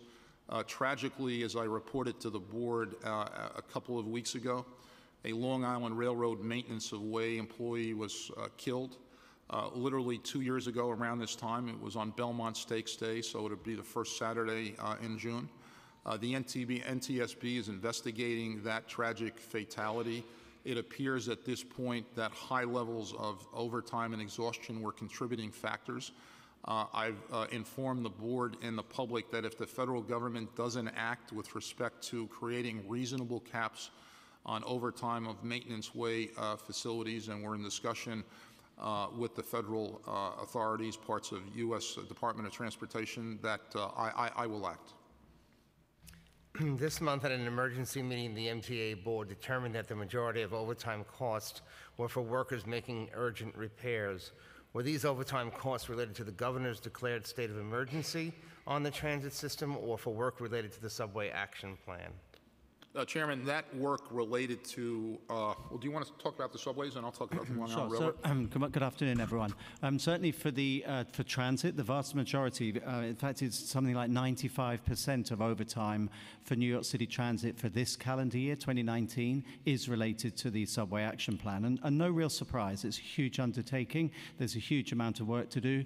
Um, it's a, it's an efficient use of people to uh, to get the bow wave, if you will, the blit, the main blitz of this work done through overtime, rather than uh, either uh, recruit additional people, and, and although we have done that as well, or wait for those additional people to be recruited, onboarded, etc., etc. The imperative is to get the work done. Now, clearly, you have to have controls on that, and that is something that we're very uh, closely monitoring. Uh, but certainly for transit, the majority of uh, overtime incurred uh, last year and the year to date, this year, 2019, has been a subway action plan related.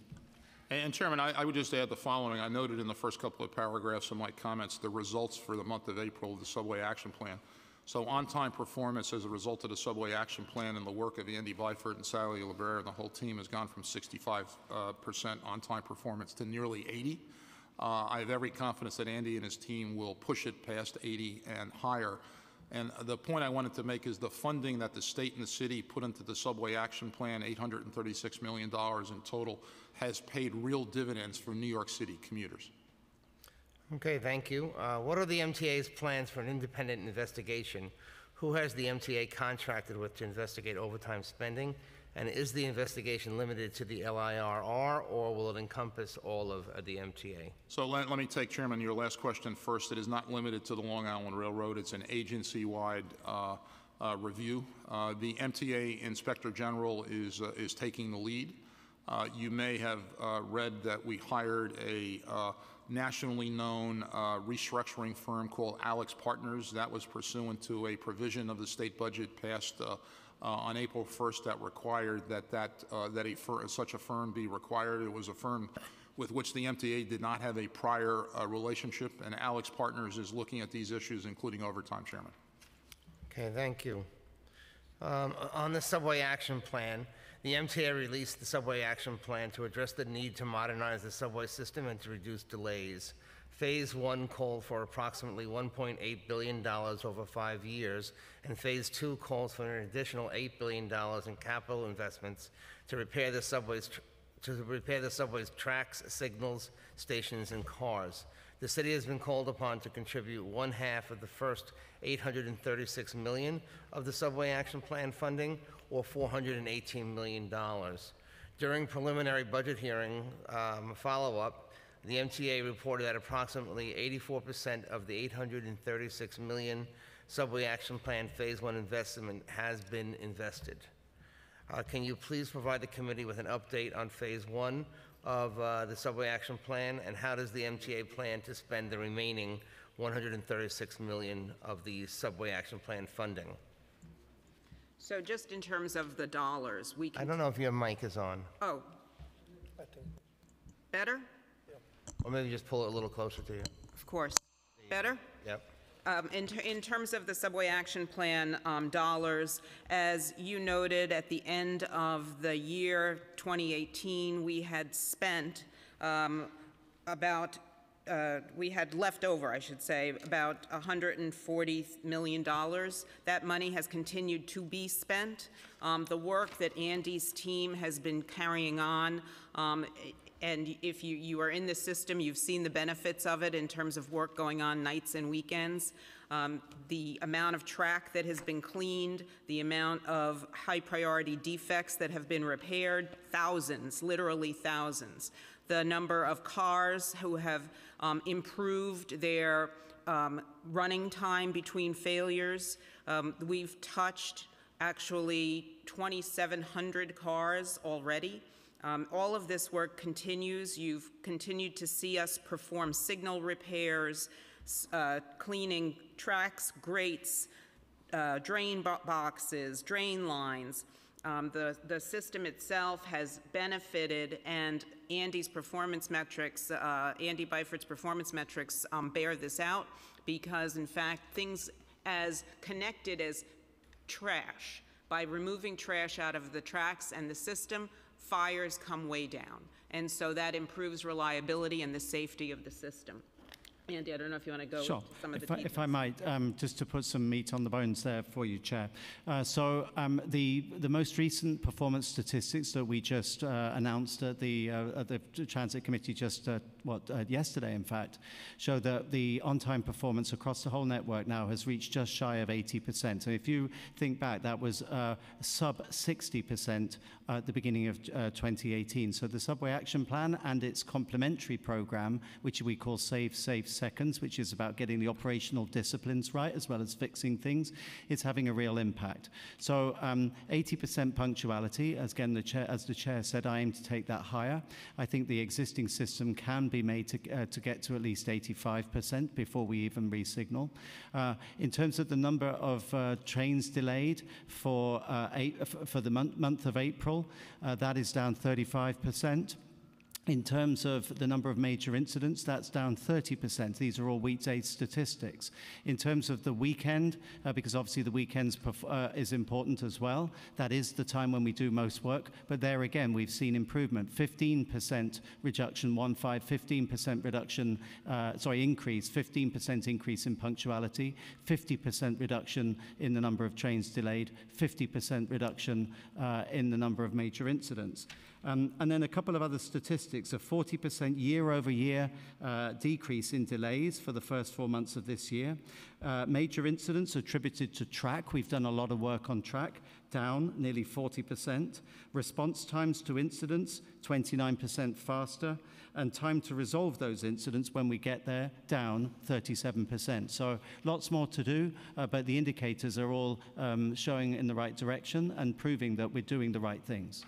So, Ms. Hakim, of the um, 140 million that you, that we had mentioned, do you expect that, uh, what is the timetable for spending the the rest of that money? The plan is to complete many of the subway action activities um, through the summer. And then we had always intended for the subway action itself to morph and into an enhanced maintenance program. And we've budgeted for that um, in order to continue the good efforts and continue the work that's been going on, just to bring up all of our maintenance standards. S- Subway action was intended to be a surge to get us to the place we are to now, but we know we have more to do, and we're going to continue our maintenance efforts. Can you describe for the committee um, what the Phase Two program looks like and give us an update on that? Um, yeah, so it's it's continuing a lot of what we were doing in terms of finishing off uh, clearing the uh, remaining trains that need to be unblocked. It is further work on uh, on the maintenance of cars to make them more reliable. We're doing more work on ma- making escalators and, and elevators more reliable. We are deep cleaning stations at the moment. We're, we're undergoing a deep clean of 100 stations, and we're, we're finishing off that amount. We're deep cleaning train cars. Uh, we're working. Uh, we're doing more work on fixing the uh, existing signaling system, replacing what are called um, insulated block joints, replacing train stops, various technical bits of equipment that can go wrong and that can cause delay. Um, that goes hand in hand with, again, our Save Safe Seconds campaign, where we are relentlessly removing redundant speed restrictions safely and following uh, proper scrutiny and, and analysis, where we are um, making sure that signals are properly calibrated, and where in the next phase of work, we're looking across the whole system to see where we can further safely speed up the system by reviewing the prevailing uh, standards that we use. Thank you. And Mr. Byford, when you talk about being on time, Mhm. how many minutes late is on time? Four minutes 59. So uh, that's a fairly standard uh, uh, standard measure that's used across uh, most international systems that I've worked. Uh, we are also now beginning to track to uh, time to two minutes. In other words, one minute 59. And what that means is the train has to arrive at its terminal within uh, four minutes 59 of the planned time, of the scheduled time. And in, in doing so, it cannot skip a station because otherwise that would allow, it might encourage you to perversely skip stations in order to, to hit the end date. So it must stop at all of the booked stations and it must arrive within 4 minutes 59. Now that might seem like a lot, but a couple of points on that. Number one, most people don't go end to end. So most people wouldn't go right from the Bronx down to Brooklyn. Um, so uh, to me, the most important thing on a subway is to have relentless service, to have very evenly spaced headways, because most people wouldn't know whether it was their specific train, whether the one that they catch, or whether or not it's on time or not. And secondly, uh, and, and uh, I think it's of equal importance. Four minutes 59 may seem like a long run. On a 100 minute run from the Bronx to, uh, say, to southeast uh, Queens, you only need a few short delays to soon miss that target. So it is a tough target. We aim to make it better. Okay, thank you. Um, How is the MTA making use of the governor's executive order declaring a state of emergency for the subway system? Are any projects directly related to the service reliability awarded under the executive order? And what safeguards are in place to ensure that contracts are being awarded appropriately and fairly? When um, awarding contracts under the executive order, we still go through an informal competitive bidding process. So we do um, continue to canvass for multiple sources of whatever the, the thing is that we're procuring. Um, And uh, we also continue to monitor the expenses for whether it's buying signal equipment or buying additional um, uh, uh, um, maintain- maintenance equipment. Um, We continue to monitor the quality of the equipment that we're buying, the source that we're buying it from, making sure that they are a- a good contractor or a good vendor and don't have any uh, marks against them from other sources or any prior history with us as well. And Chair- Chairman, I would add two things to that. I agree with all that Ronnie said. Uh, First is that we report to the board in public and to the public as to contracts that have been uh, procured under Executive Order 168. The the other thing uh, I did, as I mentioned, uh, I I became chairman and CEO five or six weeks ago. I I asked the agency presidents to come up with a list of EO 168 uh, transactions that they may uh, need through the end of the year to continue the work on the subway action plan. And I also asked them, uh, gave them the challenge of coming up with minimizing as much as possible the use of EO uh, 168, because at, at some point it will no longer be in effect. And the agency presidents have responded to that. I, I don't believe, and correct me if I'm wrong, that there was any EO 168 uh, procurement reported in the, in the last meeting. I believe the same is true of this meeting. We're beginning to minimize and, and, and move away from it. EO 168 played an important role in the success of the subway action plan, uh, but we're uh, looking to a future uh, without it. Okay, thank you for that also. Uh, The L train repair closure, the MTA changed course and is no longer shutting down the L train line between Brooklyn and Manhattan to facilitate the Hurricane Sandy-related repairs. Can you please provide an update on the status of the L train tunnel repairs? Sure. You want to start? Um, uh, Ronnie's going to talk about the construction, but I might just talk about how we're managing the service in the meantime. So uh, when the uh, when the plan was changed, uh, building on the existing plan, we revised the alternate service plan uh, to make sure that it now fits the new pattern. So just to refresh your memory, uh, the, the the tunnel remains open, or one of the tunnels remains open throughout what would have been otherwise a closure. However, on nights and on weekends, we go to 20-minute headways, gaps between trains uh, on one of the lines, and, and that's how uh, the service operates. So, so far, so good. Um, we've put huge amounts of effort into training people, into uh, contingency planning, into scenario planning, and into making sure that everyone knows what their specific job is. So we've received a lot of positive uh, comment for that. Uh, we've had people out and about. We've all been out um, and assisted, and I think the staff should be commended for the great job they've done.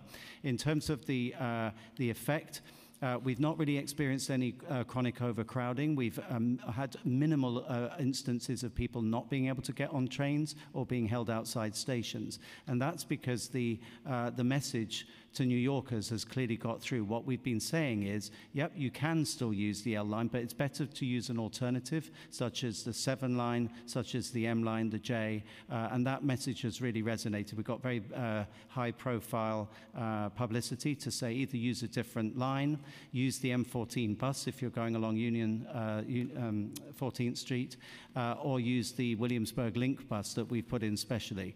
I think um, we're not out of the woods. The, the, uh, the big challenge is going to come in the summer as people flock to Williamsburg, but we will rise to that occasion. I, would add in terms of the construction work um, that the next, the, the most recent phase began at the end of April. Um, that's the work that is really uh, being undertaken nights and weekends in the tunnel itself, as well as in the adjacent stations at First Avenue and Bedford. Um, this is in addition to the substation work and the other um, work related to the L. It has been going quite well.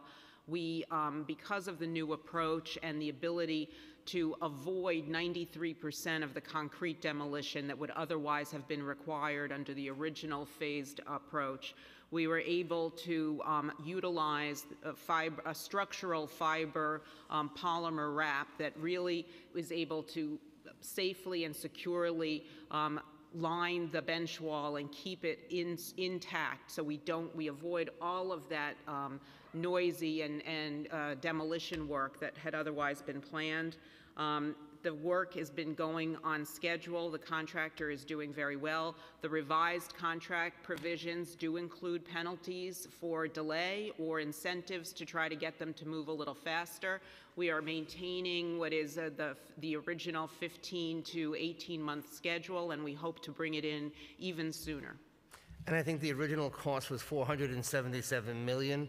So what is the contracted amount uh, based on now with the partial shutdown? So we think just on the contract costs, we're going to be saving about $10 million, notwithstanding the fact that the contractor now has to work premium time in terms of nights and weekends, but it's still an overall cost savings.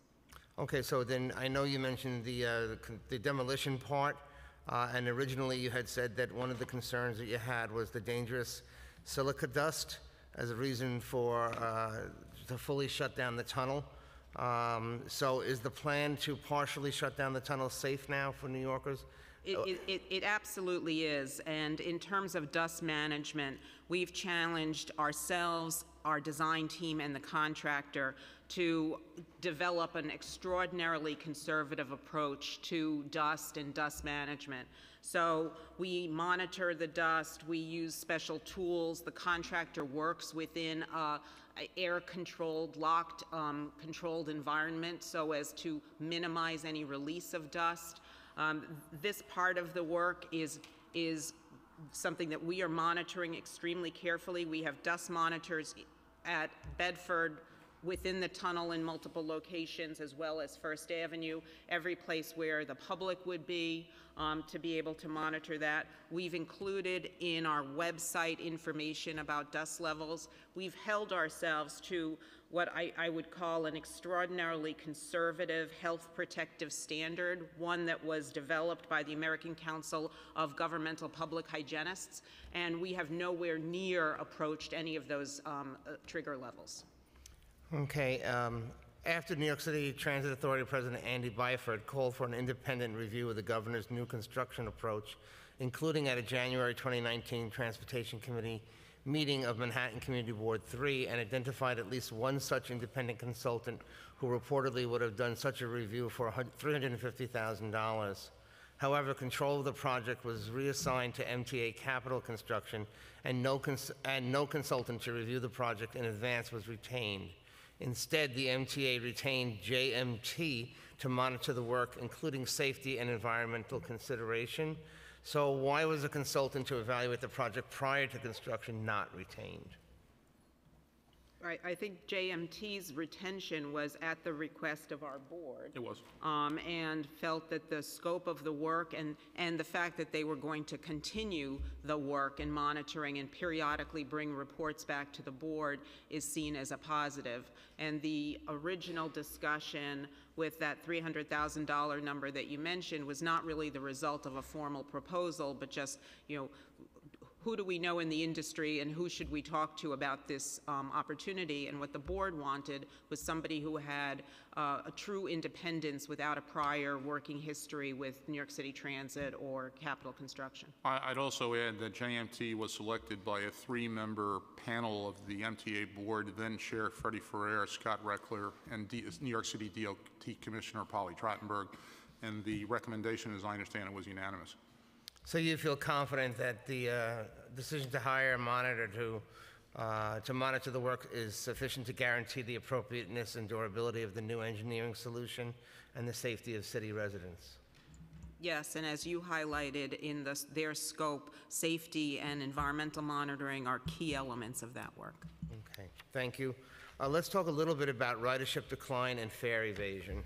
Uh, Subway and bus ridership peaked in 2016 and has since fallen off. Last year, the MTA November forecast predicted that subway ridership would return to 2016 levels by 2019. However, however, the most recent adopted budget for calendar year 19 indicates that ridership levels are not expected to reach 2016 levels even by 2022. In the MTA's response to the council's preliminary budget hearing follow-up letter, the authority blamed this decline on several factors, including fare evasion. So historically, how has the MTA measured fare evasion? Um, evasion is measured by doing a sample across uh, buses and also on the subway system. So uh, we have a team who go out and uh, they obviously they can't ride every bus every day. They don't observe every station every day, but they have a uh, methodology which is um, statistically uh, statistically valid, sorry, and which is um, consistent with best practice, whereby they hypothecate what um, the fare evasion rate would be based upon uh, a sufficient uh, sample size to observe what goes on. So uh, they deploy to, um, to stations, they deploy to buses, and in plain clothes they observe uh, people's behaviors and they can extrapolate a fare evasion rate based upon the, uh, what they observe. So uh, you reported a substantial decline in ridership between 2018 and 19 adopted budgets. How much of this decline does the MTA attribute to decline in ridership or to fare evasion? Um, the, the, the, the main cause of uh, decline in ridership on the buses, in my opinion, is the fact that uh, the, the streets are so congested that people find that the bus is not a reliable alternative, uh, which is what this document, Fast Forward Plan, aims to tackle. Uh, and I was just in the meeting this morning with DOT Commissioner Polly Trottenberg, where we were, were reviewing the uh, city's bus action plan, which we very much welcome. Um, and that is designed to reverse this precipitous decline in bus ridership uh, by uh, providing uh, clear ways for buses to get through crowded streets, uh, by providing technology to assist buses to get through intersections, through traffic lights, um, and, and, and also the, re- the bus redesign work that this plan is predicated around. In other words, designing a bus network that's fit, and, and um, uh, fit for purpose. In terms of um, fare evasion, there is an element of that. If people are evading the fare, they're also not being counted towards the fare. But we have not said, and we've, we've never said, that that is the predominant factor. Can you provide us uh, with an, uh, the amount of money uh, revenue lost to fare evasion between 2016 to the present? Do you have that? I, I don't have that number um, here, but we can certainly give you that number. In 2018, the revenue loss was approximately $225 million, 97 million from the subway side of the house, and about 128 million from the bus um, fare evasion that Andy uh, just discussed. Okay, thank you. Um, uh, Student Metro cards. Uh, Tomorrow, the MTA Board is expected to vote on a proposal to give full fare Metro cards to New York City students who presently presently receive only half-fare bus-only cards. Students with the half-fare bus-only cards currently pay the second half of the fare using coins, which slows down bus boarding. How many students currently have the half-fare bus-only Metro cards? I, uh, We think it's about 100,000. I'm just checking the facts. Uh, what we do know is this will cost New York City Transit around $200,000. I think that's money well spent uh, because it does then mean that you've got equity across the city in terms of what the uh, students receive by way of travel. It means they don't have to uh, dig around to try and find the coins. So that's another way of speeding up the buses, which I would argue would make bus travel more attractive. It's another factor in getting people to ride buses because they speed it up again. We believe the figure's around 100,000 uh, recipients at the moment. And I would add that it's also good for use in the subway, unlike the existing. I don't think your mic is on. Oh, Sorry. I would add that it's also good for use in the subway, unlike the existing half-fare card, which was only available on the bus. Good, thank you. Uh, Is the MTA going to absorb the full cost of expanding the program, or is there an exception that the city will be required to contribute to it? No, this is an MTA-borne cost as described in the board action that we're bringing tomorrow. Okay, and I just want to, before I turn it over to Chair Rodriguez, um, take a little bit of um, chair privilege to uh, just ask, you know, in the uh, Victor Moore Arcade in the Roosevelt Avenue subway station, we've seen the closure of a number of retail stores on both the mezzanine level and on the 75th Street and Roosevelt Avenue side. Um, the Pizzeria Familia uh, closed. It took us many years, like 11 years, to get them in there, and um, we, we finally got them in.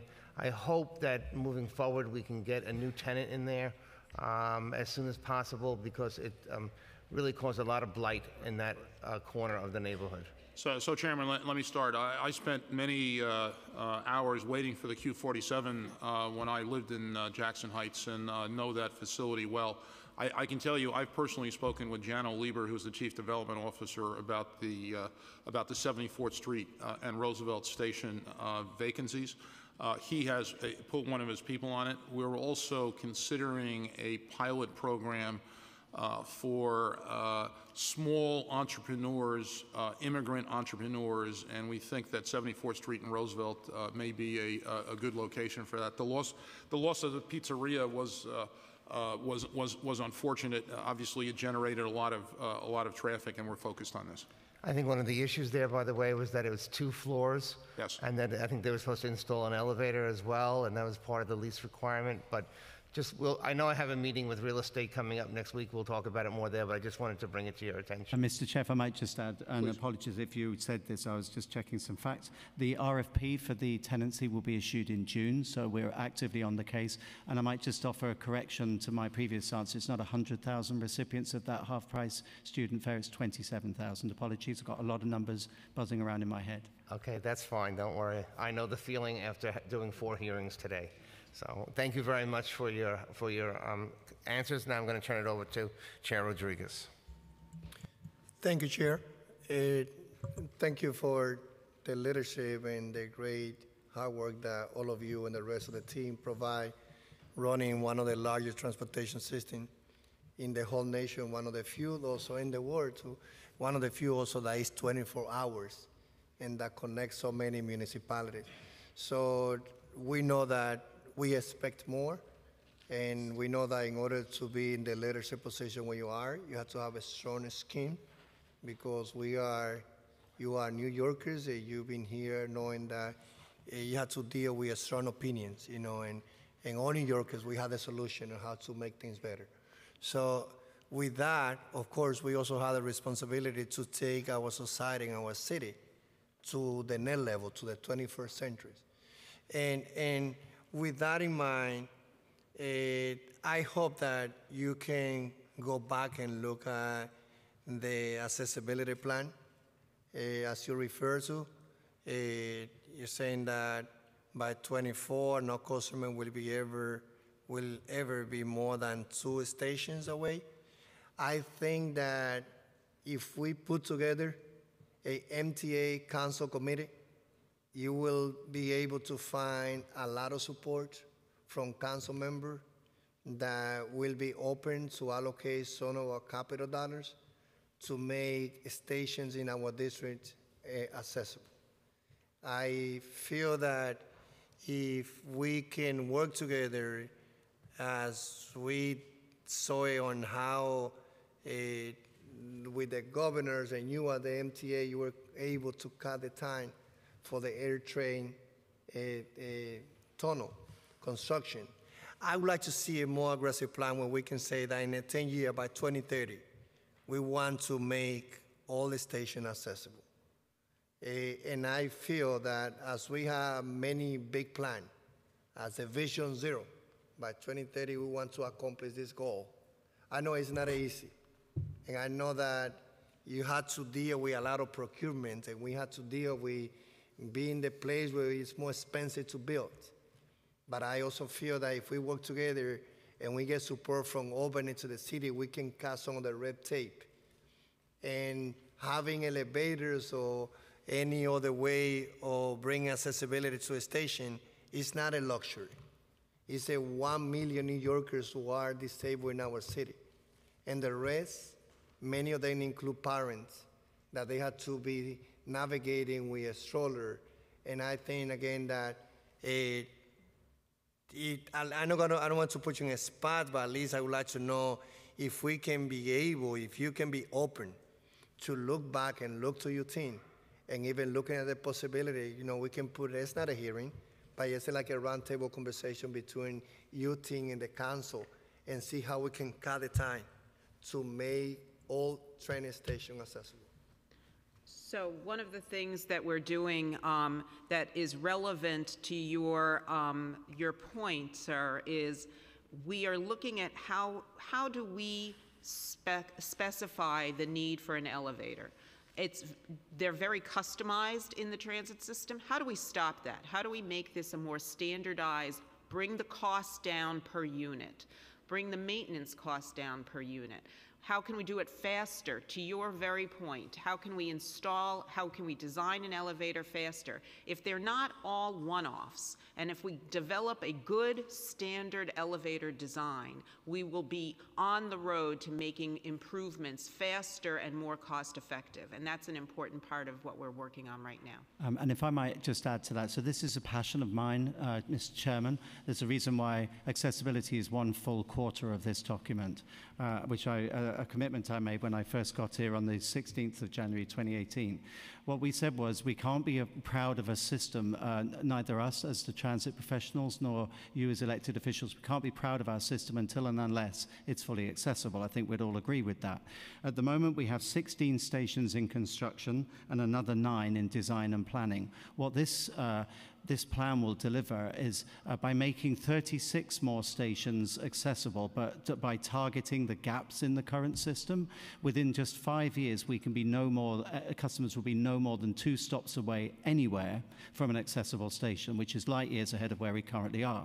But we want to go beyond that. So uh, what we, I've committed to with the chair and my MD's support is that we'll actually, within the next five years, make 50 stations more accessible, which is a doubling of the current rate in the following five years would make um, more than 100 more stations accessible. So this is pretty unprecedented in terms of the, um, the, uh, the actual scale of the program. Having said that, I very much welcome, I love the idea uh, that you floated of um, shared funding. I think that's great. It's not just about the dollars, though. What we also need is your support, uh, your active support to help us politically with what is often a very charged um, environment where people want accessibility, but they don't necessarily want the elevator in a certain place. And, and I've said before, and I'll say again, fast forward as a plan will grind to a halt if we have a six-month standoff with every, every single element of what we want to do. So to have your support for things like utility diversions, um, getting, you know, obviously following the democratic procedure, but expediting that, that will help us enormously. And incidentally, final point, we're not just looking at elevators, we're also looking at ramps where they make sense, and we're also looking at elevators that would go straight from the street straight to the platform uh, as opposed to having to go via the mezzanine, which adds cost. So uh, we're on the same page. Okay, so let's, you know, follow some conversation with that. And, and again, I think it's also, it will make big change. And, it, and I know I can see, well, we can see at the council that in the new leadership, there's more effort to connect more, you know, with the community boards, with the council members. It, and it's not just about, you know, I can say from the whole team, including Marino and the rest of you. You've been trying to do the best, but at the end of the day, you know, we need to follow a, a, a leadership, and, and I think that that's important, you know, to see how we can connect with the local council members. Like, I can give you a local sample, like a Dyckman one train. Like, we, someone who live in the diamond houses that need to go to 231st and Broadway, they had to take the elevator because the elevator only go downtown, down. To take the elevator going down to 96th Street in order to change and go north again to 231st.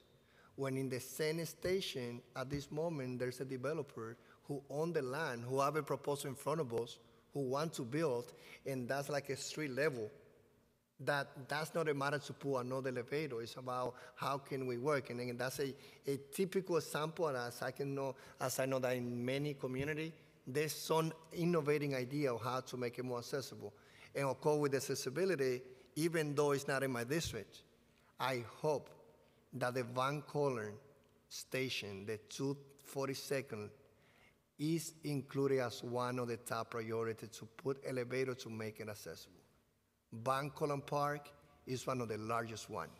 In that area, it's not only the residents of Riverdale, but it's also those people who live in Yonkers who go from the Manhattan to the Bronx.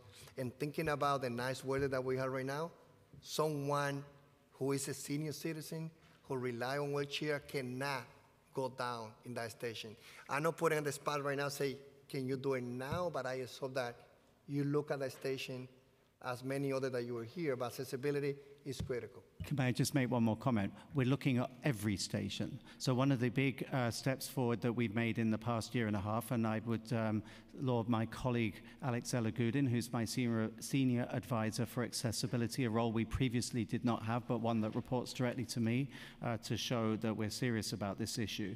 Uh, he and his team are, are probably two-thirds of the way now, maybe more, two-thirds of the way through surveying every remaining location to see what it will take, what it will cost, what are the complexities of making each remaining station accessible. So we're deadly serious about this. That's why it's in that plan. Okay. But, okay, okay, so we will continue, and, and I think that we share interest on, on doing better on making our station accessible in a shorter period of time. Can the MTA put together the MTA homeless action plan? Like, we want to support, we should have compassion to support our homeless population. But I feel, and again, this is about is the city, is the MTA, who is responsible for what?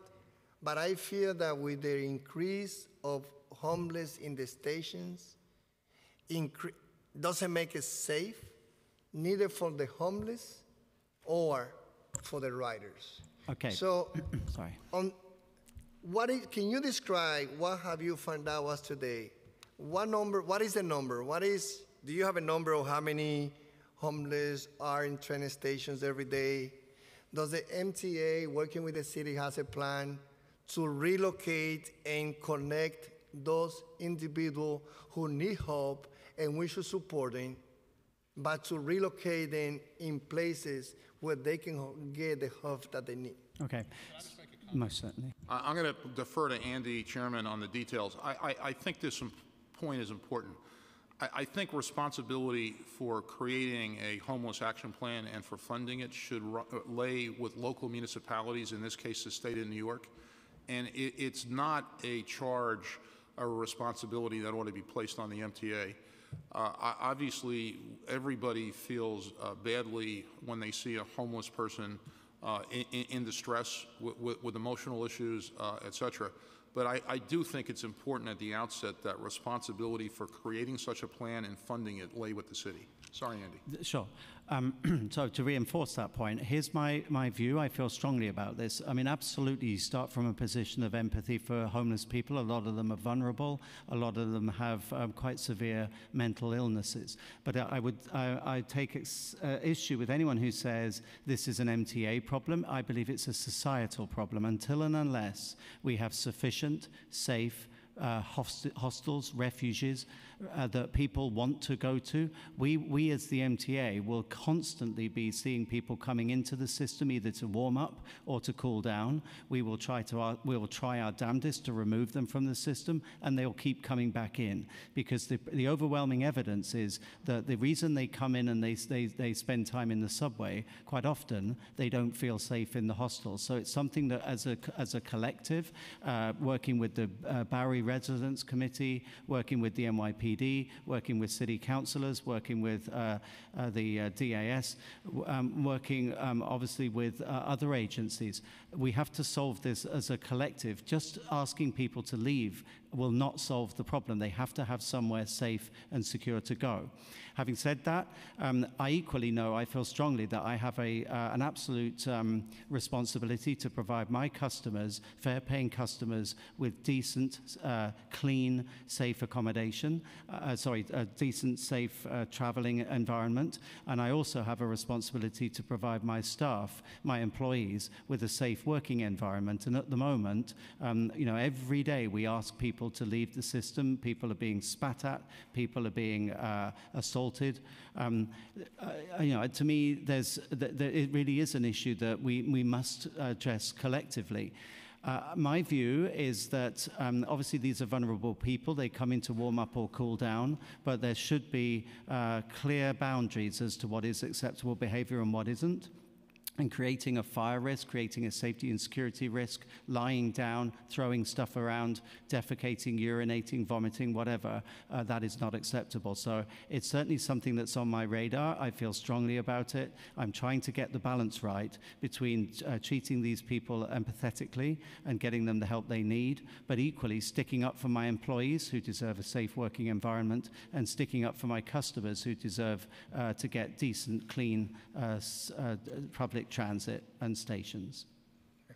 I, again, I, I, so on, do you have any, the, how often do you, do you do any assessment on the numbers of homeless in the station?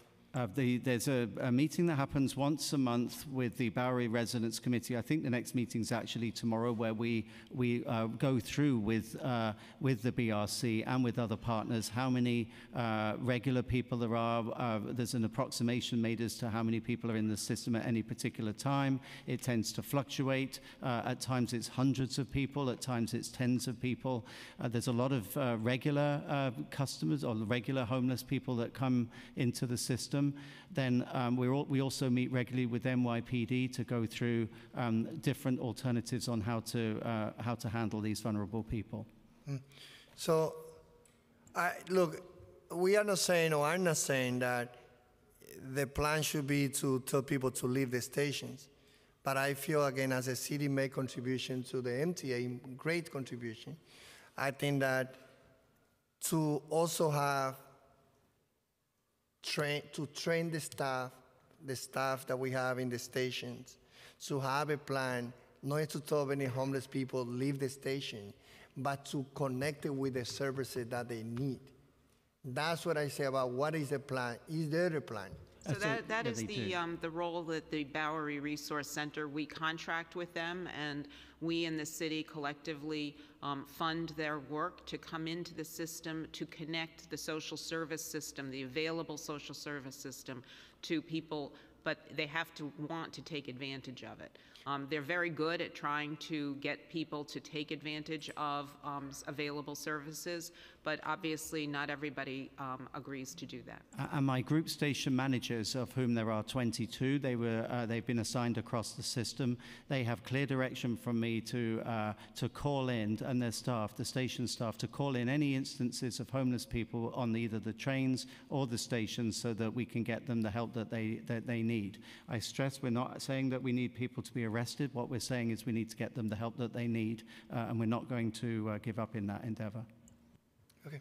So in the MTA Capital 2024, right, you will, MTA will get a investment from the city, the state, but this, the MTA will also have to continue getting into debt in order to balance the budget.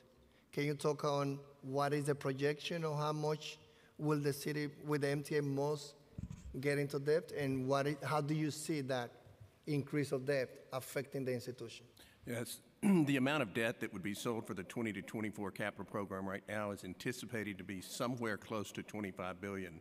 Uh, the numbers that were put out, the billion dollars for uh, the tolling, uh, the uh, Central Business District tolling was generate 15 billion dollars worth of proceeds from debt, and then the two other revenue sources were to generate 5 billion of debt for each.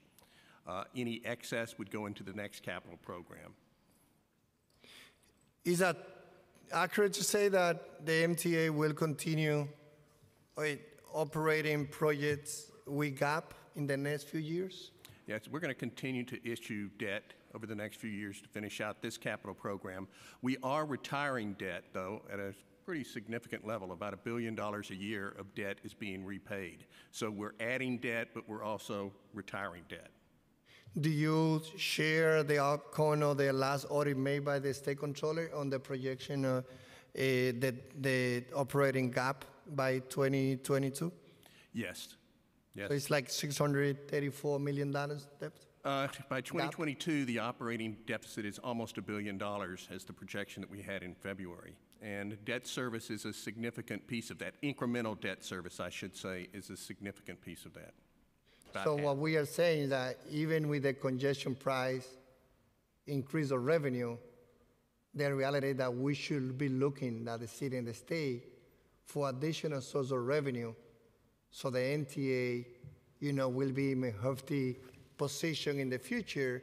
At the same time, again, that the MTA, and as you know, we've been clear from the beginning, should be expected that first to bring more transparency, to control the cost, and deal with some waste that happen in the, in the that have happened in the institution. So I'm not just blaming one individual, but I'm talking about the culture and how we've been operating. I would say the biggest challenge for us right now is getting our cost down, and that is what we're focusing on. Uh, before we ask for additional operating revenue, again, we do appreciate the additional capital funds that are available because that means that the capital funds are being provided by someone else and an art, a burden on the fare box. But the first thing we have to do is we've just got to make sure that we are as lean and efficient as possible. And we've just announced a $500 million target for annual operating savings. If we hit that target, that'll get us a long way toward addressing next year's projected deficit of almost 500 million. The next year projected deficit was about 800 million, and then, as you uh, mentioned, a billion dollars for 2022. But that's not going to be enough. We're going to have to continue to find savings. And part of the work that's being done by AlixPartners is to identify a structure that is more efficient where we can eliminate savings by not having duplicative services provided at each of the agencies, but try to combine the services so that we can reduce cost. So the first thing we want is we want to try to find out how we can reduce our cost as much as possible uh, before we ask for additional operating revenue. And the business opportunity for women and minority in a, as you say, a big corporation that has a value of 1.7 trillion dollars, like how much more can you do? Because what we have in the city and the state is not enough. And we all have to recognize that we can do better to provide opportunity for women and minority, including, as I also brought to the DOT, opportunity to include local media in when you advertise, you know, from job opportunity to any all other spend that you have with media. Like, how much more can you do on creating a better system for women and minority to be able to take advantage of all those contracts that you open IFP? So, so Chairman, the Governor Cuomo set a state uh, goal of 30% for, for the state of New York and for state agencies. Uh, we're, we're proud of our record. Uh, the MTA last year was at about 27 to 28%. Uh, the MWB program is run by Michael Garner, who I think it's fair to say uh, is probably been the most effective MWBE uh, leader and executive in the United States of America. Uh, there's clearly more that can be done, but I think the record of the MTA on these issues uh, has been a strong one and one that we're proud of.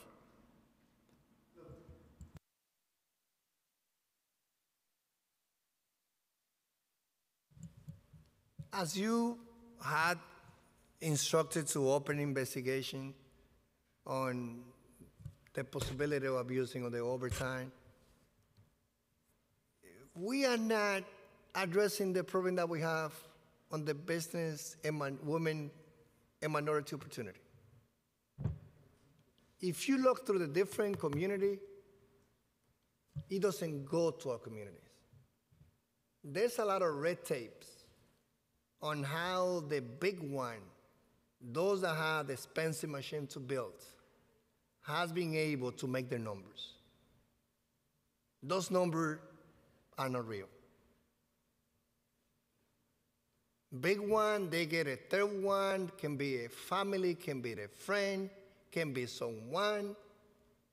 But if you if we want to really address to create more opportunity for women and minority through the different local community in the city, if we look, if we put together a town hall, if we put together some summit together, and we know who are taking advantage of those opportunity, still there's some red tape that we have to cut because those numbers are not bringing the effect in the local, especially minority communities in the city of New York. So, so Chairman, uh, I, say uh, respectfully, th- those numbers are real. Uh, I, I asked Ronnie to give me her phone uh, because Michael Garner's uh, phone number is 646-252-1385. If you or any of your staff or constituents have issues with respect to the MWB program or cutting red tape, call or email Michael. He is responsive. Uh, if he doesn't respond to you, and I know that's not going to happen, uh, call me.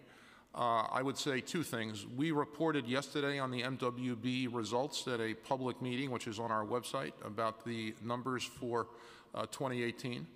Uh, thirdly, the numbers are reviewed and audited, and I, I, uh, am confident that the numbers reported uh, are, are, real. If uh, be happy to meet with any of you or your staffs on how we can make the program more effective or better known in certain communities in the in, in the city of New York. Uh, but I, I think it's fair to say that there are scores of small business owners in the MWB community, the DBE community, service disabled veterans that are operating businesses, paying their mortgage, sending their kids to college, and importantly, employing other people as a result of the MTA's uh, MWBE programs uh, at all the agencies. Thank you. Okay, thank you. Uh, We have been joined by Councilmembers Koo, Miller, Rose, Adams, Cabrera, Levine, Lander, Gjonaj, and Deutsch. And we have questions to start off with, with Councilmember Adams, and then followed by Rose. Thank you, uh, Chairs uh, Dromm and Rodriguez. Uh, Thank you, Mr. Chairman, for being here today. President Byford, good to see you again. Sarah, good to see you again. Um, Well, uh, you know this already, um, Andy. I am a a daily commuter um, to and fro uh, from Jamaica Station right here. So, needless to say, um, I've seen things kind of change a little bit. Um, the the situation with the escalator uh, that was very prevalent over the past few months, and at one point last month, I said, "Why don't they just take it out of service altogether because it's pretty useless?" So thank you for taking it out of service altogether because it has been pretty useless, um, and hopefully we will be getting a brand new um, uh, escalator in there. Uh, my concern, of course, is the uh, ADA accessibility at this point for those that um, are not as mobile as myself, getting up and down the stairways um, safely.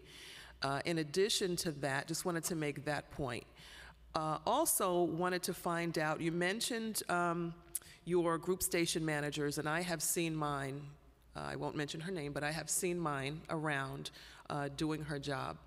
Um, how is the progress of that program going along for you? Can you let us know how that is going, not just for me in my area, but across the board? And what is your your uh, your metric, um, your your stick to uh, to manage that and to to let us know? Well, thank you for the question. It's nice to see you. Um, so, um, well, just a quick comment on escalators. Um, we're, we're really blitzing our escalator fleet at the moment. We, we are increasing the amount of maintenance that we do. So, in the short term, you will see across the fleet a slight decline uh, in escalator availability precisely because we're trying to get ahead of maintenance and to be more proactive in how we main, maintain machines such that ultimately they stay in service more uh, frequently and more reliably. Having said that, there's also a lot of very old machines, and some of them are almost um, uh, impossible to, to maintain parts for now. They are so old and they have such uh, a, uh, they're, they're, unique. Actually, we have one, one fleet of escalators. There's only five in the whole country. So again, fast forward will address that. Group station managers, I'm very proud of them. There's 22 of them, as I've said, plus four who do uh, special projects. Uh, it's a very timely question because at next month's Transit Committee, uh, we're putting together a video to show what they've been up to, actually. Uh, and they've been extremely busy. They are undertaking special cleans of their stations, so each of them does um, uh, is undertaking a, a, particular focus on one of their stations in their, in their respective group a month, uh, and that's both front of house activity and behind the scenes. So we're, we're upgrading staff accommodation, but we're deep cleaning platforms, we're scrubbing stairs, we are um, cleaning uh, the, the walls of the stations and you know, giving them a really good uh, cleanup, uh, and I think customers are already seeing the difference. Um, in terms of uh, their effectiveness, we measure them on customer, customer satisfaction satisfaction, and I'm very pleased to see that customer satisfaction scores across the system are increasing. Uh, we measure them in terms of staff attendance to, to, as a proxy for are they uh, encouraging and motivating their staff. We manage them in terms of safety incidents, in terms of uh, maintaining the revenue stream that should come into the station. So they're actually targeted with a number of, um, of measures. Uh, and again, it's based on a job I used to do. I'm very familiar with it. And it critically gives you and your colleagues in council a one-stop shop person to raise concerns on your particular areas. No more being passed around the, uh, the system. You just talk to the GSM and they'll uh, service your request, whatever it is. I appreciate that. Thank you very much. I know my time is up. Just something to leave on your mind as well as uh, Mr. Chairman, uh, Mr. Foye, on your mind. You've heard um, ad nauseum the expression transit desert. I would love to one day hear a sustainable plan that will dismantle that expression completely in the city of New York. Southeast Queens has been painfully, painfully neglected as far as our transportation is concerned. I would love to be able to take an express bus instead of the E-train right here on a daily basis. Thank you. Councilmember Levine, followed by Lander. Thank you, Chairs Dromm and Rodriguez. It's, it's great to see uh, you, Chairman Foye, and, and you, President Byford. It, in past eras, it was very rare that the leadership of the MTA came to the council, and it really means a lot that you're here to take our questions, and um, I know the public appreciates it as well, so thank you for that. Um, I, I, I want to ask you about bus service, and, and Mr. President, uh, you, you have, from your first day on the job, spoken passionately about how central you see bus service to uh, transit in the city, uh, 2 million riders a day approximately. And I, I, I have heard you speak about the danger of falling ridership that's driven by slower speeds. Um, and when people get off the bus, they often get into cars, which only makes congestion worse, which makes buses slower, which means you have less revenue. And then the scary part, you make cuts in service. And you, I think, have described this as a death spiral uh, because cuts in service means buses come less frequently, and that means buses become an even less attractive option. Um, we need to get this going in the other direction. We need this to be a virtuous circle, not a vicious circle.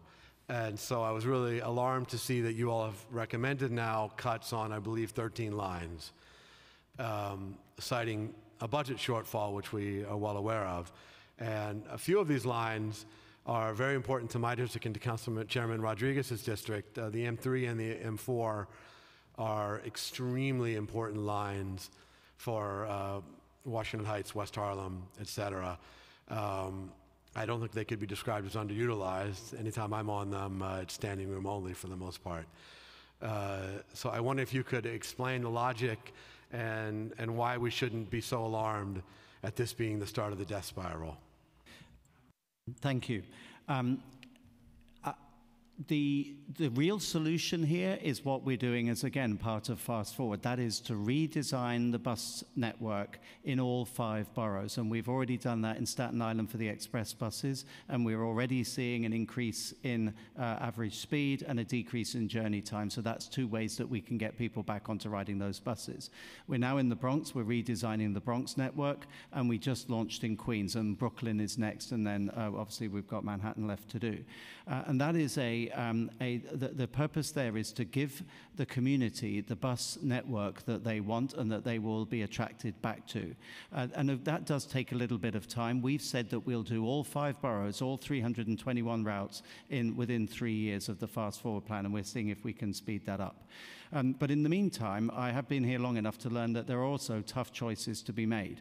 So be precisely because we, we are faced with a tough financial situation, uh, we, we do every summer, we do adjust the bus service to add service where, uh, where it is inadequate and to uh, refine service where um, we can make some slight adjustments without, uh, without we don't, we believe, not without losing uh, ridership. So the changes that we've made, yes, there were 13 routes that were um, that where the headways were slightly elongated. Um, what wasn't really commented upon was uh, conversely, for about the same amount of money, so it wasn't really a cost-saving exercise ultimately, we did improve service on a number of other routes. We will monitor very closely those routes that went from, say, an eight-minute headway to a 10-minute headway. Uh, the last thing I want is to see further degradation in ridership. So uh, it's something that we, we, we feel we need to do to, to be responsible, um, but uh, I, I wouldn't be unduly alarmed by it. I, I, appreciate that, and my time is up. But could you just, just explain why such crowded lines going to Uptown Manhattan would make the list? because there were even more crowded uh, bus services that needed more service. So what, what, we're trying to do, certainly while we're in the process of reorganizing um, organizing the whole bus network, is shuffling the available buses, the available dollars, and the available operators that we've got to optimize the offer that we make across the whole city. So there were other services that were even more crowded that got more service. Okay, I'm not sure who the winners are in that scenario. Maybe you can I can give you the list. I can give you the list. I mean, we, we, we did look carefully and we've tried not to make those changes so um, uh, uh, severe that we would lose ridership. We, we, we will monitor it very closely and I'll, I'll talk to you offline about how we Okay, came up with your routes. I, I would like that. We're, we, we, we share the goal of, of revitalizing ridership, Mm-hmm. and um, I just worry that you add to the wait time, and ridership's only going to go in one direction. But I, I appreciate your perspective, and I'll pass it back to the chairs. Thank you. Thank you, thank you very much, Councilmember Lander, followed by Miller. Thank you very much uh, to the chairs. Uh, thank you, President Byford, and to your team for being here. And I want to, you know, give you praise, as I have done in the past, on the Fast Forward plan, on restoring enough confidence that it was possible for congestion pricing to happen, and on taking us out of a real doldrums to something where I think you can see progress. That means an enormous amount. And my constituents in participatory budgeting just voted as the top vote-getting project ever in our district, a $250,000 down payment on the 7th Avenue F-train elevator. And we hope to be able to work with you as part of that plan to get that elevator done. So a lot of good progress.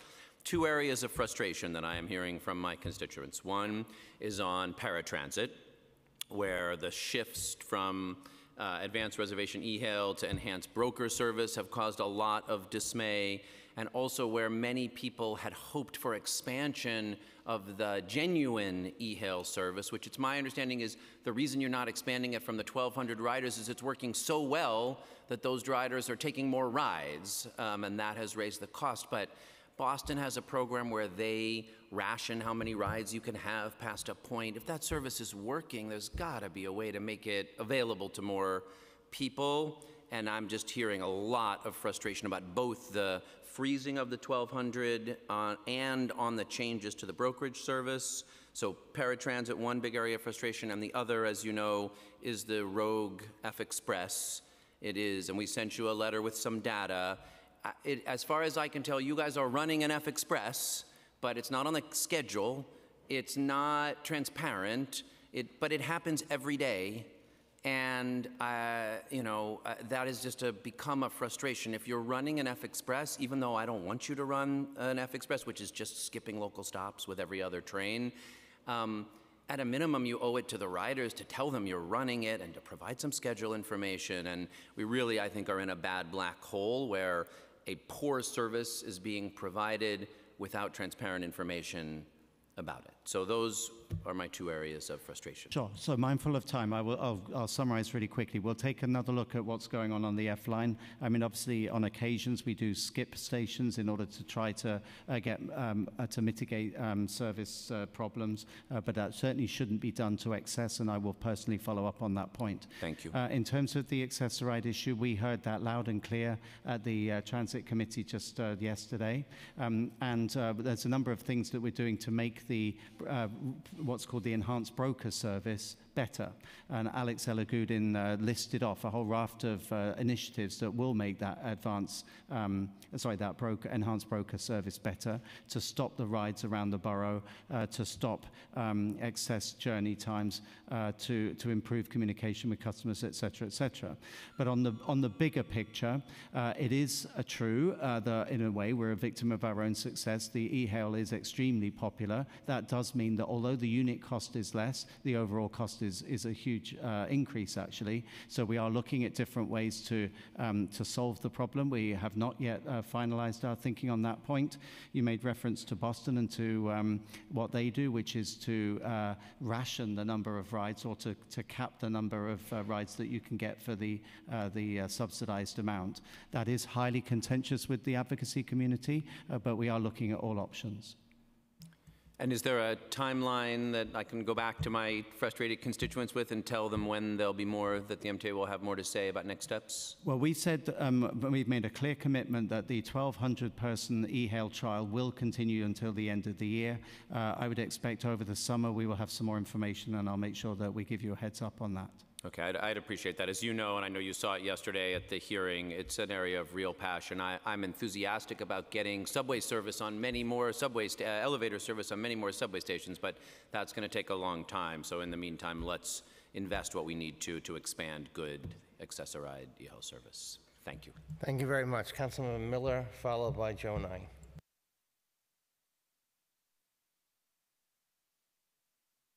Thank you to the chairs and Chair Floyd. Floyd, uh, welcome again, and to uh, Andy and Monty. Certainly, it's been a pleasure to work with you all over the years. Um, so I want to start with, and, and if I don't mind, I'm just trying to get it all in, and you can uh, address it. Uh, First, on congested pricing, um, what would be done differently from other and past dedicated funding means, and, and how would these new source of resources impact transportation deserts, as was mentioned by my colleague, Southeast Queens and other portions of the city of New York? Then I want to talk about um, very specifically the, the budget and, and the uh, upcoming capital budget. And um, in addressing those transportation deserts, we talked about what is the Freedom Ticket initially introduced as uh, transportation equity, whereas commuter rails, wherever they stopped in the city of New York, would be consistent with the price of a Metro card. Obviously, Freedom Ticket is $5. What is the plan to invest or to continue and expand that program? Program I know is a pilot. We want to see it come out of um, MTA, but we also want to see it in other parts of the city, uh, servicing Metro North as well. And then um, I'd be remiss if I did not put on my labor hat and, and, and talk briefly about the, the uh, overtime, so-called overtime debacle that we have been experiencing. I know as a past president and business agent, I had a responsibility and an opportunity to negotiate overtime caps to address necessary service needs, whether it was GOs or whether it was Superstorm Sandy and things like that. So there are absolutely mechanisms in place, and so how this this narrative gets driven about, you know, this that I I just don't see it. And, and, and I would hope that there's some clarification so that workers aren't really taking the beating that, that they are, are, have been taken. And then on that, there is a place that we've talked about in the past where I think there is significant opportunity for some real savings, and that is around workers' compensation. uh, workers' compensation. It had been, in my experience, a, a number of things um, that go wrong that we are not, or the authority has not focused on. Number one, um, getting people back to work, servicing them as soon as possible so that they can continue to do their job and service, have not looked at the, um, the, the workplace safety and the ergonomics and design of whether it's a, a bus compartment or a, a, a compartment, a cab for the uh, conductor or a motorman, and they have the same design that they've had 30 years ago and the same accidents and, and incidents uh, of workplace um, injury continue to occur. On top of that, there is a significant, significant long-term cost to workers' comp, and, and, and I dare say in uh, billions over the next uh, decade. Um, how do we uh, plan to address that? And then finally, the other talk about um, being ADA compliant. Uh, we are talking about the MTA. Why is it that the uh, Long Island Railroad and Metro North, where they uh, are in the city of New York, they are not providing accessibility? Um, do they not? Are they not required to meet the same mandates? Thank you. Council member, let, let me start with uh, some of this. Uh, uh, one, your point on workers' compensation is one that I agree with. Uh, we've hired New York City Transit, and the MTA has hired a uh, expert on the workers' compensation issue in the last several months. I do believe that a reasonable, concerted effort there would be in the best interest of the MTA, taxpayers, and our customers. putting my labor hat on for a second, uh, I just uh, note I went to college on a 32B scholarship. I was a 32B uh, union member in a prior life. Started as a started as a janitor, so I have a great deal of empathy for uh, for labor unions. The the overtime issue, as I noted before, um, the abuse of overtime is a very small number of people. Uh, when you think about the MTA, it's a city or village of 72,000 people. Uh, and most of those people, like most of the people in the city of New York, are law-abiding, reasonable people, and it's a very small number of people who, who abuse it.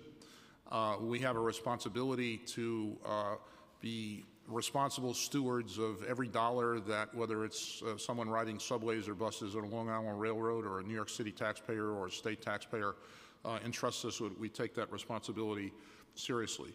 I'll turn the freedom ticket uh, question over to Ronnie Hakim in a second, but I, I wanted to address your transit desert question the following way. So this April, phase two, April of this year, phase two of congestion pricing was passed, uh, and that will begin uh, no earlier than January 1st of 2021. But you'll all recall that phase one of congestion pricing was passed by the legislature over a year ago, and went into effect for practical purposes on February 1st when that began to be collected. Uh, the um, phase one of congestion pricing revenues are tranched. The first $300 million goes into continuing the good work of the subway action plan, which uh, in the first 18 months was split between the city and the New York on a uh, city of New York and the state of New York on a 50-50 basis. Uh, the second tranche is $50 million, which is dedicated uh, by state law for outer boroughs, so the four boroughs excluding Manhattan, transit desert and other uh, and other uses to whether it's Councilmember Adams or yours or, or, or some of your uh, other colleagues. And we'll be announcing and rolling out the uh, use of the first uh, $50 million from the uh, phase one of congestion pricing. And then I'll turn it over to Ronnie for Freedom Ticket. Sure. So you're referencing the Atlantic Field Study, which was our ability that we launched last summer to um, offer Long Island Railroad ridership to folks that travel in the seven Queens and three Brooklyn stations um, to take advantage of capacity that we actually have on the Long Island Railroad going to Atlantic Terminal. Um, the, the point of the study is to see whether or not with pricing uh, variability, we can in fact influence people's choices um, to use the railroad where we have capacity. The challenge that it presents is where we don't have capacity, particularly in the peak hours, going to Penn, for example, or coming down on Metro North going to Grand Central. So our planners are also taking a look at uh, where there may be opportunities to expand a field study to um, broaden the scope, but currently, we're still gathering data um, and on the ridership traveling through Queens and Brooklyn into the Atlantic Terminal. Um, I do want to mention, you, you asked about Metro North and the Long Island Railroad and ADA compliance. While they have much fewer stations, obviously, their percentage of ADA compliance, they are required to comply, and it's actually high. Um, we can get you the specific numbers, but they too invest as part of their capital program in ADA compliance for their stations. And that's true, of course, uh, uh, with respect to Long Island Railroad and Metro North stations in the city of New York. Yes. Yeah, the ones we see in the city don't, and if I, uh, just one more, in, in, in terms of Jamaica Depot, which was in the past capital plan, what, what is the status of that? That is actually, i- i- is responsible for about 75% of the ridership in southeast Queens and is, and, and, and has been operating at about 80% of capacity for the last two decades. And then finally, um, on, on the workers' comp, I know I had mentioned before at another hearing very specifically that there was a, a provider who happened to be a MWBE who had not been paid in nine months. And at that point, they were beginning to stop to service clients. And that doesn't help people to get back to work. And, and, and, and I think everybody knows my experience and my, my workers' comp experience and, and what I, the, the, the, the three discs that was removed here um, last year and, and my, my, my subsequent recovery, you know, this, this is something that, that, um, that we can change. Is- I, I think that I, I would not, as I look back, I, I, for the next generation, they shouldn't have to go through this, and when people, um, you know, leave and they retire and they serve, that they should be able to leave with dignity and a quality of life and not be crippled because of things like that. And by being able to give timely um, medical uh, treatment, I, I- think that enhances everybody's experience, and most importantly, the authorities' experience. Council member, before Andy addresses the Jamaica Depot issue, uh, if you provide me offline the information about the workers' comp provider that wasn't paid for nine months, I'll have someone look into it and come back to you next week. Sure. And uh, quickly, uh, Council Member, you want to make a depot, depot rebuilt, so do I. I really want to push on with this project, and the good news is uh, we have a draft environmental impact statement that is going to be released to stakeholders uh, May the 22nd, which might even be, it's tomorrow, uh, with a public hearing that will follow at the end of June. So we've already received permission to begin drilling test pits from York College, starting on June the 3rd, uh, and the site agreement is being finalized as we speak. We know that you're keen to get on with it, so are we. Uh, what I would ask is that we really need, same as some of these other projects we've been talking about, to have you on side and standing shoulder to shoulder with me because not everyone will like the construction. There will be controversy around it. Some people won't want it. Uh, that will be invaluable. So let's uh, stay very close and, and talk about it and let's make this project a reality.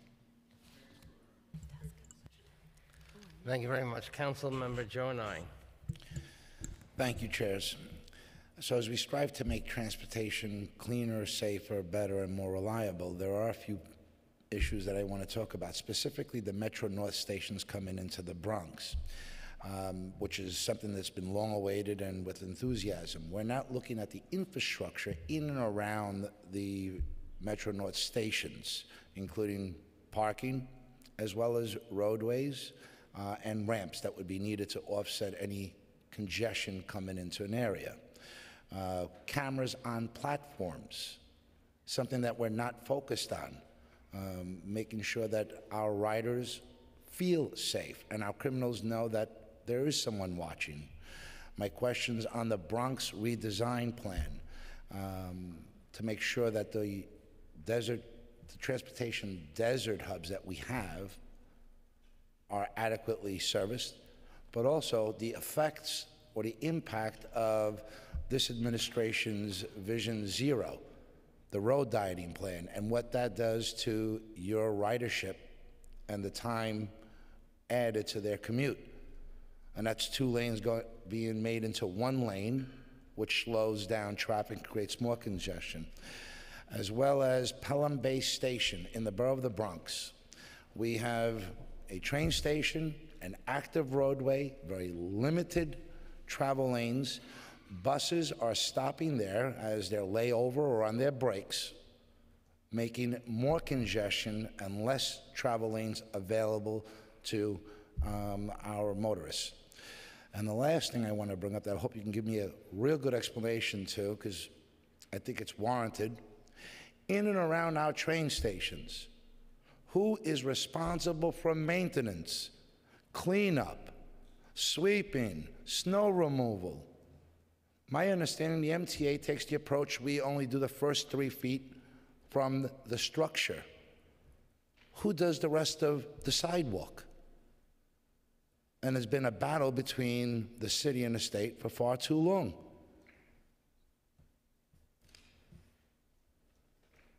To, uh, P- um, Pelham Bay Station, sir, I will follow up on that. We certainly shouldn't be blocking the road, um, so I will take that on immediately and talk to my uh, SVP for buses to make sure that where the buses are laying over doesn't impede traffic. That shouldn't be happening. Uh, so I will find out what's going on and I'll get back to you. Thank you for that. excuse me, on your, uh, the Penn Access program um, for the Bronx, you're right, it will bring direct rail service to the East Bronx communities at Hunts Point, at Parkchester Van Nest, Morris Park, Co-op City. Um, We think it's an incredibly important project and one that um, is currently uh, begun um, because we have prelim- preliminary engineering underway, which is sort of our first step to getting shovels in the ground, um, as well as working through um, funding sources um, for this important project, but one that we think is a game changer, um, and we're fully committed to it. Part of the plan should take into consideration the needs, and that means commuter parking, uh, as well as the Morris Park Station, where we have the Hutch Metro Center. Thousands of people work there, thousands visit daily. There is a request and uh, for a ramp, so there's a second means of egress from this area, which is going to abut the Metro North. We still don't understand the implications of the traffic that would be brought in because of the Metro North. We do a great deal of exercising that you'll be in Manhattan in 17 minutes. Well, where are those cars going to be coming from? Where are those commuters coming from that are going to take advantage of this 17 minute trip into Manhattan? If they're from the borough of the Bronx, that means they're driving in, unless it's going to be a three fare zone, and that's bus to uh, car to bus, bus to train, train to Metro North. And I don't think that's the intent. So at, at this point, we've just recently um, executed an MOU between Amtrak, who actually owns the, the right-of-way there, um, and ourselves in order to run the commuter service along the Hell Gate line. Um, We've awarded the initial general engineering contract um, and are working on an environmental review process. A lot of the comments that you're raising will be part of what we consider as the environmental review process informs the design. So a lot of moving parts when you begin a project of this scope, but one that we think will have a lot of community engagement. We've had a number already, um, and that will continue with, with a public process to, to get as many of these thoughts out. Want to prioritize the need for commuter parking. Uh, I made a note. It's a non-starter. That, that component is not part of it. And if you can continue with some of the other questions, in particular, the Vision Zero effect on bus routes. Um, yeah, let me just comment upon that. Uh, we, we do work very closely with the city, namely Commissioner Trottenberg and her team. Uh, and I, again, I was just talking about that this morning, where we're, making, we're putting together an, an overall master plan that will combine the bus elements of Fast Forward with the bus elements of the city's recently uh, released bus plan, Bus Forward.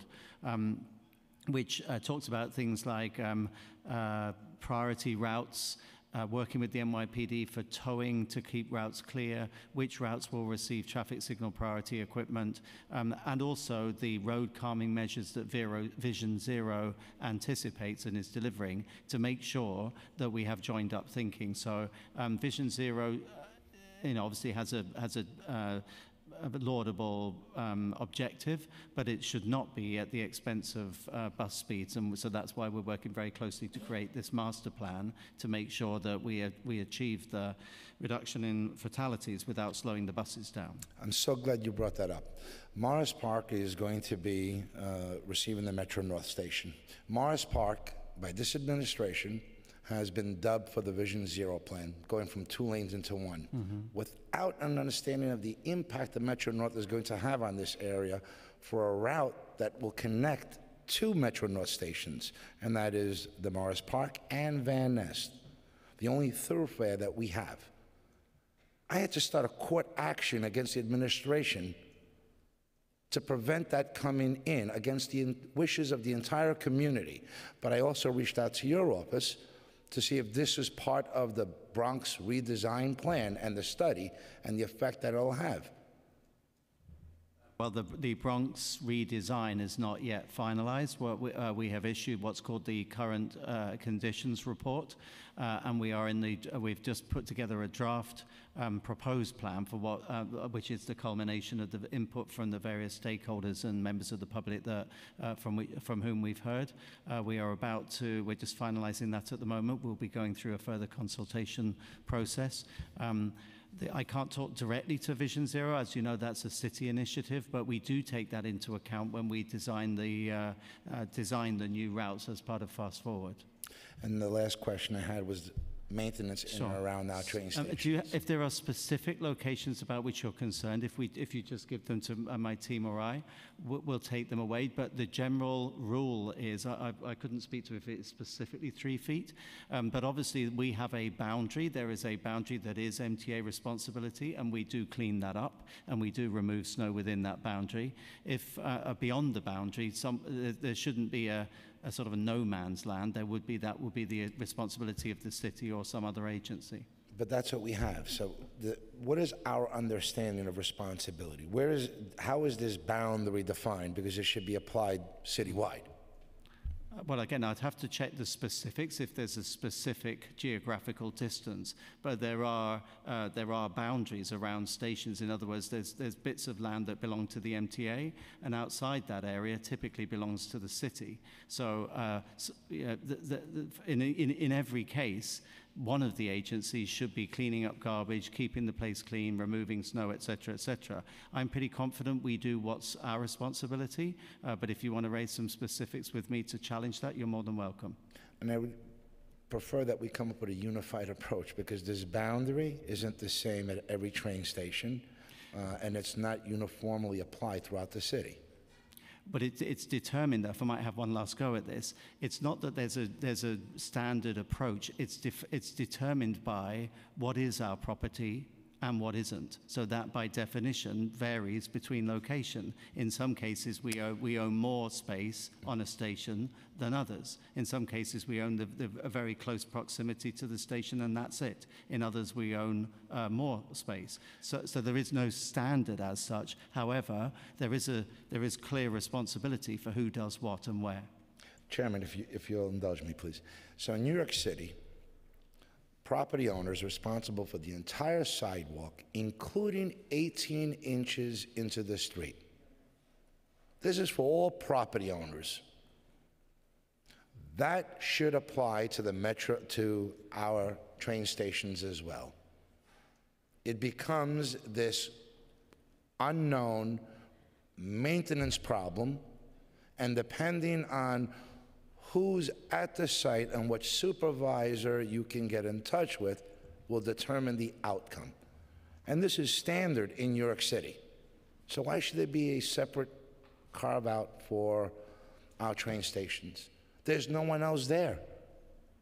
So, so council member, you ask a reasonable question, you're entitled to an answer. We'll come back to you with an answer especially tailored to the uh, subway stations in your district. We'll come back to you. Thank you. You're welcome. Okay, Thank you. Let's go to Councilmember Rosenthal to close us out. Thank you so much. I appreciate your patient chairs. Nice to see everyone here. Thank you for coming to the council and, and uh, trying to help out here. So we really appreciate that. I have two questions. First, in terms of people with disabilities, I'm wondering um, You mentioned that you're going to come back with an alternative to the pilot. Yes, possibly.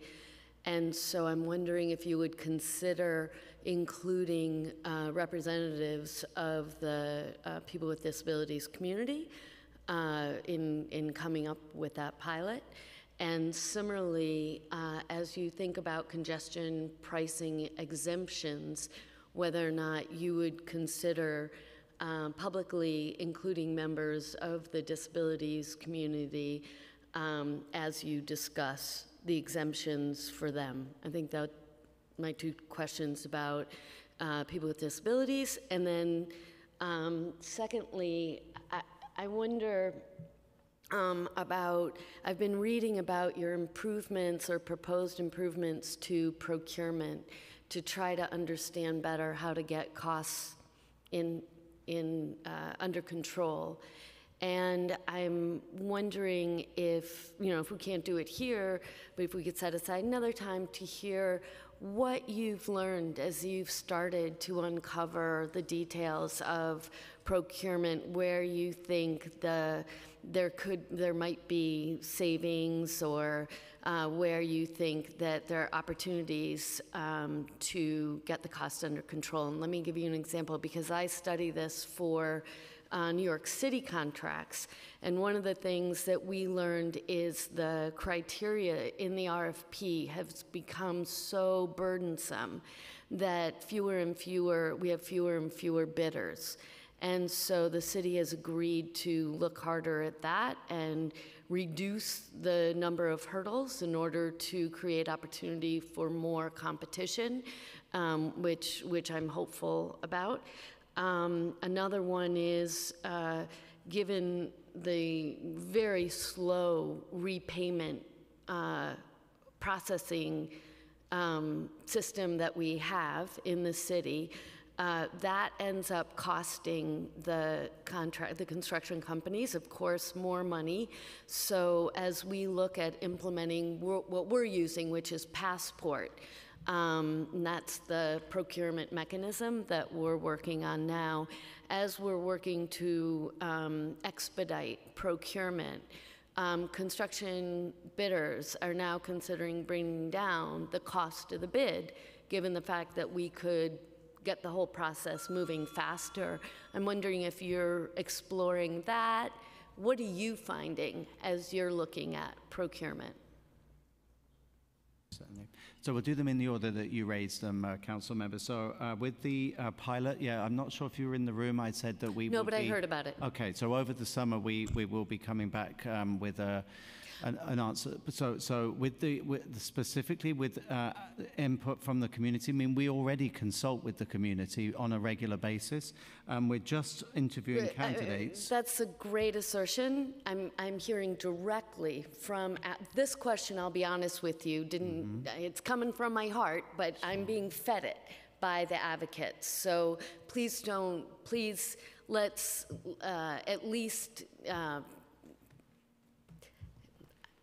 it's hard for me to accept the assertion that the community is being involved if the question comes from the, some very prominent people in the community. And I hadn't So, finished my answer, council member. What I was going to say Yes, was, but we recognise that we need to do better on that. And so, so for that specific reason, because we want to improve consultation with the community, we are just in the process of uh, doing interviews for an advisory committee on accessible transit, which we've never previously had. Oh. So it's precisely because, to your point, Thank we haven't excelled at it, that we're taking this proactive action to do that. And that What's is- the seems to me uh, so that's happening at the moment. We've just interviewed candidates. That body will meet three to four times a year and provide feedback on all and, uh, accessibility initiatives underway at Transit. It will be chaired by my colleague Alex Elegudin, who's the um, Senior Advisor on Accessibility, and that will enable us to directly solicit input from transit users with disabilities and community uh, advocates. The first meeting will be held this summer. I'll make sure you get the date. I appreciate that. And the total number in the committee? Um, I think it's 10, but I'd have to check Looking my for facts about on 10. Okay, thank you. Thank you very much, and I just, we No, no, no, actually, no, no, no, sorry, I apologize. Procurement. Yes. Sorry, Chair, I know. It's the end of the day, and we can talk offline. Just if you could address procurement and I- I'm happy to do it if it's okay with the chairman and your colleagues. Sure. Okay, good.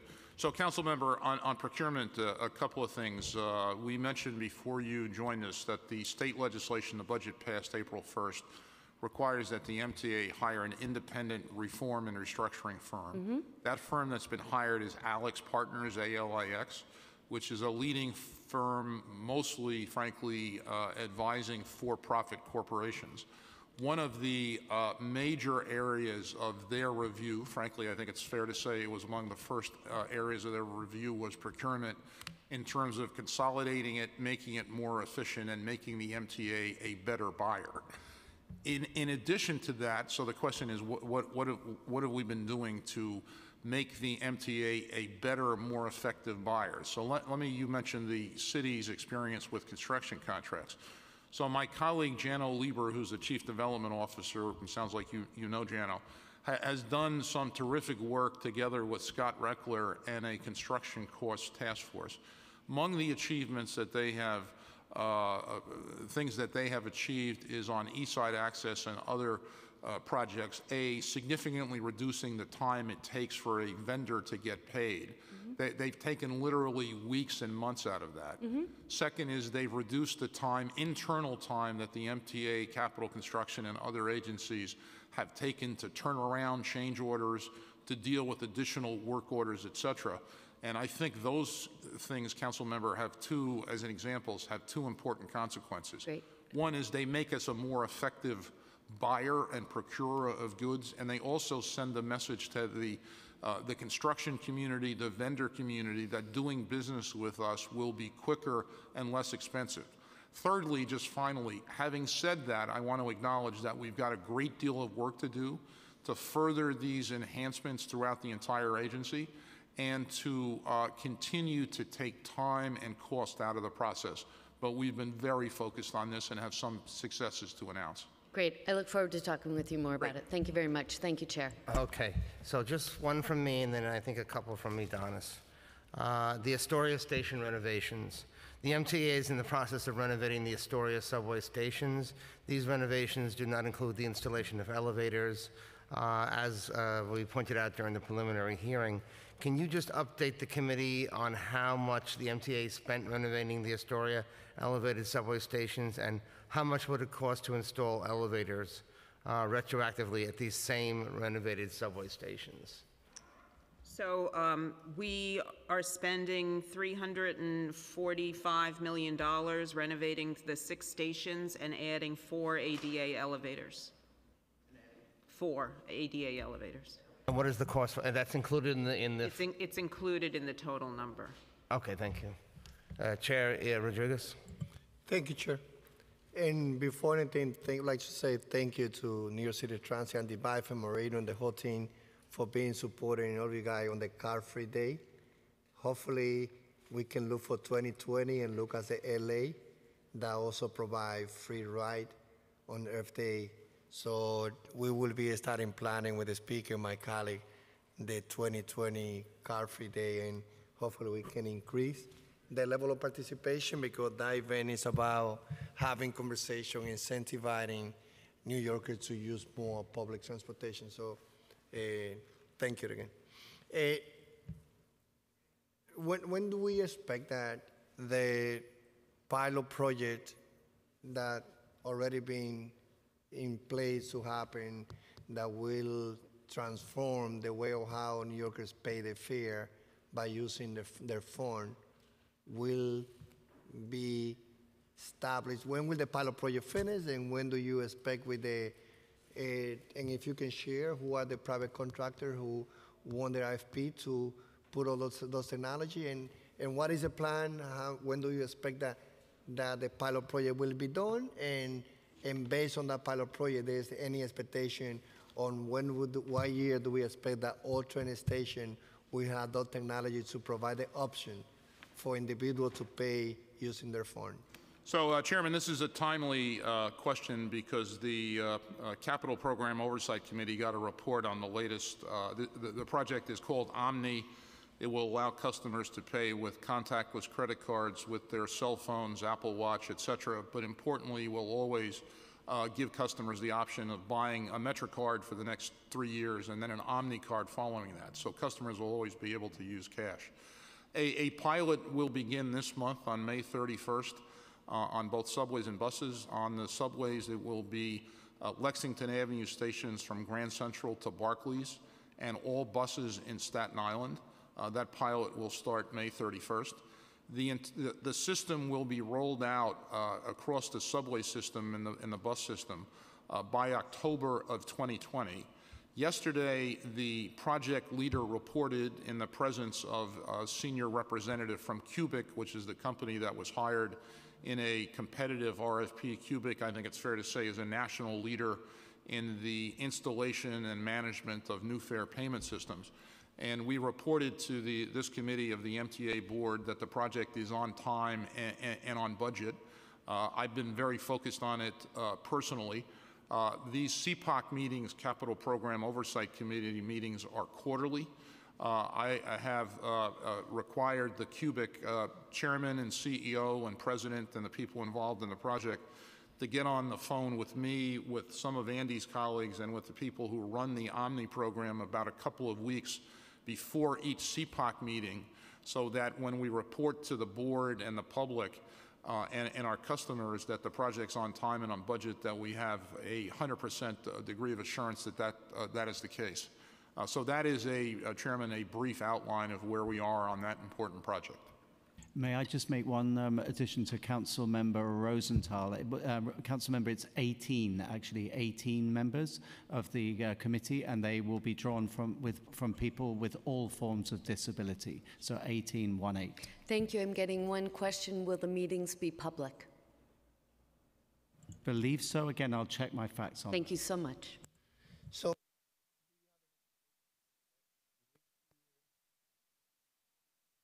So in which year do we expect, if everything go well and the pilot project is working, that all the stations in the city of Europe will be able to? Yeah, uh, Cha- Chairman, October 2020. 2020. Yes, sir. Uh, with the transit signals uh, system, how are we doing? And we also know that a lot had to do with the plan moving forward. Uh, as you know, the old scheduling say that by like 2040 was when, and that's be, be, of course before you guys came on board. Many of you in the in this leadership position, but the last before you came on board, it was like by 2040, the year when all the station it will have uh, the new transit signal system. I know that you have a more aggressive plan. Uh, what is should we expect happen keep happening in the next months and year? We station, we line do we expect will be completed, and what should we expect to see in a schedule to address the replacement, knowing that there's a lot of challenges with the transit signal system? Okay, so uh, where we are with signaling is, as you know already, the L line is on modern signaling com uh, communications-based train control. The good news is the L line project, among many other improvements, will receive new power stations to enable us to run more trains. So uh, L line will see further improvement. The second line that we've converted to CBTC just uh, went live end-to-end with CBTC uh, uh, in the last couple of months. That's the seven line, the Flushing line, and that has seen a 56% jump in punctuality since we uh, rolled the new signaling system out. Uh, we've just switched on what's called automatic train control, which better spaces the trains. We're currently uh, implementing CBTC on the Queens Boulevard line. Next after that will be Culver. Next after that will be the 8th Avenue line. And then the fast forward plan envisages um, a total of five lines uh, converted to CBTC or elements of the line converted over the next five years, potentially a further six in the following five lines. Um, so by the end of the 10-year uh, uh, tenure, if you like, or the 10-year currency of the fast forward plan, we will have moved to 90%, 90%, 90% of riders will be on modern signaling. Uh, we may be able to do it more quickly. We're trialing, or we will shortly be trialing, a system called UWB. It's not itself a signaling system, but it's the communications element of CBTC, which in tandem could mean we can do this thing more quickly, more cheaply, and less intrusively. So uh, I'm very excited about it, and it's one of the reasons I brought in a world-class signaling expert, namely Pete Tomlin, to help me get this thing across the line. Okay. How much the MTA expect to being s- spend every year on advertising on media, ad, uh, on job opportunity, on opportunity? I have seen also, you know, some advertising in the train for opportunity for women and minority too. Like, how much is the budget dedicated for advertising? What, what's the dollar amount, Chairman, just so I understand the question, of communications to customers per year? I, I don't have that at my fingertips, and rather than make it up, we'll come back to you with a number. Okay, and, and if you can look at it, and again, I, I also push on the DOT on also using local media, uh, media, because, you know, the city has changed. And 38% of New Yorkers, like myself, being born and raised in another country.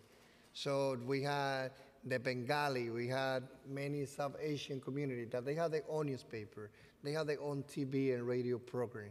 And I feel that it, we have relied too much only on putting any apps in for any purpose that we do through all city and state, only to the mainstream.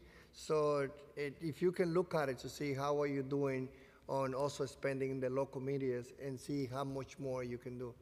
Ch- Chairman, we will do that. Okay, thank you very much for coming in. I would really, really appreciate you spending so much time with us and answering all of our questions. Good luck, and uh, we will be talking to you very soon. All right, and with this, this concludes our hearing for today. The Finance Committee will resume executive budget hearings for fiscal 2020 tomorrow, Wednesday, May 22nd, 2019, at 10 a.m. in, the, in this room. Tomorrow, the Finance Committee will hear from the Department of Social Services, the Office of Civil Justice, the Administration for Children's Services, and the Department of Parks and Recreation. As a reminder, the public will be invited to testify on Thursday, May 23rd, the last day of the budget hearings at approximately 2 p.m. in this room. For any member of the public who wishes to testify but cannot make it to the hearings, you can email your testimony to the Finance Division at financetestimony at council.nyc.gov, and the staff will make it a part of this, of the official record. Thank you, and this hearing is now adjourned. Thank you. Ah. Very much.